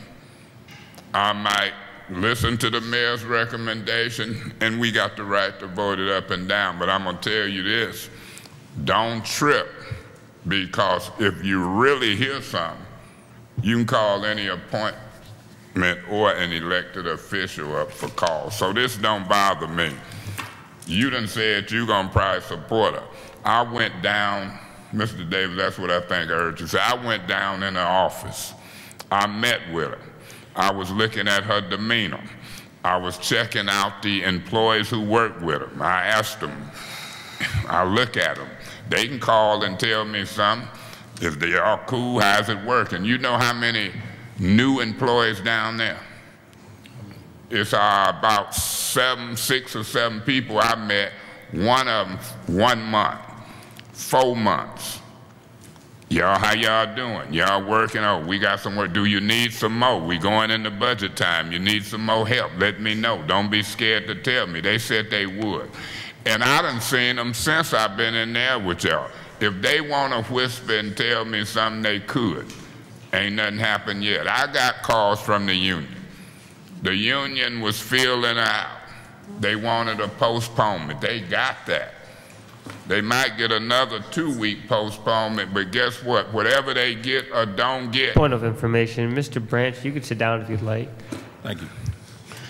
I know, if- yeah, these some nice people, because they'd be standing there, I would be tired, I'd be wanting to sit down. Mr. Gary, you sure is chairing this meeting pretty good in that big chair. I ain't never been in the big chair. Thank chair. you. Well, you were. I'll take a picture for you. Send- But my point is this. I'm almost finna go public on what I'm gonna do, like what you said, and support her, knowing that I can call her back to any meeting. I can subpoena you, Miss Jackson, I can subpoena records. Well, not by myself, it take four more votes, so let me quit talking about what I can do, but that's what we can do. So I ain't tripping. I ain't tripping off your appointment, and I'm gonna be watching, see my eyes. I'm gonna be watching, because you like the vice principal of the city when I was in high school. You can kick people out, throw them out, discipline, people filing grievances. We see who win and lose the grievances. Grievances should always be settled. It should be no winner or loser. I don't like for them to go all the way. I like for them to be settled. But that's y'all call, you and the mayor them.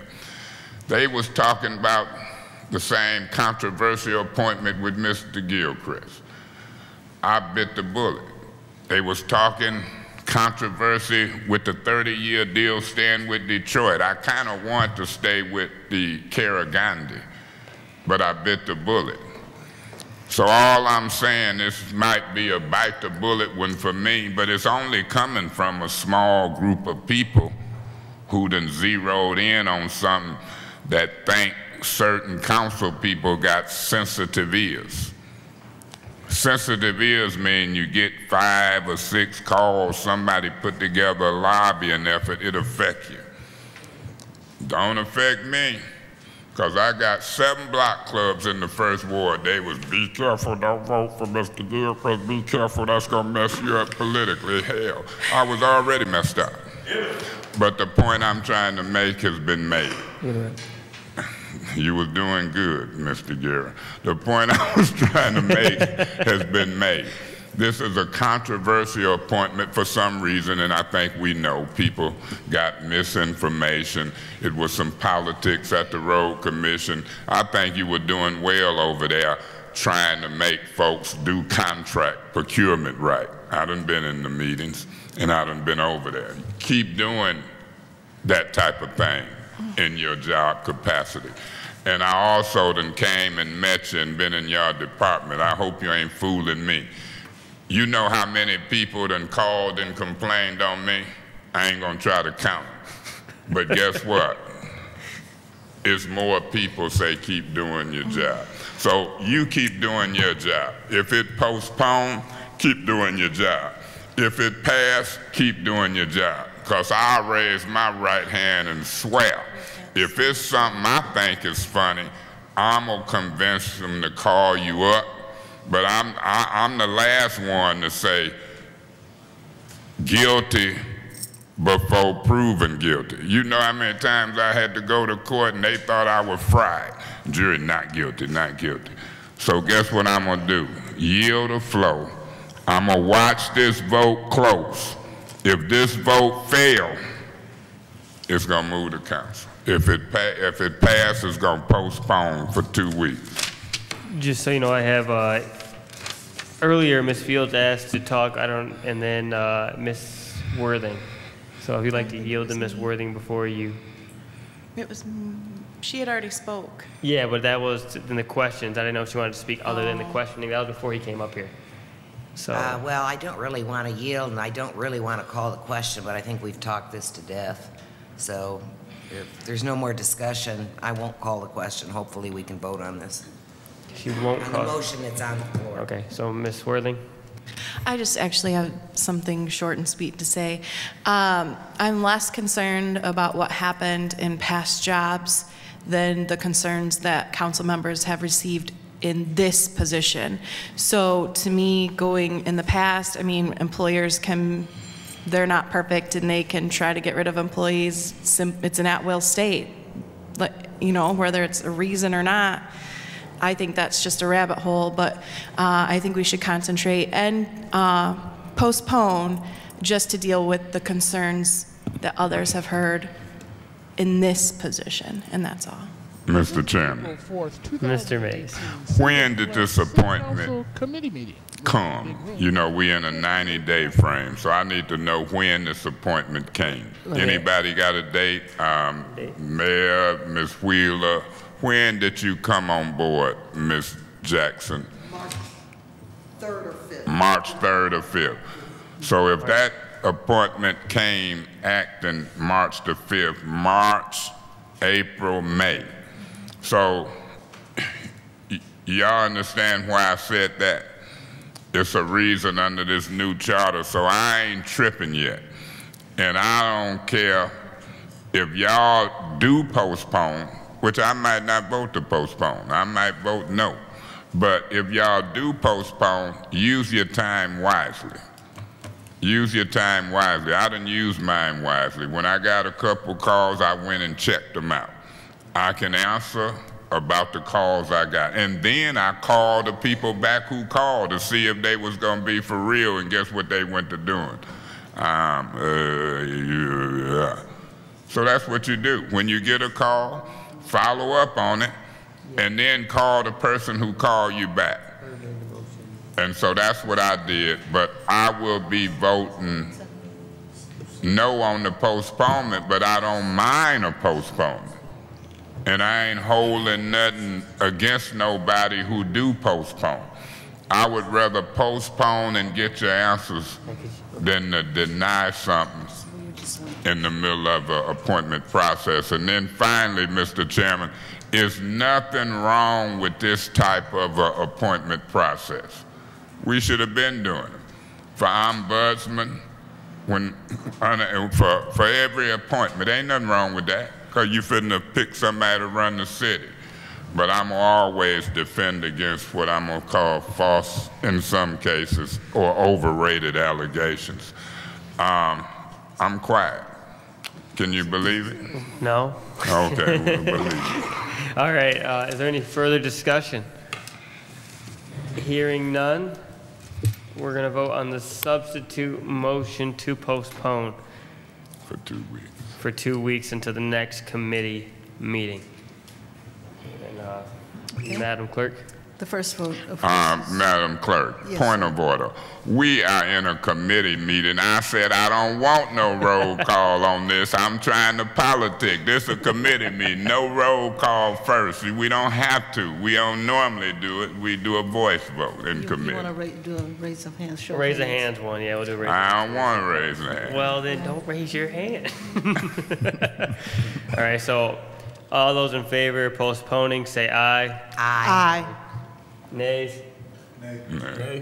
So we do a show of hands. Show of hands. Yeah, show, show of hands for the Uh, nays.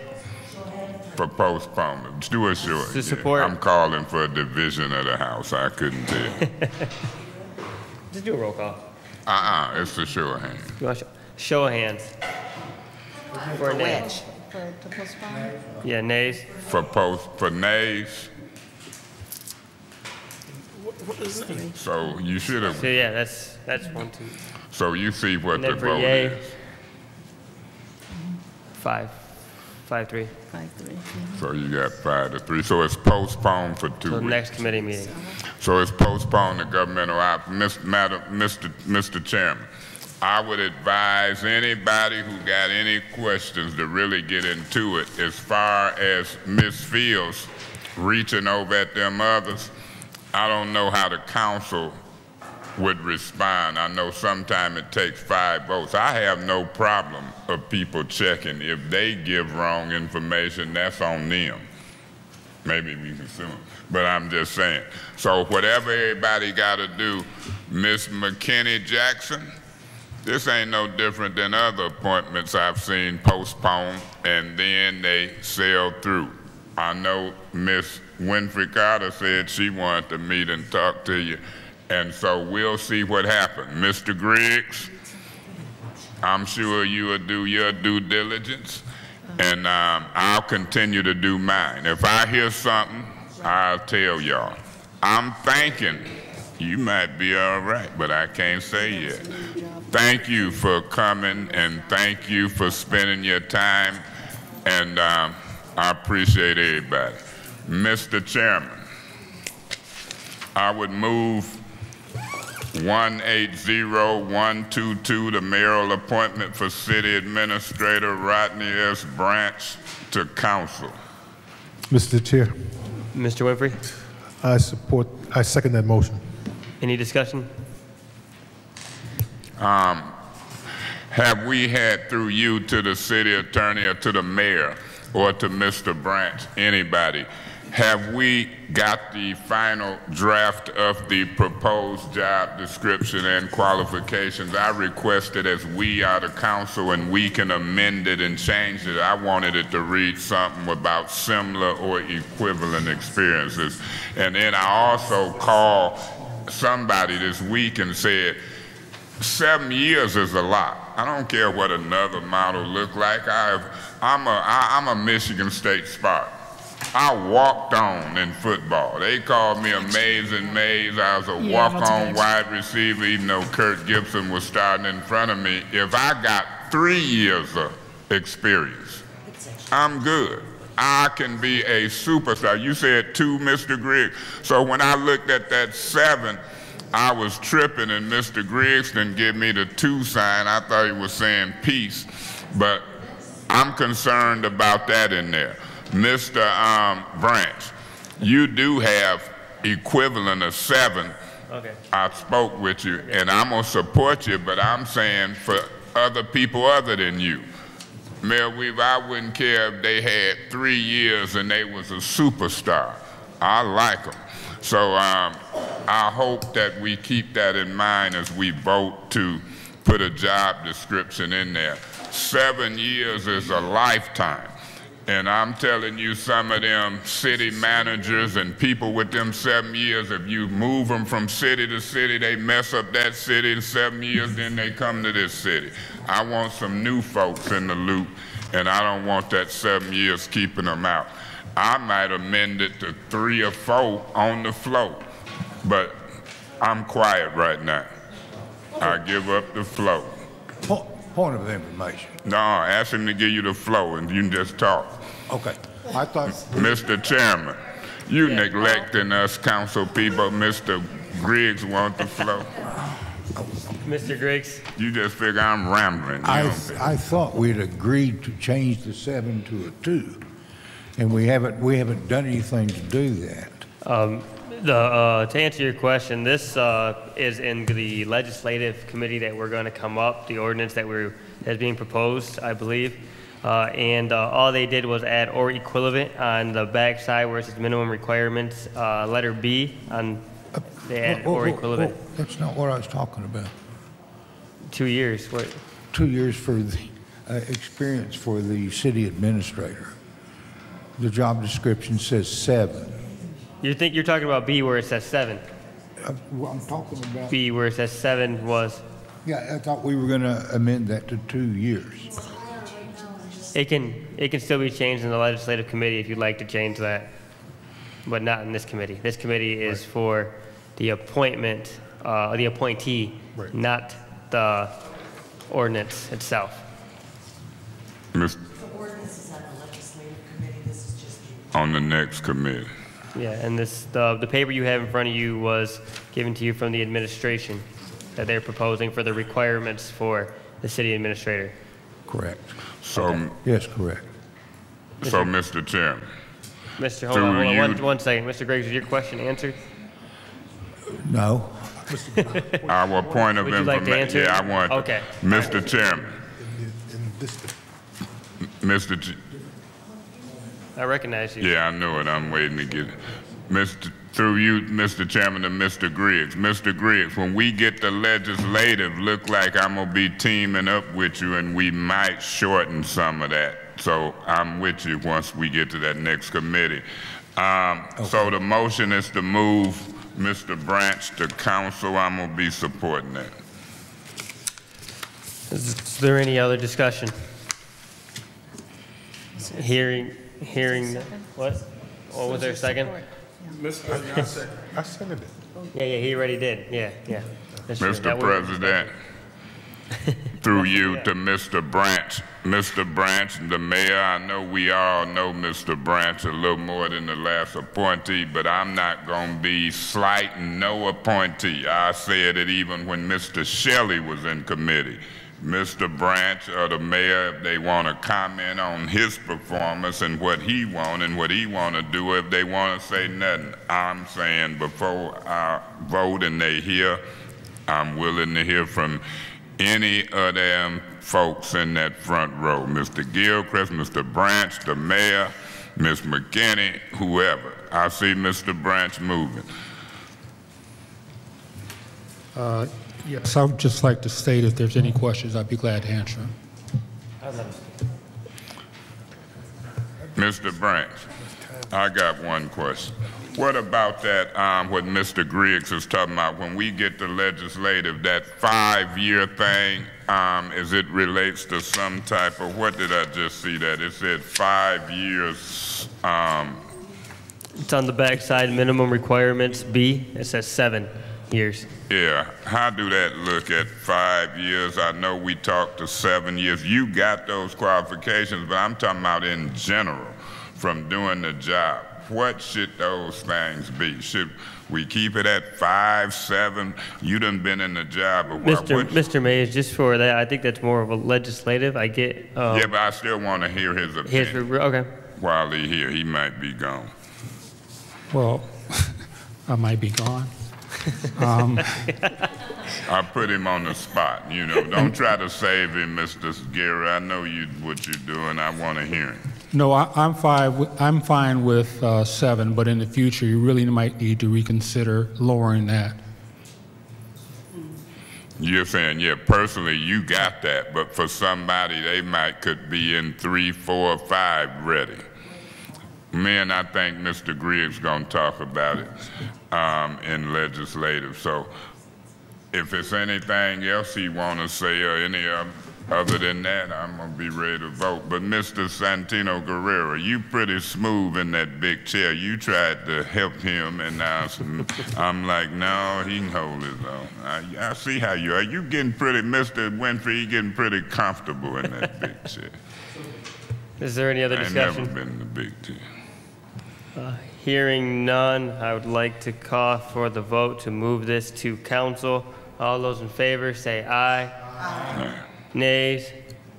Abstentions? The ayes have it. Mr. Chair, Mr. Winfrey, I would like to make a motion that we suspend all old outstanding discussion items uh, until the next uh, uh, government ops meeting. is there a second? Mr. uh, Chairperson, I'm, I'm getting tired. Uh, I second that. Any discussion? Yeah, Mr. President, if she getting that tired, when it come to legislative committee, she the chair, she might fall out, go home, go to sleep, and I might get a chance to sit in the big chair. But I'm gonna say this, as it relates to those businesses. Madam Mayor, before you leave, on, on these discussion items, we fixing to postpone on governmental ops, you and Mr. Gilchrist and Angela. That's, one of them has to do with those um, properties that we got from the land bank. And um, so far, I think the legal department of us is doing good.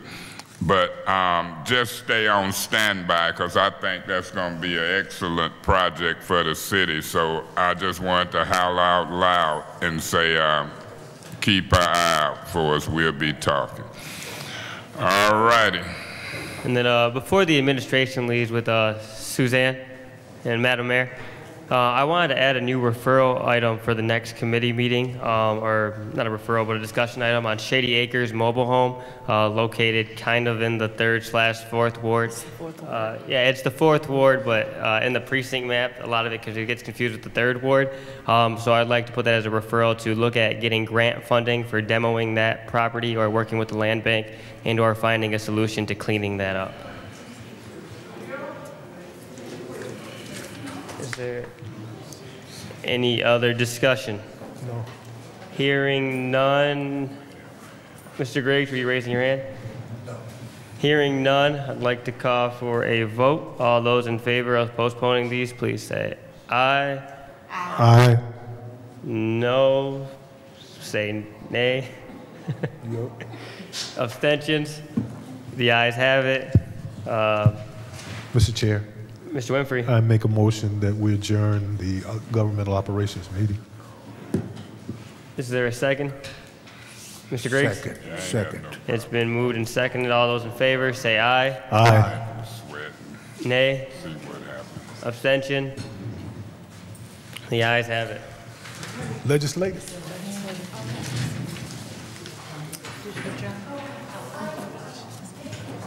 Yeah.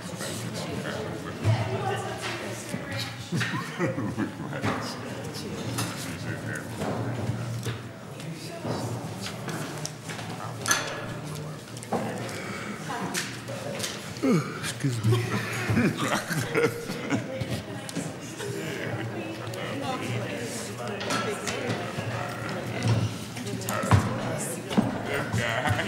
recovered from, how do you feel in the big chair? You ain't recovered from the, I ain't never been able to operate in a real meeting in the big chair. You, have been- how you not happen from?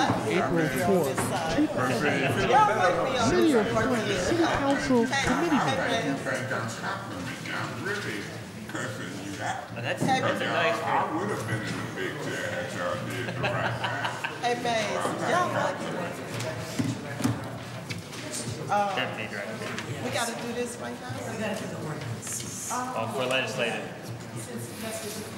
Man, I would, hey, if I was in the big chair, I wouldn't have let them postpone my discussion, and I'd still be sitting in the big chair. Yes. Well, you know what? Hey, man. Every discussion item on that, so. Hey, man, y'all like me over here on this north end. Oh, yeah, we want you on, the- on the right side. Look at your oh. side, your side, they don't be there, they be bragging, they look, look at 'em. That's all right, it's all great, look.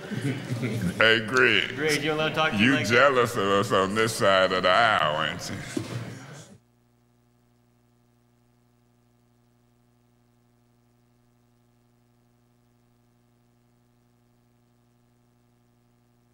Begin the, or call the legislative committee to order. Uh, There's a request by Ms. Wheeler that we uh, wait on the medical marijuana because uh, Reed uh, is the expert, I believe, on those, and, and she can leave and then he can come in. So I'd like to Point of information. Yes. Or may I have the flow? You say it's a request to wait on the medical marijuana, so what we got, I don't see, do we got, what we got, the, um, For legislative, we've got the, ordinances for the, um, the- personnel? yes. So uh, what if I do this, Madam Chair? What if I move, um, one eight zero, one seven three? 180-173, the amendment ordinance article, chapter 6, I mean, Article 6, chapter 35, as written um, on our agenda. Unless the clerk or Janelle correct me, I would move that ordinance to um, council. Is there a second? Madam Chair. Mr. Davis? Okay, it's been, uh, motion has been made and seconded to move 180-173 to council. Any discussion? I have a question. Yes, actually. Mr. Guerra? Uh, so when, when you refer to not do medical marijuana, are you saying table that, or are you saying No. just not today? No, no, just get to the others first. Okay. And then go to the Then stay here. We Okay. could've- Any other discussion? Okay, uh, all in favor, say aye. Aye. Aye. Any nays? Abstentions? Okay, Madam Chair. yes, Mr. Mays? Yeah, um, Madam Chair, through you to Janelle, do, am I okay proceeding while you was doing that? I mean, but no, did you, that first motion, you got it? Okay, because I thought about that. I said, how inconsiderate of the Councilman Mays guy. Oh, you can multitask. That's why I think y'all deserve the big bucks up there. We, um, I would move, Madam Chair, 180-174, the amendment ordinance Article 6, Chapter 35, Personnel Section, the job description for the um, Deputy Director of the Department of Public Works to council. It, motion's been made. Madam Chair, Mr. Winfrey? I second the motion. It's been made and seconded. Uh, Any discussion? Mr.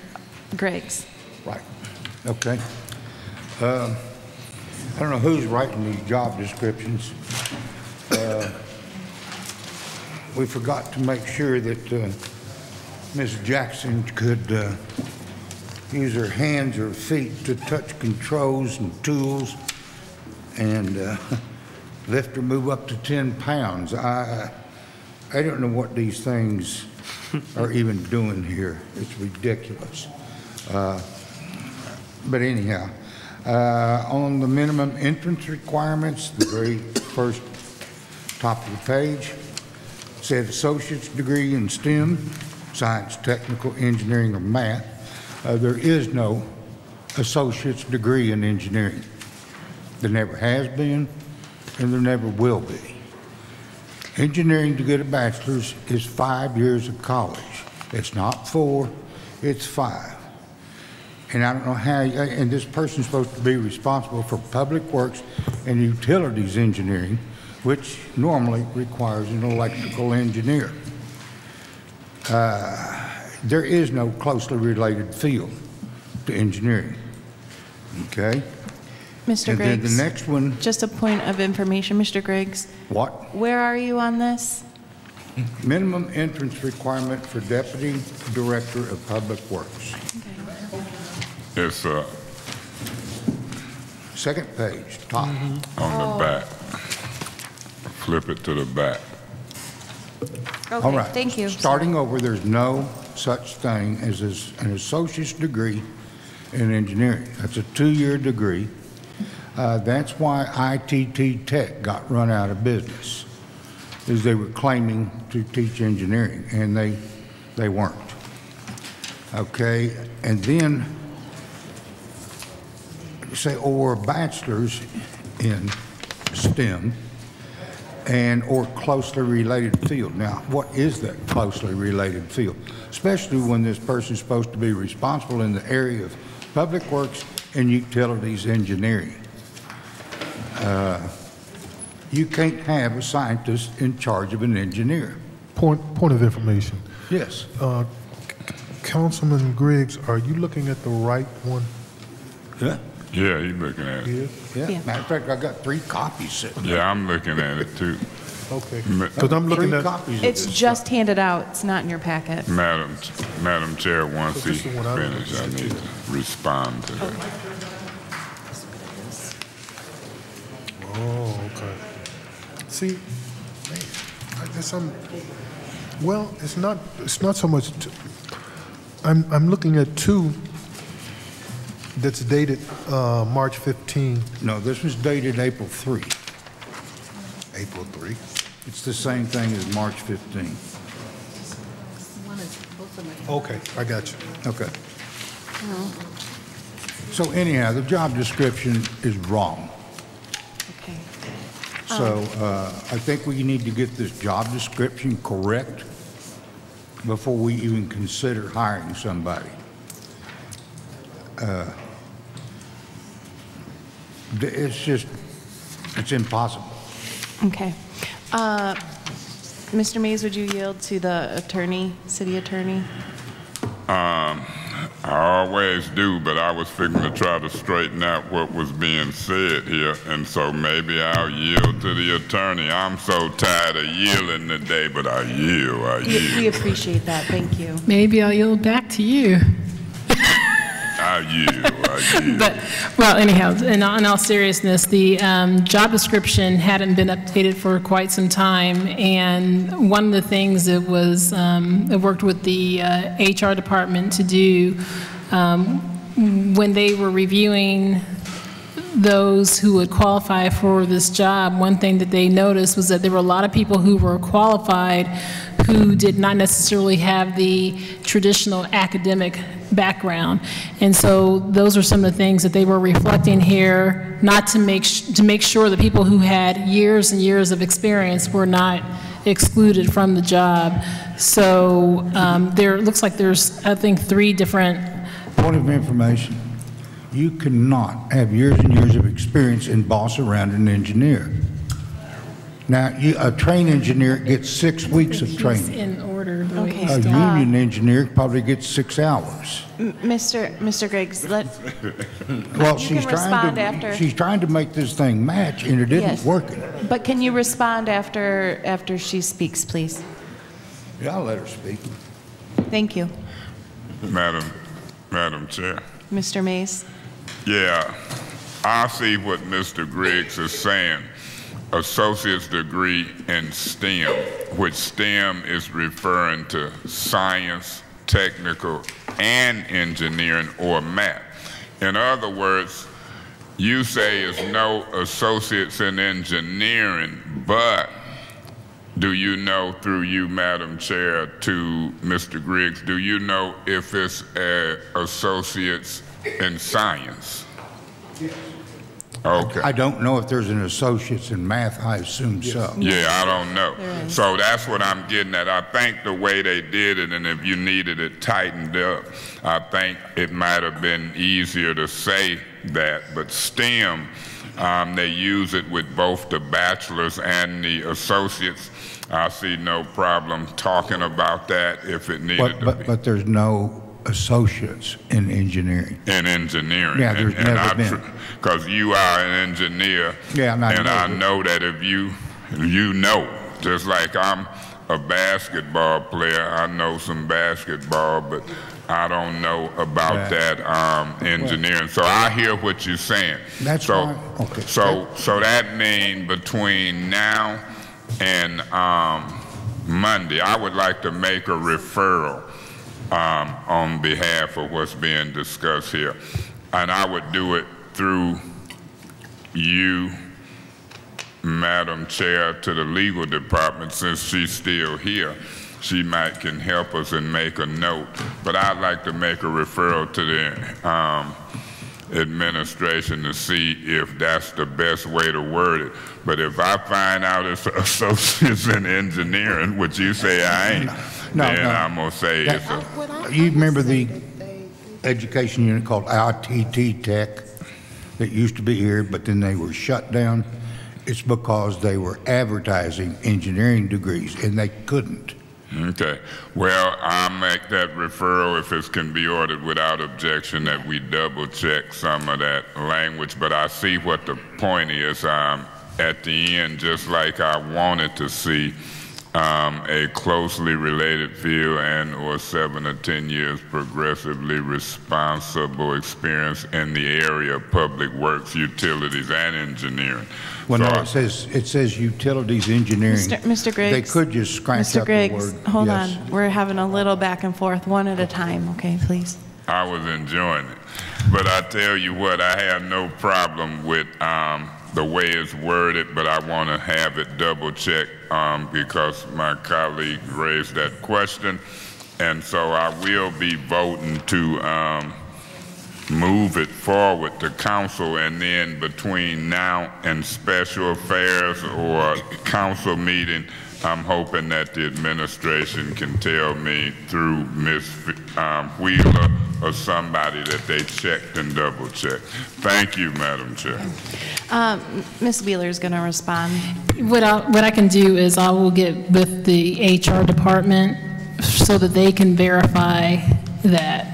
And like I said, we'll be prepared to do either way, either um, to amend it to be consistent.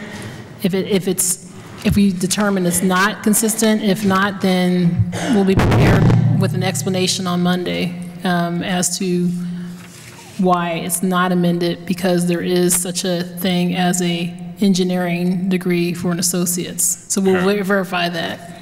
And I'm also always looking at them, even though this is a different situation from city administrator. Um, you know, these are some big numbers, I guess, for, for deputy or whatever, but I see that seven to 10 years of progressively responsible experience in the area of public works. Well, we, I think about that between now and Monday too, but Madam I'm good. Mr. Griggs? What did the lawyers say about engineering? What did she say? I could, I couldn't understand. She understand. would have a response. She said what? She'll have a response. By Monday, By we'll check it out. You're not going to find an associate's in engineering by Monday. Okay, so, so what I'm saying is this, is that HR is responsible for these. I'm going to get with HR so that they can fulfill their function, which would be to verify this that they put together. Uh, I would recommend just scratching it where it says utilities engineering, I'd scratch out the word engineering and just call it utilities. A technician can handle that. Any You other? get- You need to get rid of that word, because you can't take this person and being responsible for electrical engineering duties, you just can't do it. Any other discussion? Okay, so there was a motion to move 180174 uh, to council. Uh, All in favor, say aye. Aye. Any nays? O- uh, Abstentions? Okay, Madam Chair, yes. Madam Chair. Mr. Mays? I'd like to move resolution one eight zero one seven two. Well, One, two, that's the one that's, have we got to amend that first? We got to, let me start over. One eight zero one seven two, I got a point one pass out. It's saying point one. So I'm wondering, is this resolution, which I've seen somewhere, it ain't on this, it ain't on this agenda. Mr. Mays, this just Smith- point of information. We information. done already passed that, right? No, we're, mm, we have skipped 180127, the very beginning. We Yeah, I was, I, I, I, we, we skipped the, um, ordinances dealing with the zoning and the medical marijuana. So you want me to go back up to one eight zero? 127. One two seven? Yes, please. Yeah, and I looked at something that I thought was an add-on. That was something we did in committee. Here I go.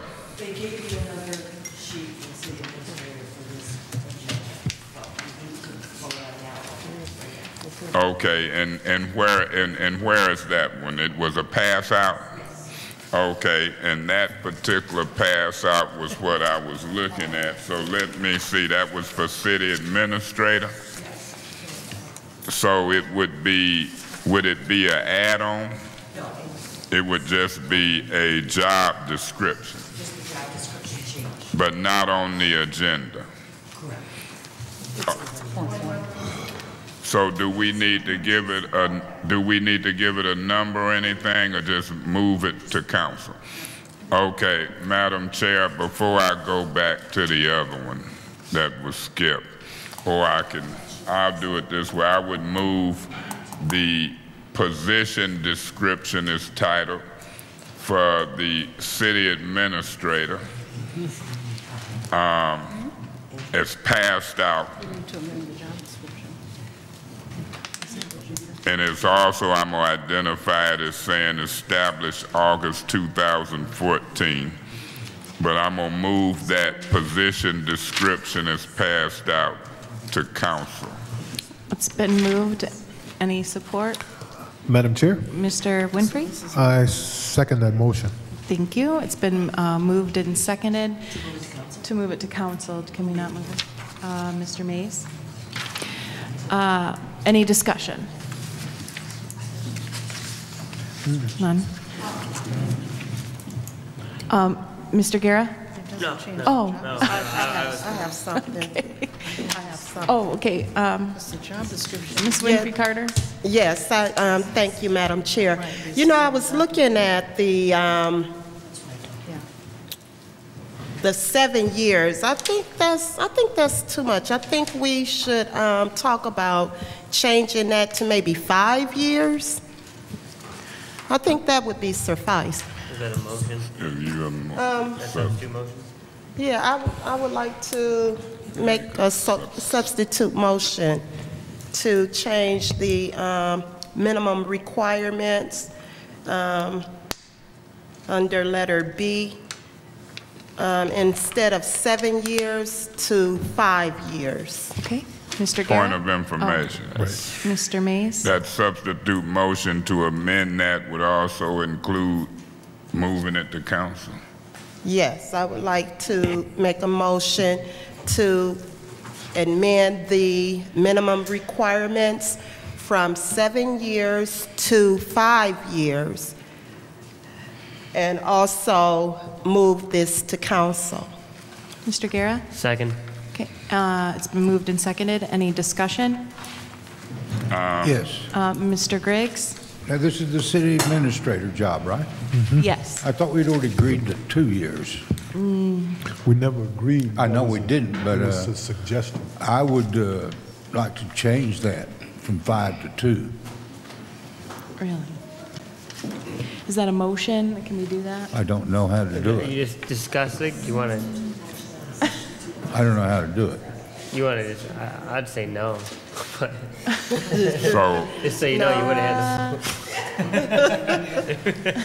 So, Maybe we should just vote on the motion that, that's on the floor, and then if it doesn't pass, then we'll Just so you know. Yeah, let's just make it. I'll say no, so there'll be no point. All right, so any other discussion? Let's just move it to council and be done with the, and, uh, and, and. Mr. Mays? Yeah, and as I'm listening at these guys over here, if we go two with who we got here, one, two, three, I'm done talked, it's gonna fail. They ain't, they ready to go five. I done, I done talked to them over here in this discussion of two. And I got some young folks over here that seem like they're gonna stick with five, and when you got people gone, Miss Fields and Miss Galloway, one, two, three, four, five, six, seven. If them three or two, if them three vote no, it's going and even if I don't know what Miss Worthing gonna do, but if that means she's saying no, that means it's gonna be four to three, it failed. So I'm gonna tell you when you make that motion, you can take check it out. But you know me, I talk a lot. I'm seeing it fitting to fail. But I will be voting for this for five. If you make that motion for two, I told you I ain't gonna bite my tongue. If you make it after this, I'm gonna support it. But I'm telling hmm. you, I'm reading them. I, it ain't gonna pass. I, but I sure support it because I said that. I have to stick with my word. Okay, so any other discussion? Uh, All in, do we do all in favor? for this? All in favor, say aye. Aye. Aye. Any nays? Okay, uh, abstentions? Okay, uh, Madam Chair. Mr. Mays? I have to keep my word. If Mr. Griggs said he wanted to try to change that from five to two, and he didn't know how to make a motion for the purpose of this, I know it's finna fail. Mr. Griggs, through you, Madam Chair, to Mr. Griggs. Now, all you have to do is say, I move that that five we just passed go to two. I'm gonna support it, and then we gonna see what they do. If you choose. If you But want I know what's finna happen. You're getting an hour and a half of your life back. I make a motion, we change the, I make a motion, we change that five to a two. For real? Okay. Madam Chair, Mr. Mays. I support it. It's been moved and supported. Any discussion? I'm a vote no. Okay, um, all in favor, say aye. Any nays? What'd you say? We just voted on your motion, Mr. Griggs. I said, all in favor, say aye. She is vote, oh, aye. Any nays? Nay. Any It abstentions? Okay. Uh, Moving on. I kept my word. I'd like to entertain a motion to now move into the medical marijuana ordinances. Madam Chair, Mr. Mays? I don't want to make that motion, so I'm gonna let somebody else make that motion. I thought I was gonna make it. Madam Chair, I'd like to make a motion that we move to the marijuana discussion. Okay. So well, it's an ordinance. We can make a motion to send to council. Reed has some updates for us. Okay. Um, Reed Erickson. Does it need to be seconded or anything, or do we? Marie, Motion. Yeah. He made a motion. you can make a motion to send it to council or committee. Well, the idea was to get together and Madam discuss Chair. Okay. Mr. Davis? I'd like to make a motion that we send resolution number one eight zero one five one to council. One eight zero one five two to council. One eight zero one five three to council. I'd like to make that motion. Okay. Uh, It's been uh, moved, and uh, any seconded or support? Madam Chair? Uh, Mr. I Winfrey? second that motion. Okay. Uh, It's been moved and seconded. Uh, Any discussion? And then actually, did, Reed, did you have something you wanted to say? Yes. Okay. Can we hear from uh, Mr. Erickson first, and then we'll discuss? Sorry. Okay.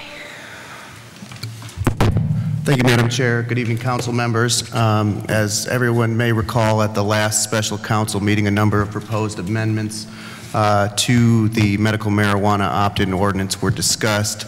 At the request of legal and planning staff, uh, this body allowed us to put together a staff memorandum uh, with some legal opinions in response to referrals made by this body that is now in front of you. I will try to very briefly do an overview of that, and of course, I'm happy to take any questions thereafter if that would be acceptable. Uh, So first and foremost, the first, uh, not foremost, but the first referral was as to whether the city... Point of, point of information. Yes, Councilman. Mr. Mays? Is this, this memorandum that we got here in front of us? That's correct. Okay, so what I want to do, if I may, point of order, Madam Chair, if I may, I want to make a motion that we discuss this publicly because it's confidential attorney-client. So I want to move first that we vote as five or more to discuss this publicly. That's what he was doing. Isn't that what you were doing? I thought we... So Councilman, what I would do is, I'll just go over my overview, and if you think there's details that aren't, that haven't been brought up, then... And it you is a motion on the floor. Yes. But uh, who made that motion? Uh, Mr. Mr. Davis. Davis. Mr. Davis. I through you, Madam Chair, to Mr. Davis. I want to see if y'all will withdraw that motion. Madam Chair. Uh, Mr. Davis? Madam Chair. Why, I'm, com- hold on one moment. Why, why are we withdrawing this? I'll tell you why I'm asking, because I'm pretty sure when we get confidential memos, the practice in the legal department is if we want to discuss them publicly, it takes a vote of five or more of us. And that's what we finna get into, and I want to do that housekeeping so we can get into it, because that's what's been passed out to me. Now, he said he could discuss it um, without, in a certain way, without maybe breaching this. But if I'm gonna look at it and discuss it, I don't, I don't know what it is yet. So if he wanna take a stab at it, but when he referred me to it and I look at it, I thought the easiest way to do it was to do it with that type of motion, vote five, and then we go at it. That's certainly an avenue, Councilman. Um, It's six to one, half a dozen on the other. If if you and this body want to hear kind of my summary, and then if you think Yeah, let's do it that way. If he'll withdraw the motion and you entertain that, then I'm gonna make the motion and he can make it that we go ahead and discuss this confidential memo in public. Uh, As long as this body can be explicit that this is only for the purposes of this motion and it's nothing to any other attorney-client be privilege fine. communication. Mr. Davis, Madam Chair, I'd like to withdraw my motion to move this to council. is there a second? He don't need it to withdraw his motion, he Oh, he- withdrawing. I know, it's it's the big chair. Madam Chair. Mr. Mays? Yeah, I would move that we um, talk about um, some of the things that's in this confidential memo, and we, you know, vote in order to do that. But I would also say that it's only for the purposes of this um, discussion on these ordinances and what we're doing. So I would so move with that particular language. Is there a second? That's a motion, right? Okay, is there a second? Madam Chair, Mr. Winfrey? I second the mo- the motion. It's been moved and seconded. Any discussion? Madam Chair, Mr. Winfrey? I, uh, I'm not one who usually leave before we get done with all of our business, but I have recently had some issues with fluid buildup, and it's getting increasingly difficult for me to sit here. So I'm going to probably be leaving in about 10 minutes, and, and uh, I, I just can't sit here and, and, and sit. I'm stuck We understand. around like a little kid. So I'm going to be probably leaving in 10 minutes, and I ask my colleagues, I apologize to them for that. Okay, thank you. Any other discussion? Okay, um, all in favor, say aye. Aye. Any nays?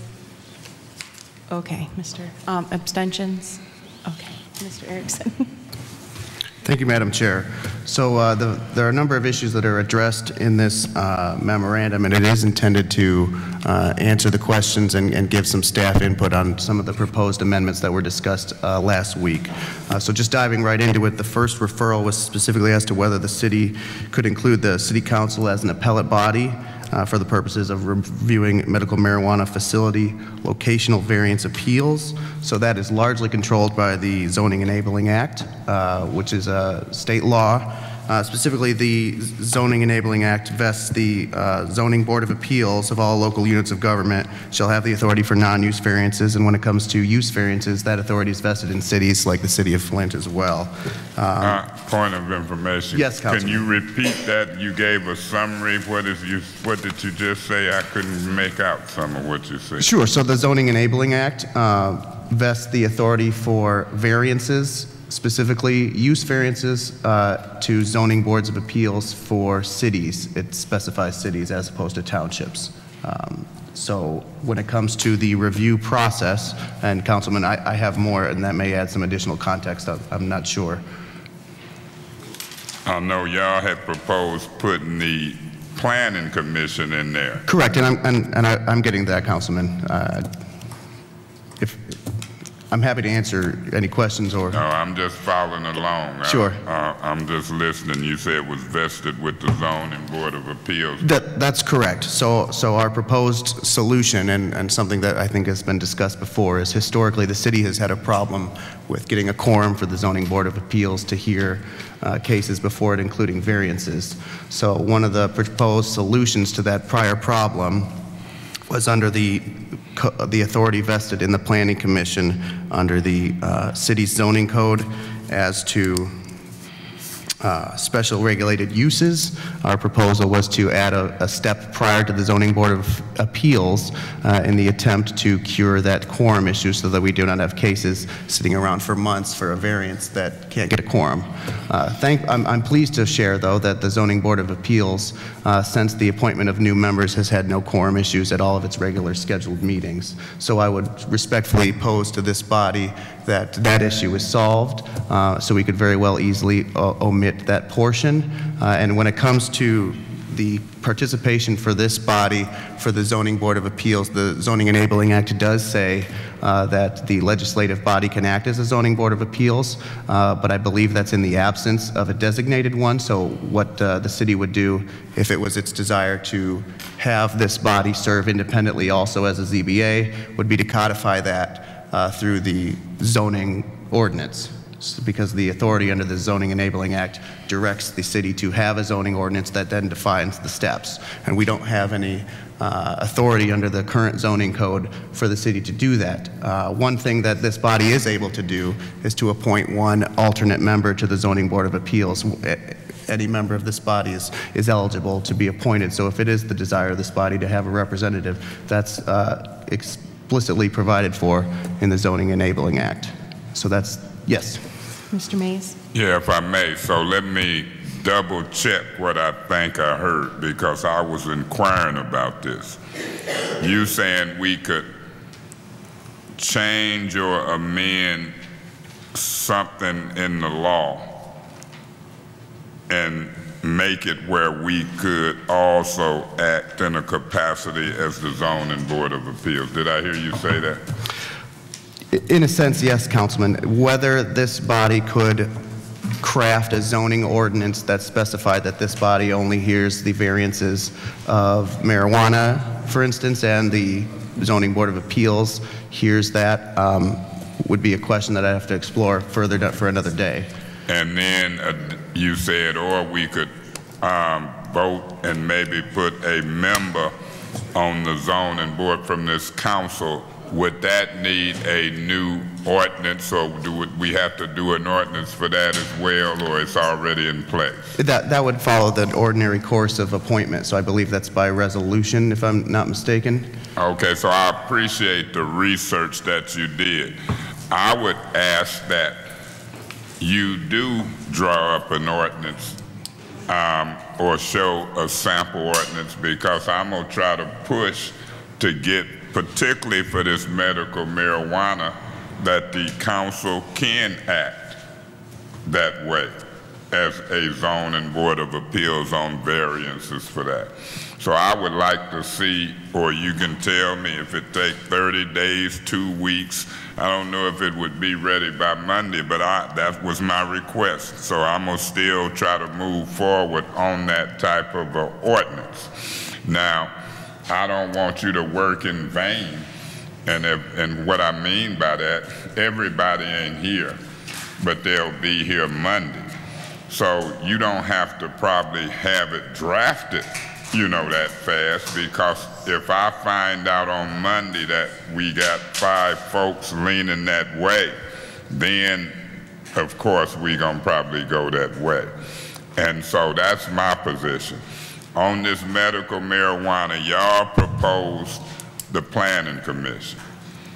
I'm proposing the city council. And so now the research kind of shows it's possible it can happen, but we'd have to do a additional what I think I want to see what that look like. Um, you got Mr. Davis here, Miss Winfrey Carter, I'm here, Mr. Guerra here. Is it just somebody on this council that's here, Mr. Griggs and Miss Worthing is here? Is it just somebody on this council that's here that's opposed to the council hearing a case on a variance? In other words, what that means is this. If we pass a marijuana ordinance that says um, a thousand feet from a park, and somebody comes before us and say we 800 feet away or 950 feet away, can we get a variance? In zoning, a variance say you gonna vote yes or no. Either they wasn't a thousand feet away or yes or no, we gonna let 950 feet get you through. That's the only thing standing in your way. So in zoning law, that's what we discussing. They wanted to put a step in the ordinance that said if somebody come for a variance, normally it go to the zoning board of appeals. But for this, planning commission and the people brought us this, they say, let a variance come before us. I'm saying, I want that variance on medical marijuana only to come before the council because we're gonna be continually shaping this law. And I wanna hear some of these specific cases. So my question to y'all, the five or six of us here, is it anybody on this council that's here opposed to possibly hearing a variance argument or a petition or application on medical marijuana? I, uh, Mr. Mays, I am not opposed, but I would, would like it to go before the ZBA first and then the council. Is that possible? Mr. Erickson? That quite specifically is, is not possible only because the Zoning Enabling Act specifically says the right for an appeal from a decision of the Zoning Board of Appeals is to the circuit court. Go to the circuit Correct, it's explicit. So let me ask this question based upon what Ms. Worthing asked. So if we do the enabling legislation, do all of those come to us and don't go to the zoning board of appeals, or do they come to us and then to the zoning board? So what we're discussing here is, a, I know, is a change to the city's actual zoning code. And what I'm not prepared to answer is whether we would be able to split that so that those come before the, the city council. Uh, From my reading of the Zoning Enabling Act, it appears it's one or the other. The zoning code can establish that appeals are heard by the legislative body, which would function in a separate sense. It would be the same members of this body, but acting as a ZBA, or the ZBA that's established under the zoning code. And that's a big difference because that ain't what I had heard or thought. So that mean between now and Monday, Attorney Erickson, I'd like for us to talk because I want to look at that for myself. And um, you have pointed out to me. And if I interpret it the same way, then we'll probably go with probably the zoning board of appeals and straight to circuit court.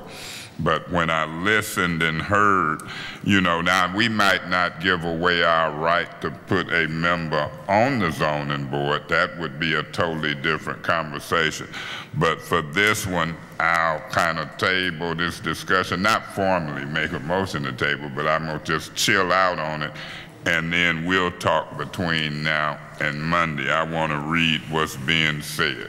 Thank you on that subject I. I have a question actually on that same issue. I know he's done, but um, how many variances do you think there would, there could be? Like, is there a way to estimate that?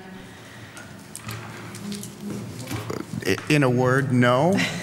Um, It really would depend on the applicants for the, well, and we, when we talk about um, licenses that are capped, we're only talking about provisioning centers, so there may be more applications for variances for, say, the, the growing facilities and the processing, uh, where, the, where you're not capped at a proposed 20. Um, But, but ultimately, no, I, I couldn't say sitting here how many, even how many applicants we would get. I anticipate we may get more than 20, but I couldn't guarantee that either. So, so no, I, I couldn't speculate as to the variance requests. Okay. Madam Chair. Mr. Mays? When I used to sit on the zoning board of appeals and, you know, people would apply to come before us for a variance, um,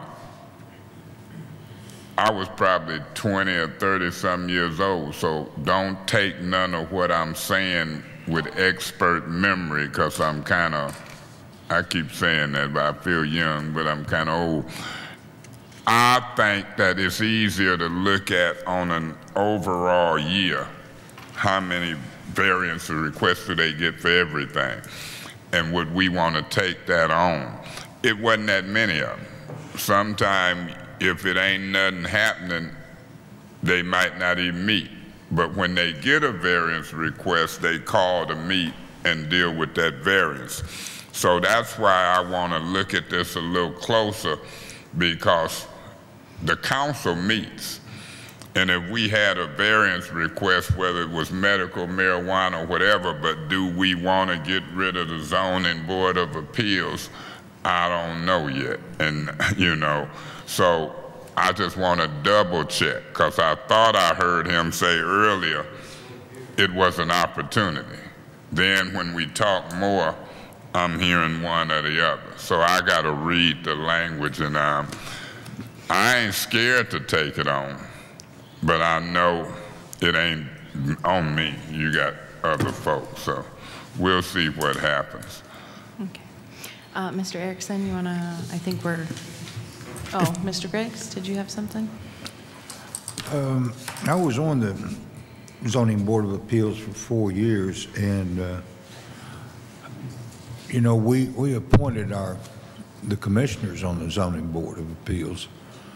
So I think if we, we could talk to our commissioners one-on-one or something like that if, if need be.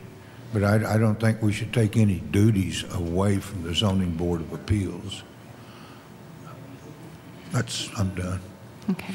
I know the zoning board of commissioner who I talked to, it was an issue come up, and I don't know if he was there out of town, but I, you know, we can't vote for them. we can't swim. Uh, all we can do is talk to them. And so everybody is different here. I can't even sway some of the council colleagues sometime, but my position is when it comes to this medical marijuana, you got the planning commission, the zoning board of appeals, and the council. And I'm telling you, it's a reason I might want the council to look at and monitor this. So by the time we get to Monday, the jury ain't in for me. I might not want to take the responsibility away from the person I appointed, but what's best for the city is what I'm gonna propose doing. If I have to hear some of this for a year, the question would be when can we give it back? We probably could give it back soon as we change the ordinance back. So, you know, we might pull that duty for six months, a year or something, and then we might give it back. But I'm gonna do and propose what I think is best for the city as we shape this law. Because you had a group come in here from the seventh ward they don't want no variance at that particular location. And I'm not saying that they can't lobby the zoning board of appeals, but as we shape this law, I might want to shape it all the way to a certain point and then start getting out of it because I ain't satisfied with all the recommendations that came. We shaping law. Thanks.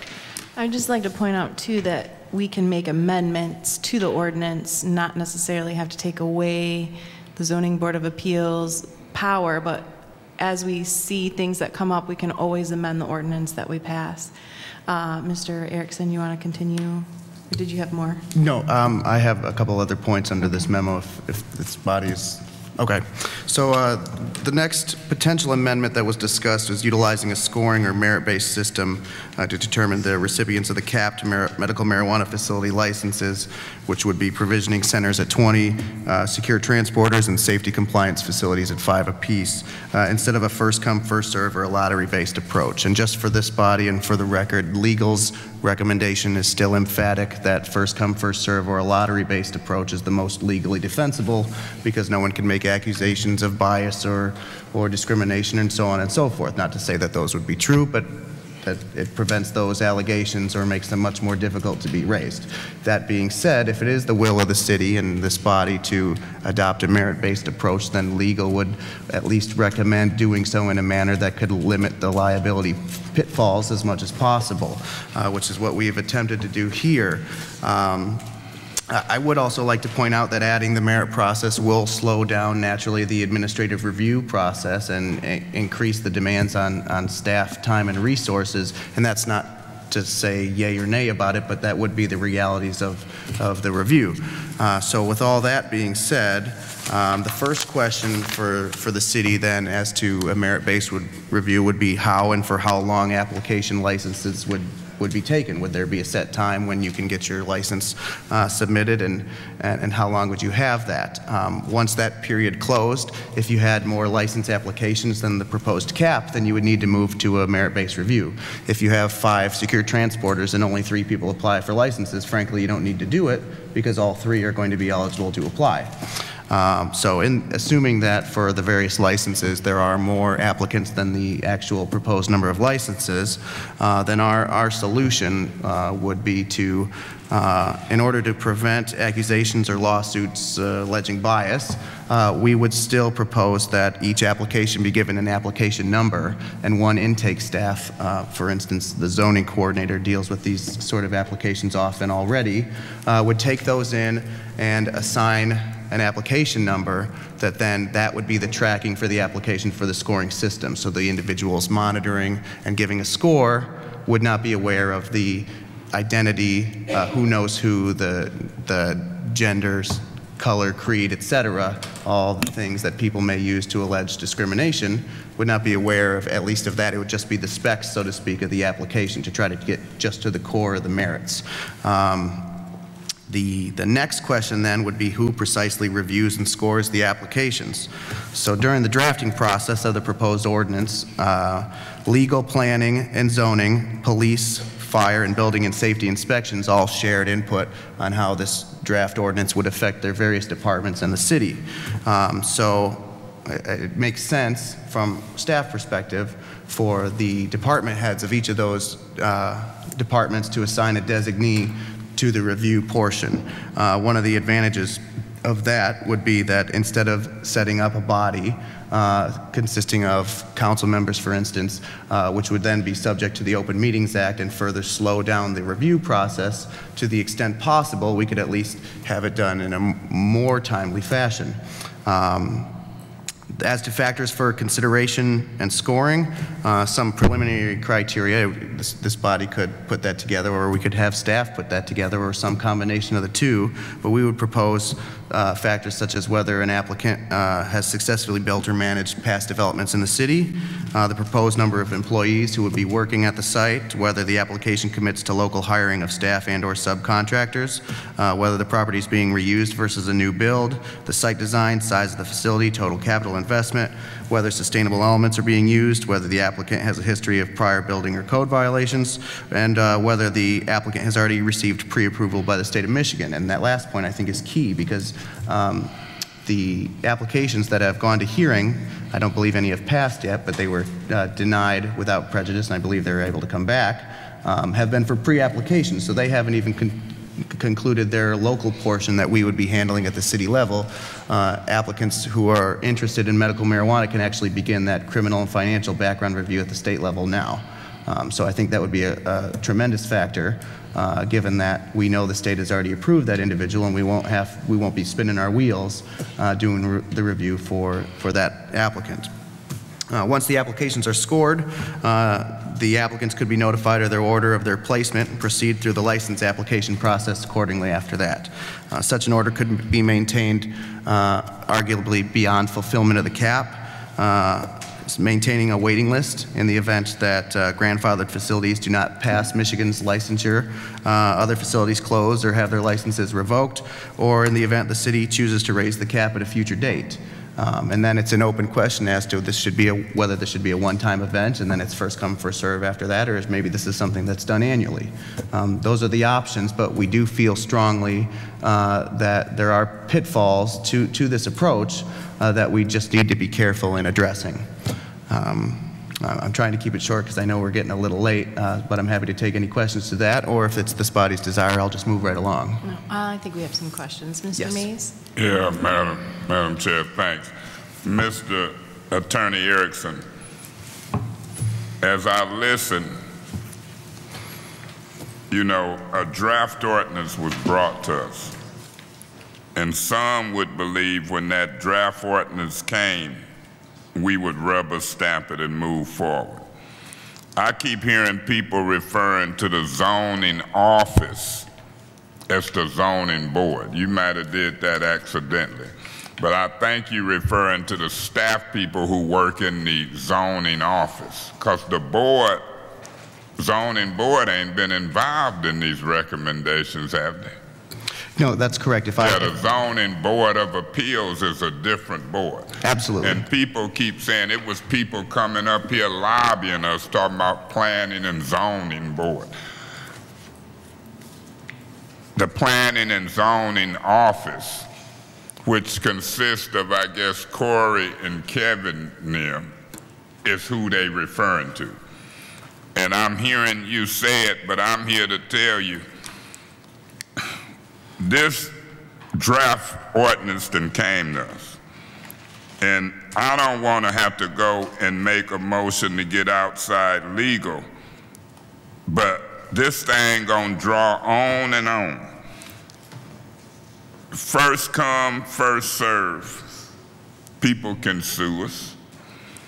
People get sued all the time in cities and municipalities. Um, I understand that other cities is dealing with merit and point-based systems.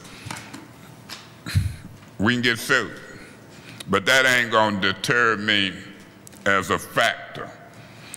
And then when I keep hearing about all of these entities, planning, zoning, legal, all these staff entities, I'm still gonna fight just like on other entities for council input. I wouldn't care if it was one. I don't wanna hear about the Open Meetings Act could slow the council down like it would have to be five or six of us calling a meeting. You can appoint somebody to that board from the council just like you can to the MTA, the land bank, so forth and so on. One person having input. So I'm hearing the discussion. I understand the politics of it, and I'm going to say it loud and clear to planning, zoning, legal, and everybody. I wait 30 to 40 to 60 more days before I rush and have an ordinance that's been worked on for weeks and months. And planning commission, people from the zoning office, they could have been checking in periodically, keeping us updated. And I know people worked on it, and I know people could talk, but that's where I'm at on it.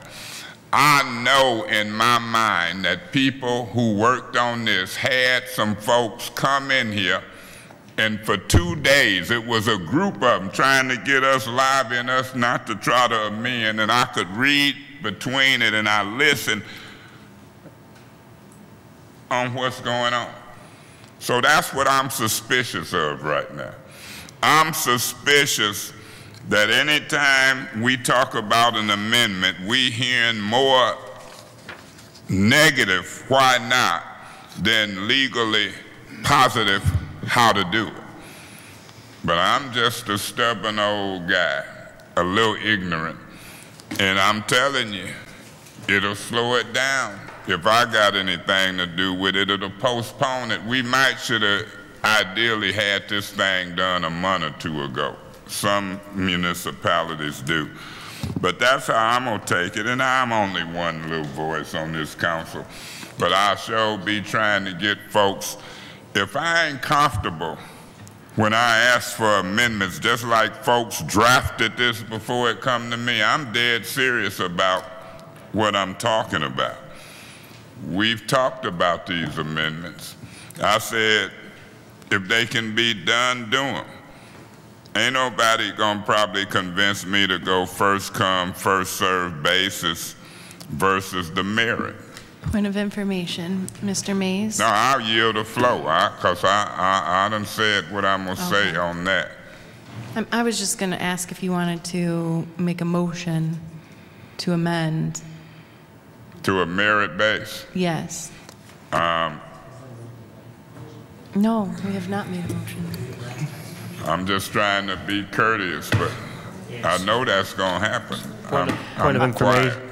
Yeah, last time I I thought the that we had uh, voted to make it a merit base, or at least had them. We never We voted never voted. Our last council meeting, we mentioned that at least?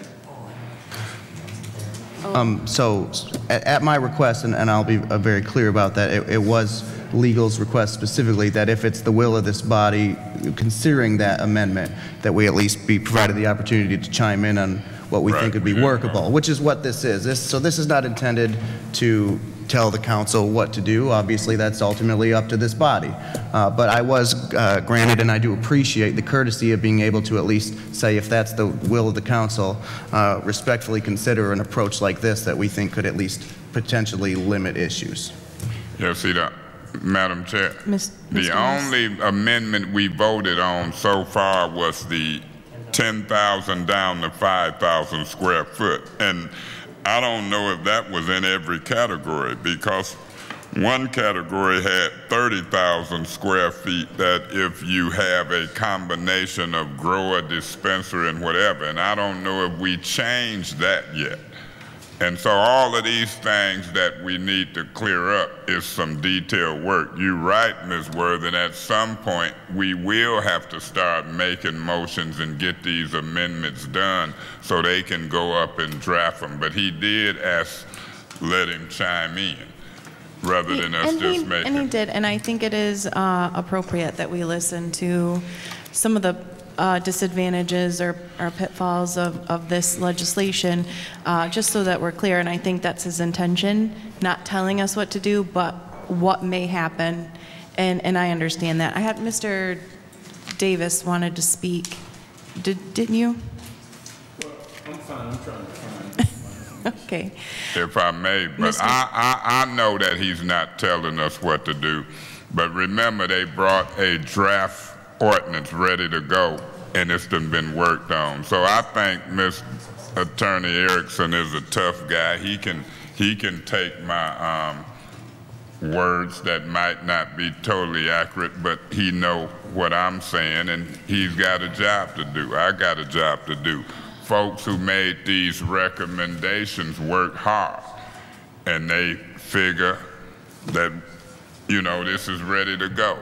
But I've talked to people, I've looked at other cities' ordinances and stuff, and I got my own opinion, and this time I just happen to be one vote, if I vote. But I'm gonna sure have discussion on it. Thank you. Madam Chair, Mr. Griggs? um, through you to Mr. Sconce, do we right now have nine members on ZBA, Zoning Board of Appeals? Uh, There's nine members, there's actually 10 members, there's an appointment from the planning commission that's in the, um, in the zoning ordinance. So currently, there are 10 members who are appointed. Okay. Point of information, who is that planning commission member on the zoning board? That'd be the Fourth Ward Planning Commission rep, Who is that? Carol Ann Blower. Carol who? Carol Ann Blower. Carol Ann Blower. So that make it 10, and it could be a tie. Maybe we need to get on there to make it 11 to be a tiebreaker. You always want odd numbers, but is the, is the planning commission person voting too? So it depends on the case. They cannot vote on a case that they've already voted on at the planning commission if it goes into the ZBA. Um, So we could vote on every case because we wouldn't have had one, right? I can't answer that question. I can answer that if we on that, we ain't had no case. Uh, Mr. Erickson, do you want to? I I believe under the Zoning Enabling Act, um, because we have a full for, for the body, it would be as an alternate, so it would be in the absence of a regular. And By all means, this member would, could attend to all meetings, uh, but that's just my understanding under the Zoning Enabling Act. So that would be a different category of voting than the planning commission delegate.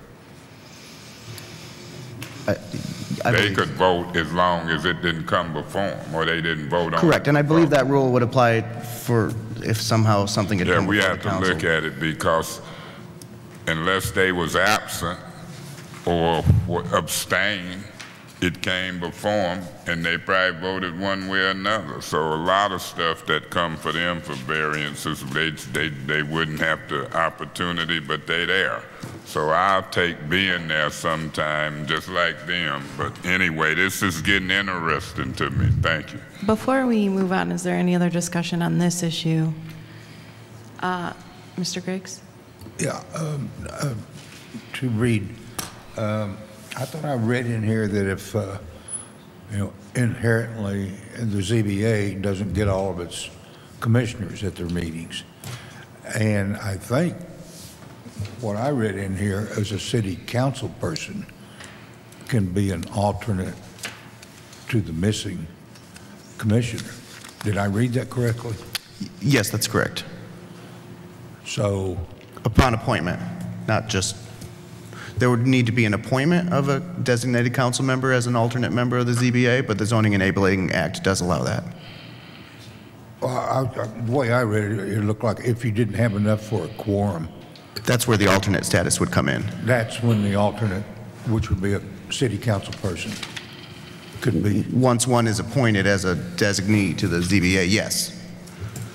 Okay. We have two more points, correct? Yes. And one's very short. Uh, So the next uh, referral was simply to whether there's any information out there as the number of marijuana patients, uh, card holders in the city. Uh, We do not have city-specific data, uh, but there has been published some data from fiscal year 2016 as to the county, and that's 14,802 medical marijuana card holders in Genesee County. I included some information as to the neighboring counties as well in the event that anyone in, for example, northwest Oakland County may choose to come to Flint for their medical marijuana needs. That's entirely possible. Um, So that's a very brief referral.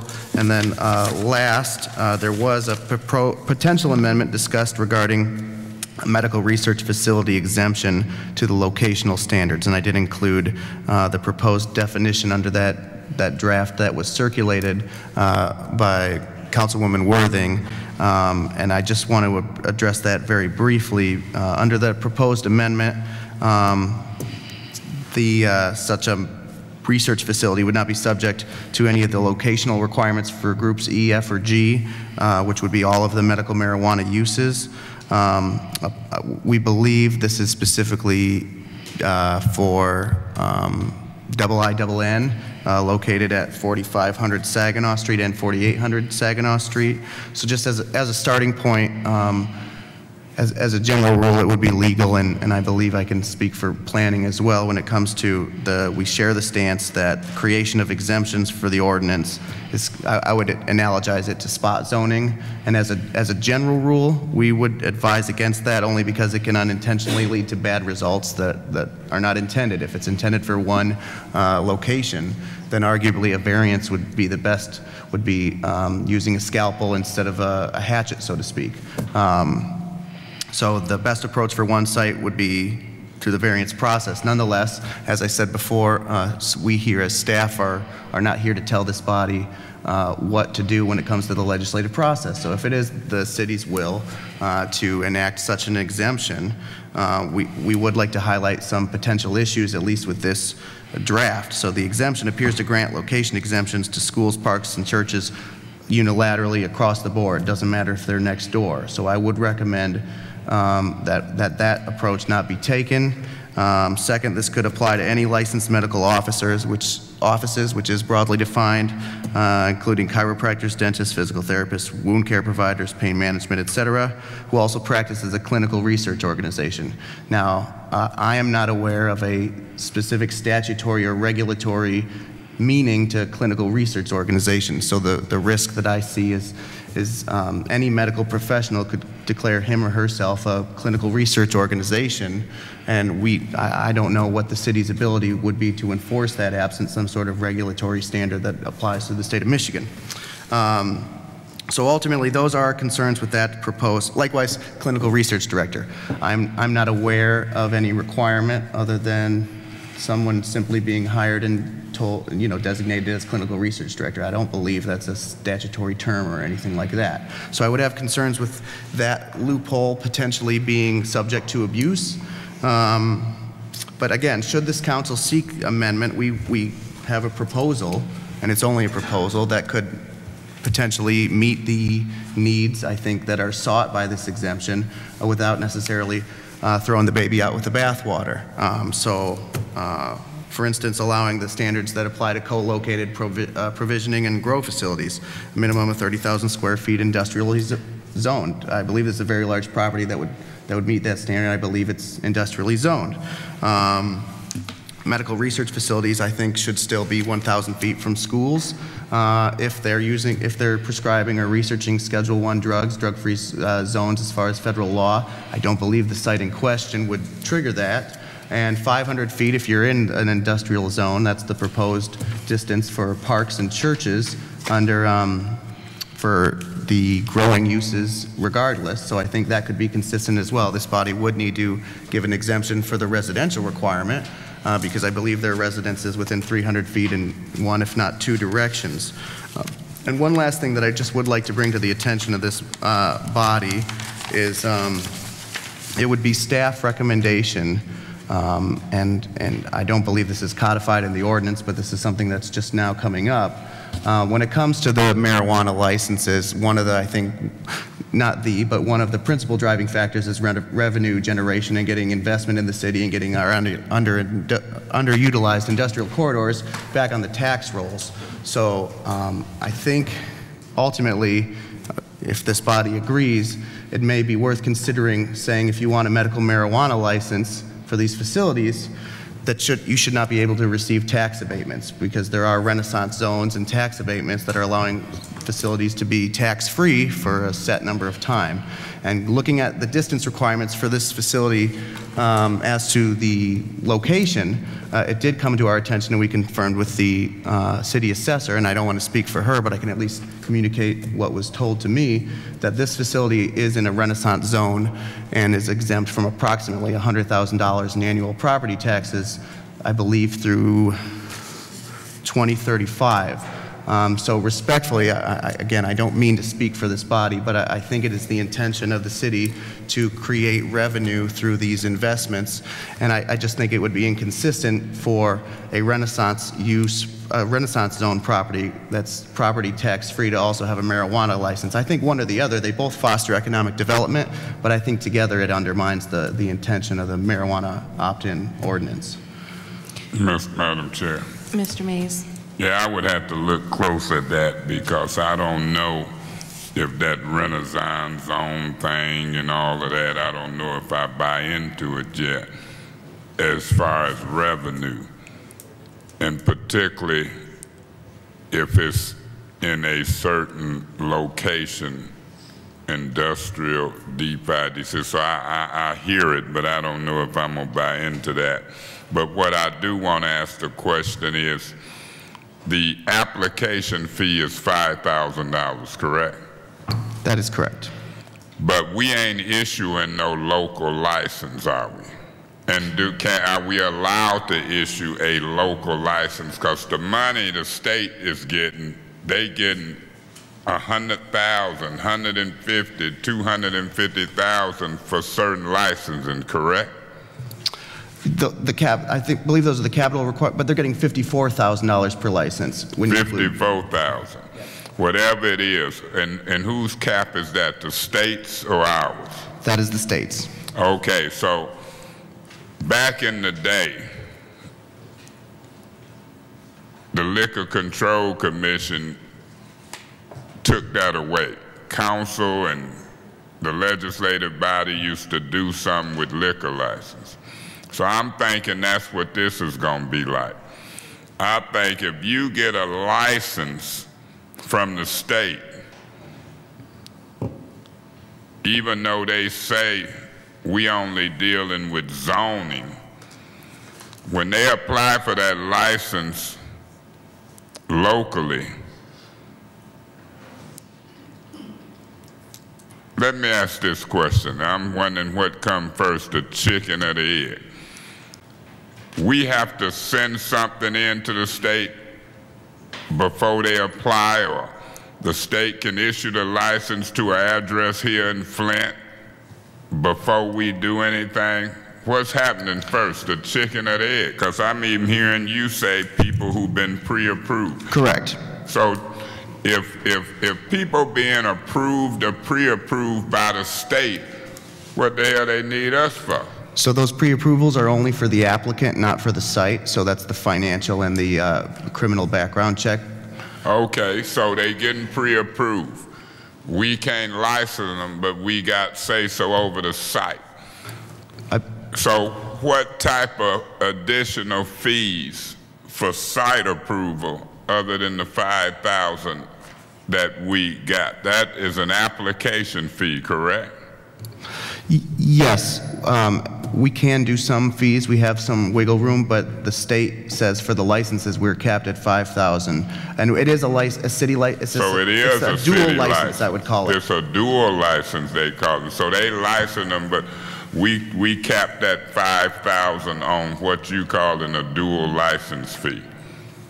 For our portion, right, because they need For a our state license. portion. Right. The state's license fee is how much? Uh, 6,000, and then they also charge a $48,000 administrative review fee. Uh, a growing facility.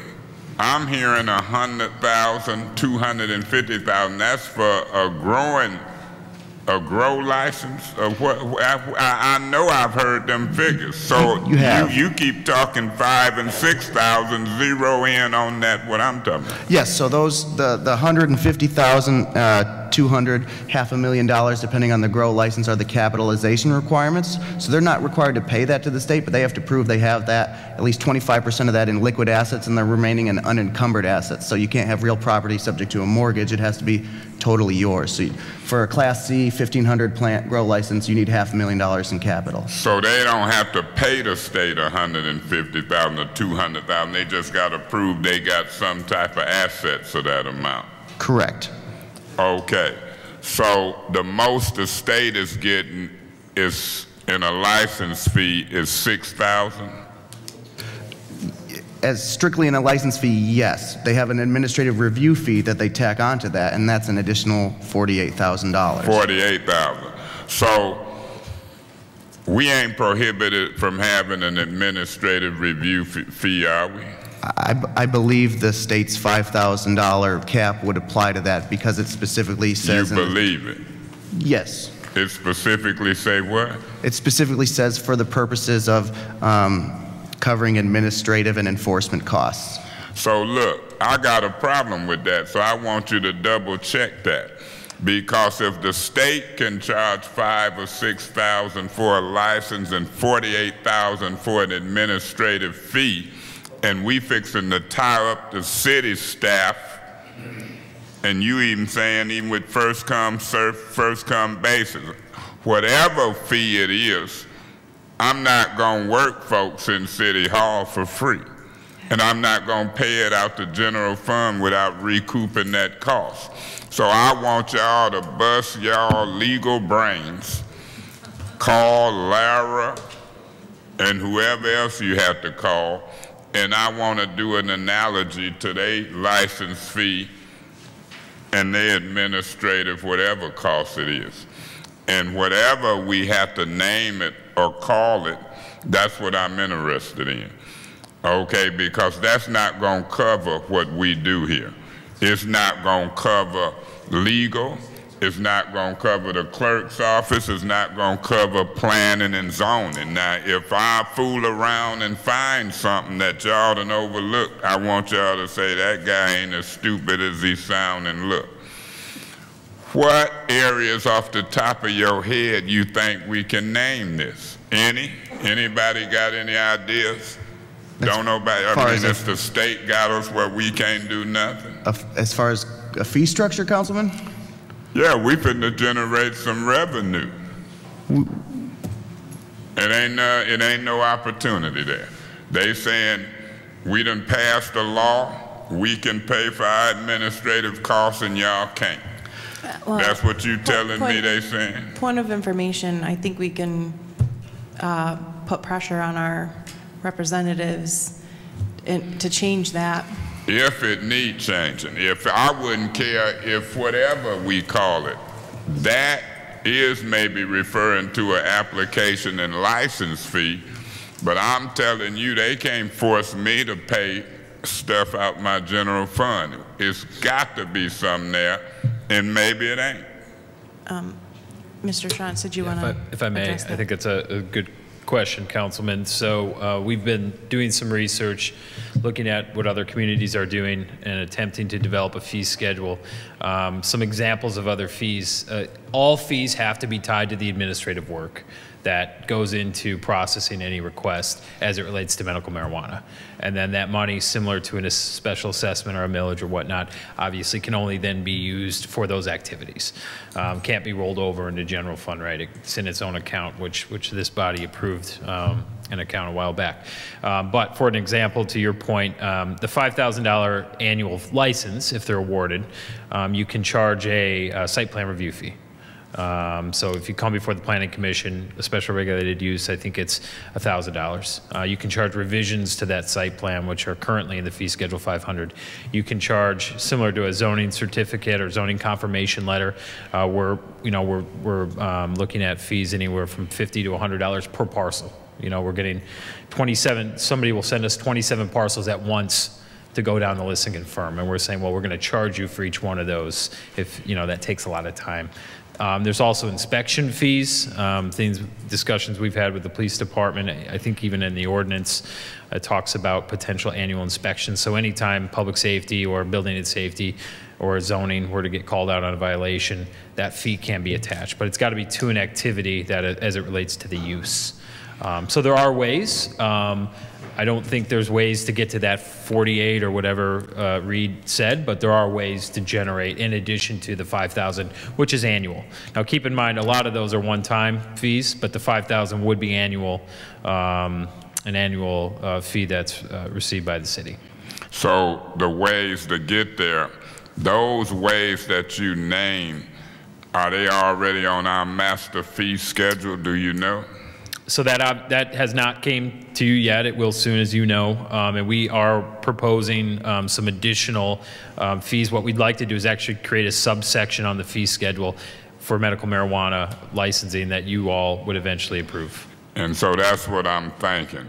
Now, the ordinance don't have to relate to the fee schedule, or do we need these fees or in the ordinance of any kind? Uh, I would def- defer, but I don't believe you do.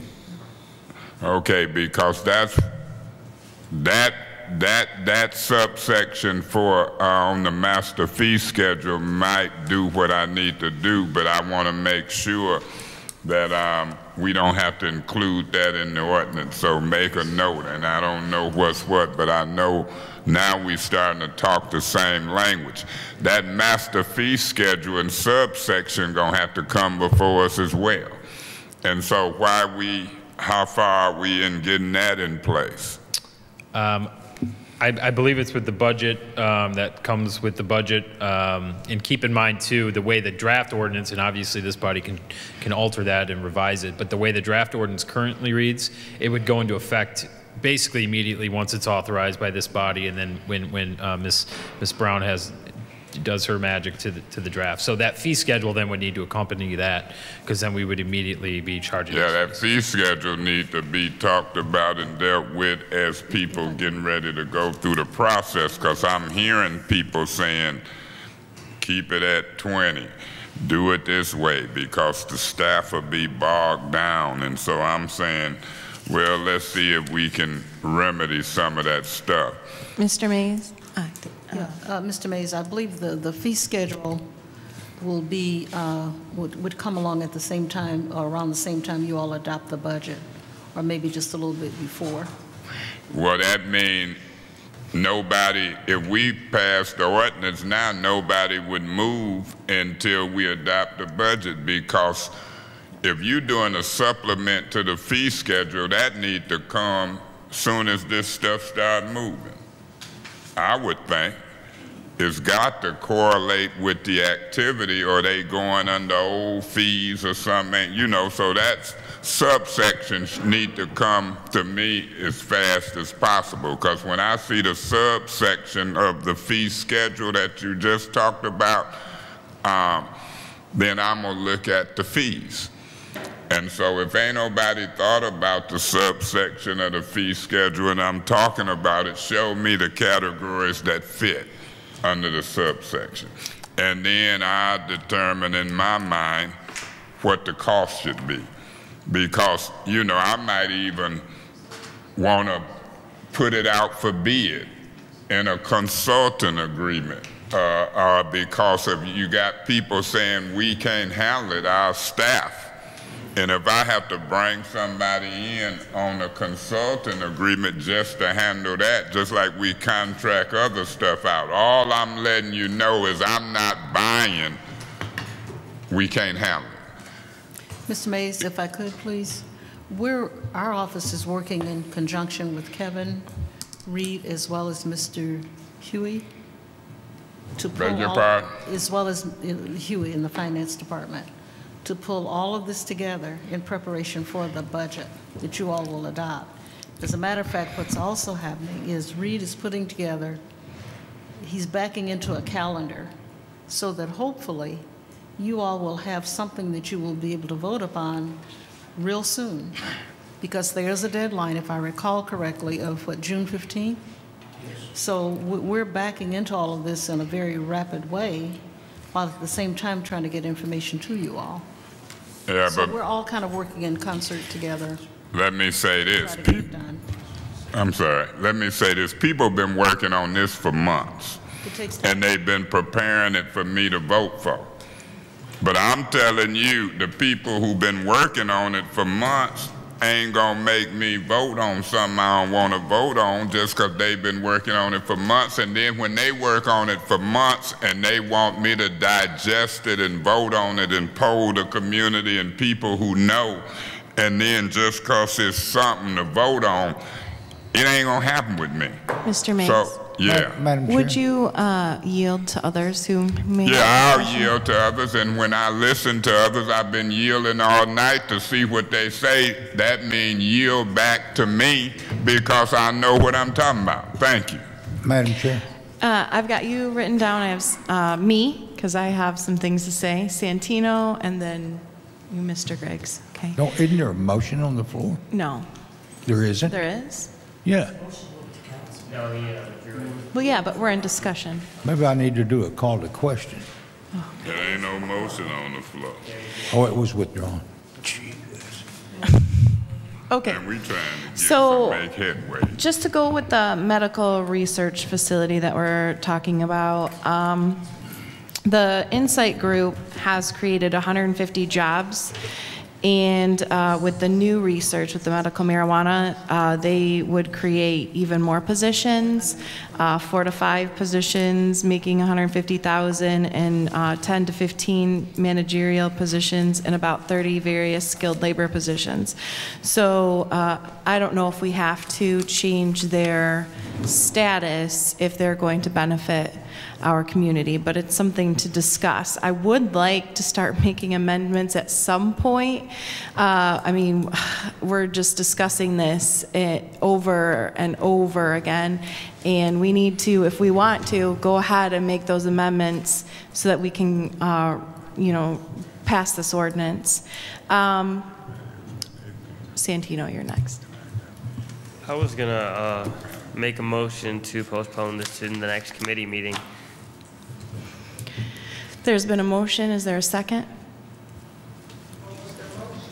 There was a motion to postpone this to the next committee meeting. Um, Madam Chairman, I would like to support and second that motion. Okay, so there's been a motion and a second to that motion. Discussion? Yeah, Madam Chair. Mr. Mays? My colleagues can keep postponing and postponing and letting other folks work on this important legislation, but that ain't gonna get it. Sometime you have to work and you have to work long hours and you work hard. That's a long time away. You know, I'd rather do a special meeting. This thing got to happen. And this council, that's why I say they need to be full-time. In other cities, they make 50, 60,000 and they got staff. This is a part-time council in a big-time city, full-time city. The city don't go to sleep. And sometime when you sit up in these seats, you um, better get ready to dig in when stuff come at you in a timely manner. That's what the real job of a council is, not to be councilman, not just to be glad I'm a council person. And when you're dealing with nine folks, I thought a motion was finna be made to go to the merit system. We ain't did nothing. We done met two, three times, and the only motion been made and passed, I think I made it, to go from 10,000 feet to 5,000 feet. At some point, we got to have the nerve to start making amendments to this proposed draft, or if you postpone it for two weeks, be ready to vote and move it to council and pass some type of draft. At some point, you might make future amendments. I thought for sure at this committee meeting today, we would make amendments, move it to council for approval, and get caught up with other communities. I'm gonna say this, I won't probably be voting to postpone it two weeks. I'm not gonna vote. Y'all can vote to postpone it two weeks. I'll vote to sit here and make some amendments so they can draft them up. Because when you postpone it for two weeks, then you make amendments, they're gonna need another two weeks to get it drafted up.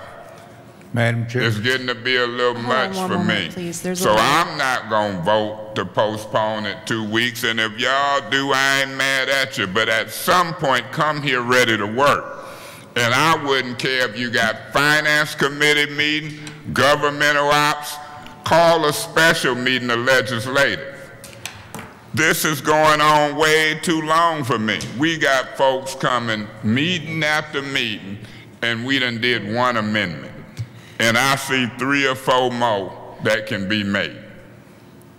So the motion is to postpone for two weeks. I won't do a contradictory motion because you can't do it. I won't be voting to postpone. Didn't nothing get done today. Um, Madam Chair. Just, you're in line, Mr. Griggs. Uh, Yours, we now have a motion on the floor before you were able to, to I'm no- to discuss. for it. But Madam Chair, maybe he discussing the motion. He, he. And Yeah, but he's in line for discussing the Oh. motion. Um, Well, I'm going to go next, and then Santino and Jerri Winfrey Carter, and then Mr. Griggs. Um, I am in agreement that we need to start making these amendments. As chair, I can't uh, make the motion, but I would love to entertain motions to amend uh, whenever anyone's ready to do so. Uh, Mr. or Mr. Guerra? Yeah, uh, you can make a, if I know the rules correctly, you can make amendments to the motion to amend the, leg- so if I were to make amendment right now, or a substitute motion to move it to the merit system, I can do so while moving it still to committee, correct? I would probably do it separate motions. Okay. So that was just a question. I said to make a motion, uh, substitute motion to move that to the merit system, because I thought we couldn't make any amendments to it until it was in the proper way of being moved to uh, committee. It had to be somewhere. Okay, so with that, with that movement to the next committee, I would like to make the motion to move it to the merit system, substitute motion. Okay, is there support? Move it to the merit system, so first come, first serve. Okay, a motion's been made and it's been supported by, What point of information? What is the motion? to uh, move it to the next committee meeting along with the amendment to go to the merit-based system. Any discussion? Um, yeah, I want, I mean, there's more amendments than that, so, you know, y'all can do it y'all way, but it won't have my vote because it was a little hasty. One amendment ain't the only amendment on deck today, and so I'll just wait till we do a meeting where we can make amendments, vote them up and down, go through them, and move on. Um, But people, I guess, tired. But that's what I done told y'all. If you got finance committee meeting on a Wednesday, governmental ops, we still got grants.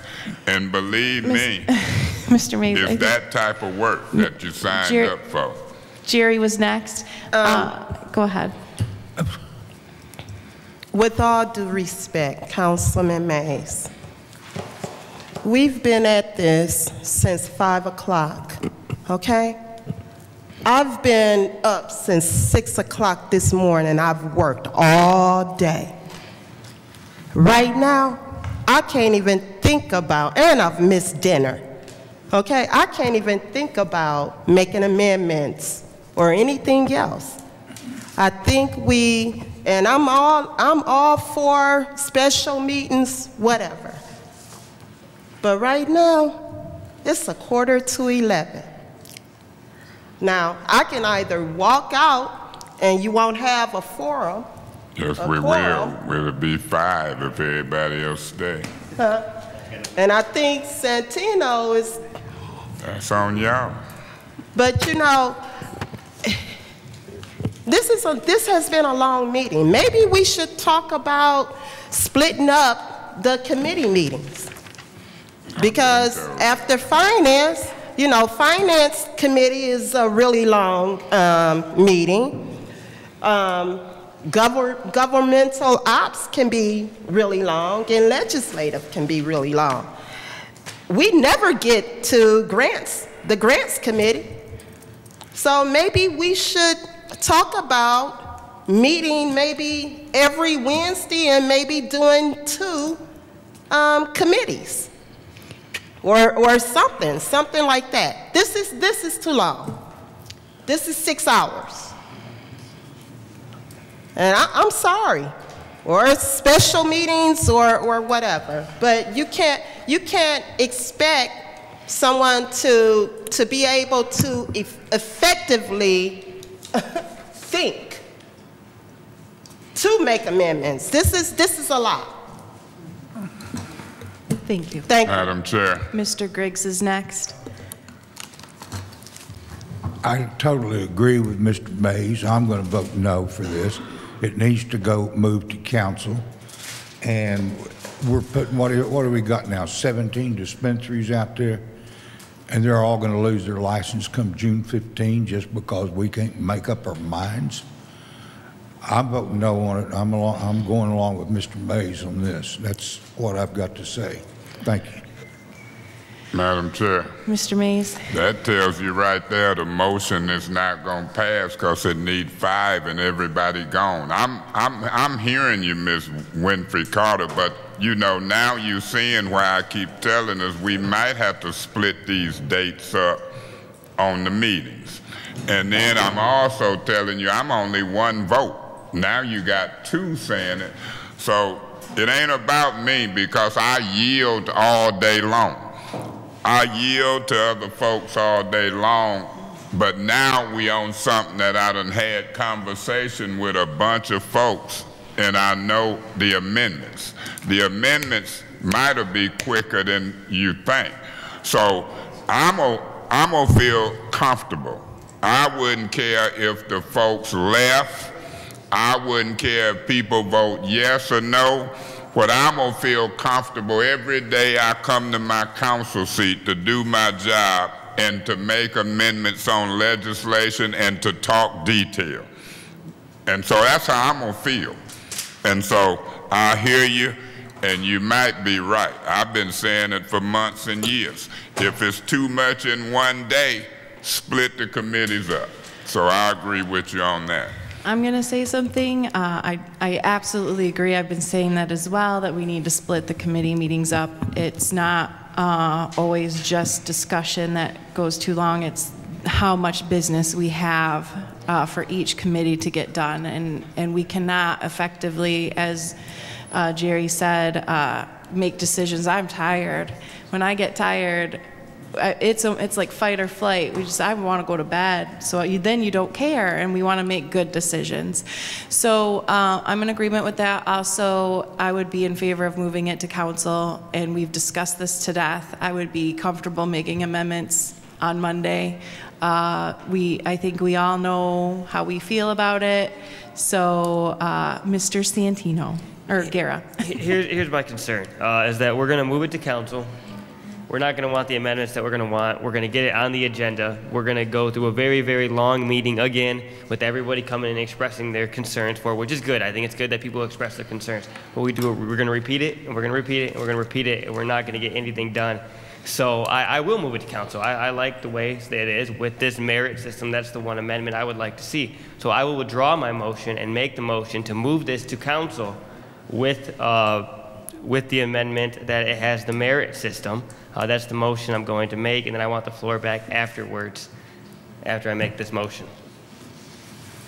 There's been a motion made. Is there a second? Madam Chair, I s- second. Okay, it's been made and seconded. Any discussion? Mr. Santino? So, uh, it was on. Okay, so I do hope that uh, we do look over this and there's any amendments. We could make it it's, uh, at the council meeting in front of everybody. That's what council meetings we can do, is make the amendments. But I hope that we can get the work done that day and not hear hours and hours of this and then send it back to committee again after that. Because I, that one of the things I want to see is the merit-based thing. And then hopefully that gives you enough time because the meeting is coming up uh, pretty soon. And uh, I'm ready to vote on that as well. I just don't want to keep repeating it and repeating it and repeating it every single time. Uh, that's all I have to say. And I will say, I, this time yesterday, I was in Kentucky, so I have been up for a pretty long time as well. Uh, so hopefully, I'm, I'm going to stick it out. I'm going to stay here as long as I have to. Um, but let's let's get to work. And I think our grants committee. I don't know what we're going to do with that now. I'm done. Uh, So even Santino is tired and ready. I like that. Mr. Guerra, your little attitude there. You're getting the hang of this. Uh, I, I agree. Let, uh, let's, um, let's make those amendments on Monday and be ready on Monday. And also, I am in favor of this medical research exemption. Uh, And if that passed, then I would also be happy. Uh, Any other discussion? Yeah, Madam Chair. Mr. Mays? Um, there's going to also be a proposed amendment. I've talked to about it before when it comes to, in some instances, the thousand feet can be um, shortened down to 500. We've discussed that amendment. That's not in the motion. I'm going to support the motion to move it to council with that one amendment, but I'm to caution folks. That don't mean it's going to pass with that one amendment and the other amendment we made. It's still work that's got to be done. So between now and Monday, um, if we bring those amendments in and they crisp and they ready to be changed, this council might better get ready for a special meeting Tuesday or Wednesday so y'all rest. Rest and be ready Tuesday or Wednesday because if you got a meeting on Monday and you already know you ain't gonna be able to do it, and if this is a priority, last time I tried to suspend the rules and change the order and move it up, and folks was politicking. No, we need to hear from folks. And so if another 50 or 60 people come in, and I told you by the time you get to their issue, if you don't do the business right, they would be gone. And they were gone. So I don't mind people learning. And I'm not going to be the scapegoat.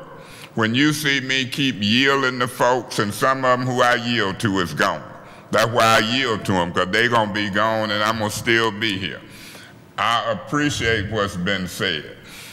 I'm gonna support this motion to move it to council, but it ain't gonna be ready to pass because there are more amendments. So if this group that's left here is serious, get ready to do other amendments on Tuesday or Wednesday and get this thing off the dime. And don't put nothing else on the agenda but that. And if you get tired at 11, I'm usually watching the news at 11. I'm just a night owl. I'll be up to 1 or 2. Start the meeting at 7, 8, 9, 10, 11, 12, 1 in the morning. But stick with it, get it done, and get it off the dime. And that revenue piece that hadn't been talked about and that fee schedule, I don't care what the clerk or nobody else say. I do want to know it as I vote on ordinances. It ain't two separate issues to me. So I ain't buying all of what I'm hearing. People talking a certain way because they tired. They ready to go. And maybe they believe that. But I'm going to talk the way that I'm going to talk. And I'm going to be on record for talking the way I want to talk, no matter who agree or not. Call me high energy. Thank you. Any other discussion? Okay. Uh, All in favor of um, moving medical marijuana ordinances to council, and that would be all three, 180151, 180152, 180153, uh, with the amendment that, uh, what was the amendment? I'm so tired. With the merit system. Merit system. Um, And point of information. Mr. Understanding we ain't discussed the specifics of the merit system, but All in favor, say aye. Aye. Any nays? Any abstentions? Uh, So that passes. Uh, I'd like to entertain a motion. Mr. Santino? I'd like to make a motion to postpone all discussion items to the next committee meeting. Uh, if There's been a motion made. Does, is there any support? Madam Chair. Mr. Davis? It's been made and uh, seconded. Uh, Any discussion? Okay, um, all in favor, say aye. Aye. Aye. Uh, Any nays? Abstentions? Uh, Mr. Guerra? Madam Chair, I make a motion to adjourn. Uh, Mr. Mays? Madam Chair, I'll second. I would second that. Okay, it's been made and seconded. Any discussion? Oh, we don't have to discuss. All in favor, say aye. Aye. Any nays? Abstentions? Legislative Committee is now Hey, over. look, while you sitting there doing, somebody do grants, um, the protocol is either you or Guerra do grants and knock that Let's out. just do it right now. And just whatever. Um, So grants, Yeah, but grants, grants said is just all uh, discussion. yeah, we still have to close that out. It should be, it should be quick, Mr. Okay, so I would like to call Grants Committee to uh, order. Mr. Guerra? Madam Chair, M- Yes, I make a motion to postpone all discussion items to the next committee meeting. there's been a motion. Is there a second? Madam Chair. Mr. Davis? I like the second. Okay, uh, Mr. Guerra? No, no. no Okay, discussion. and any discussion? Not on a, Well, oh, we're- no, on a think motion to postpone. Yeah, I, I, I'm, I'm glad y'all stayed to close that out for the record. So I'll be supporting that motion because it's the right thing to do at this time. Okay, uh, any other discussion? All in favor? Oh, Aye. Okay. Aye, Before we close it out, okay. Okay. uh, okay.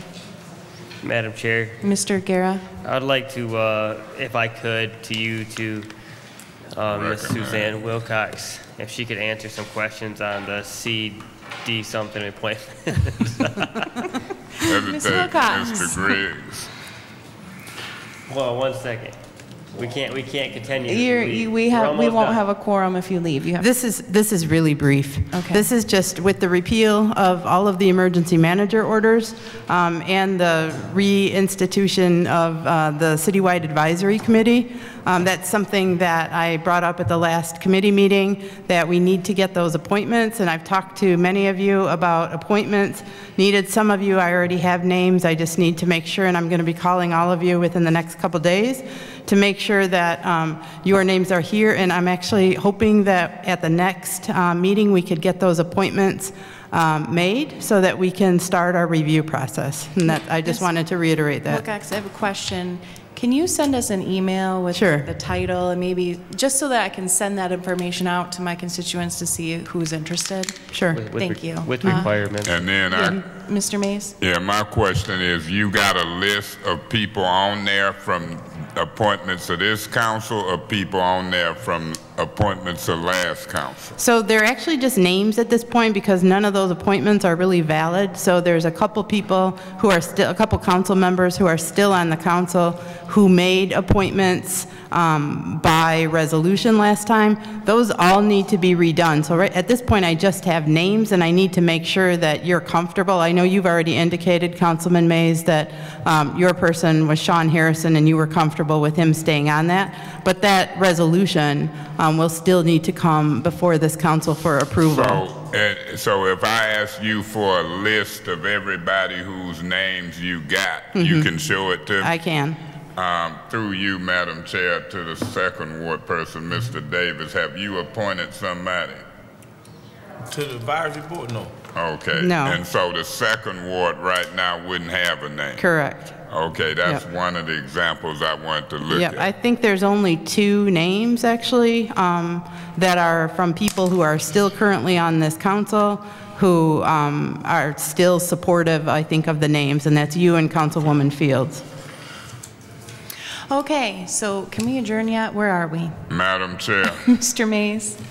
um, I would move that the Grants Committee be adjourned. Uh, Mr. Guerra? I second. Okay, it's been moved and seconded. All in favor? Aye. Aye. Any nays? Okay, we are adjourned. Oh.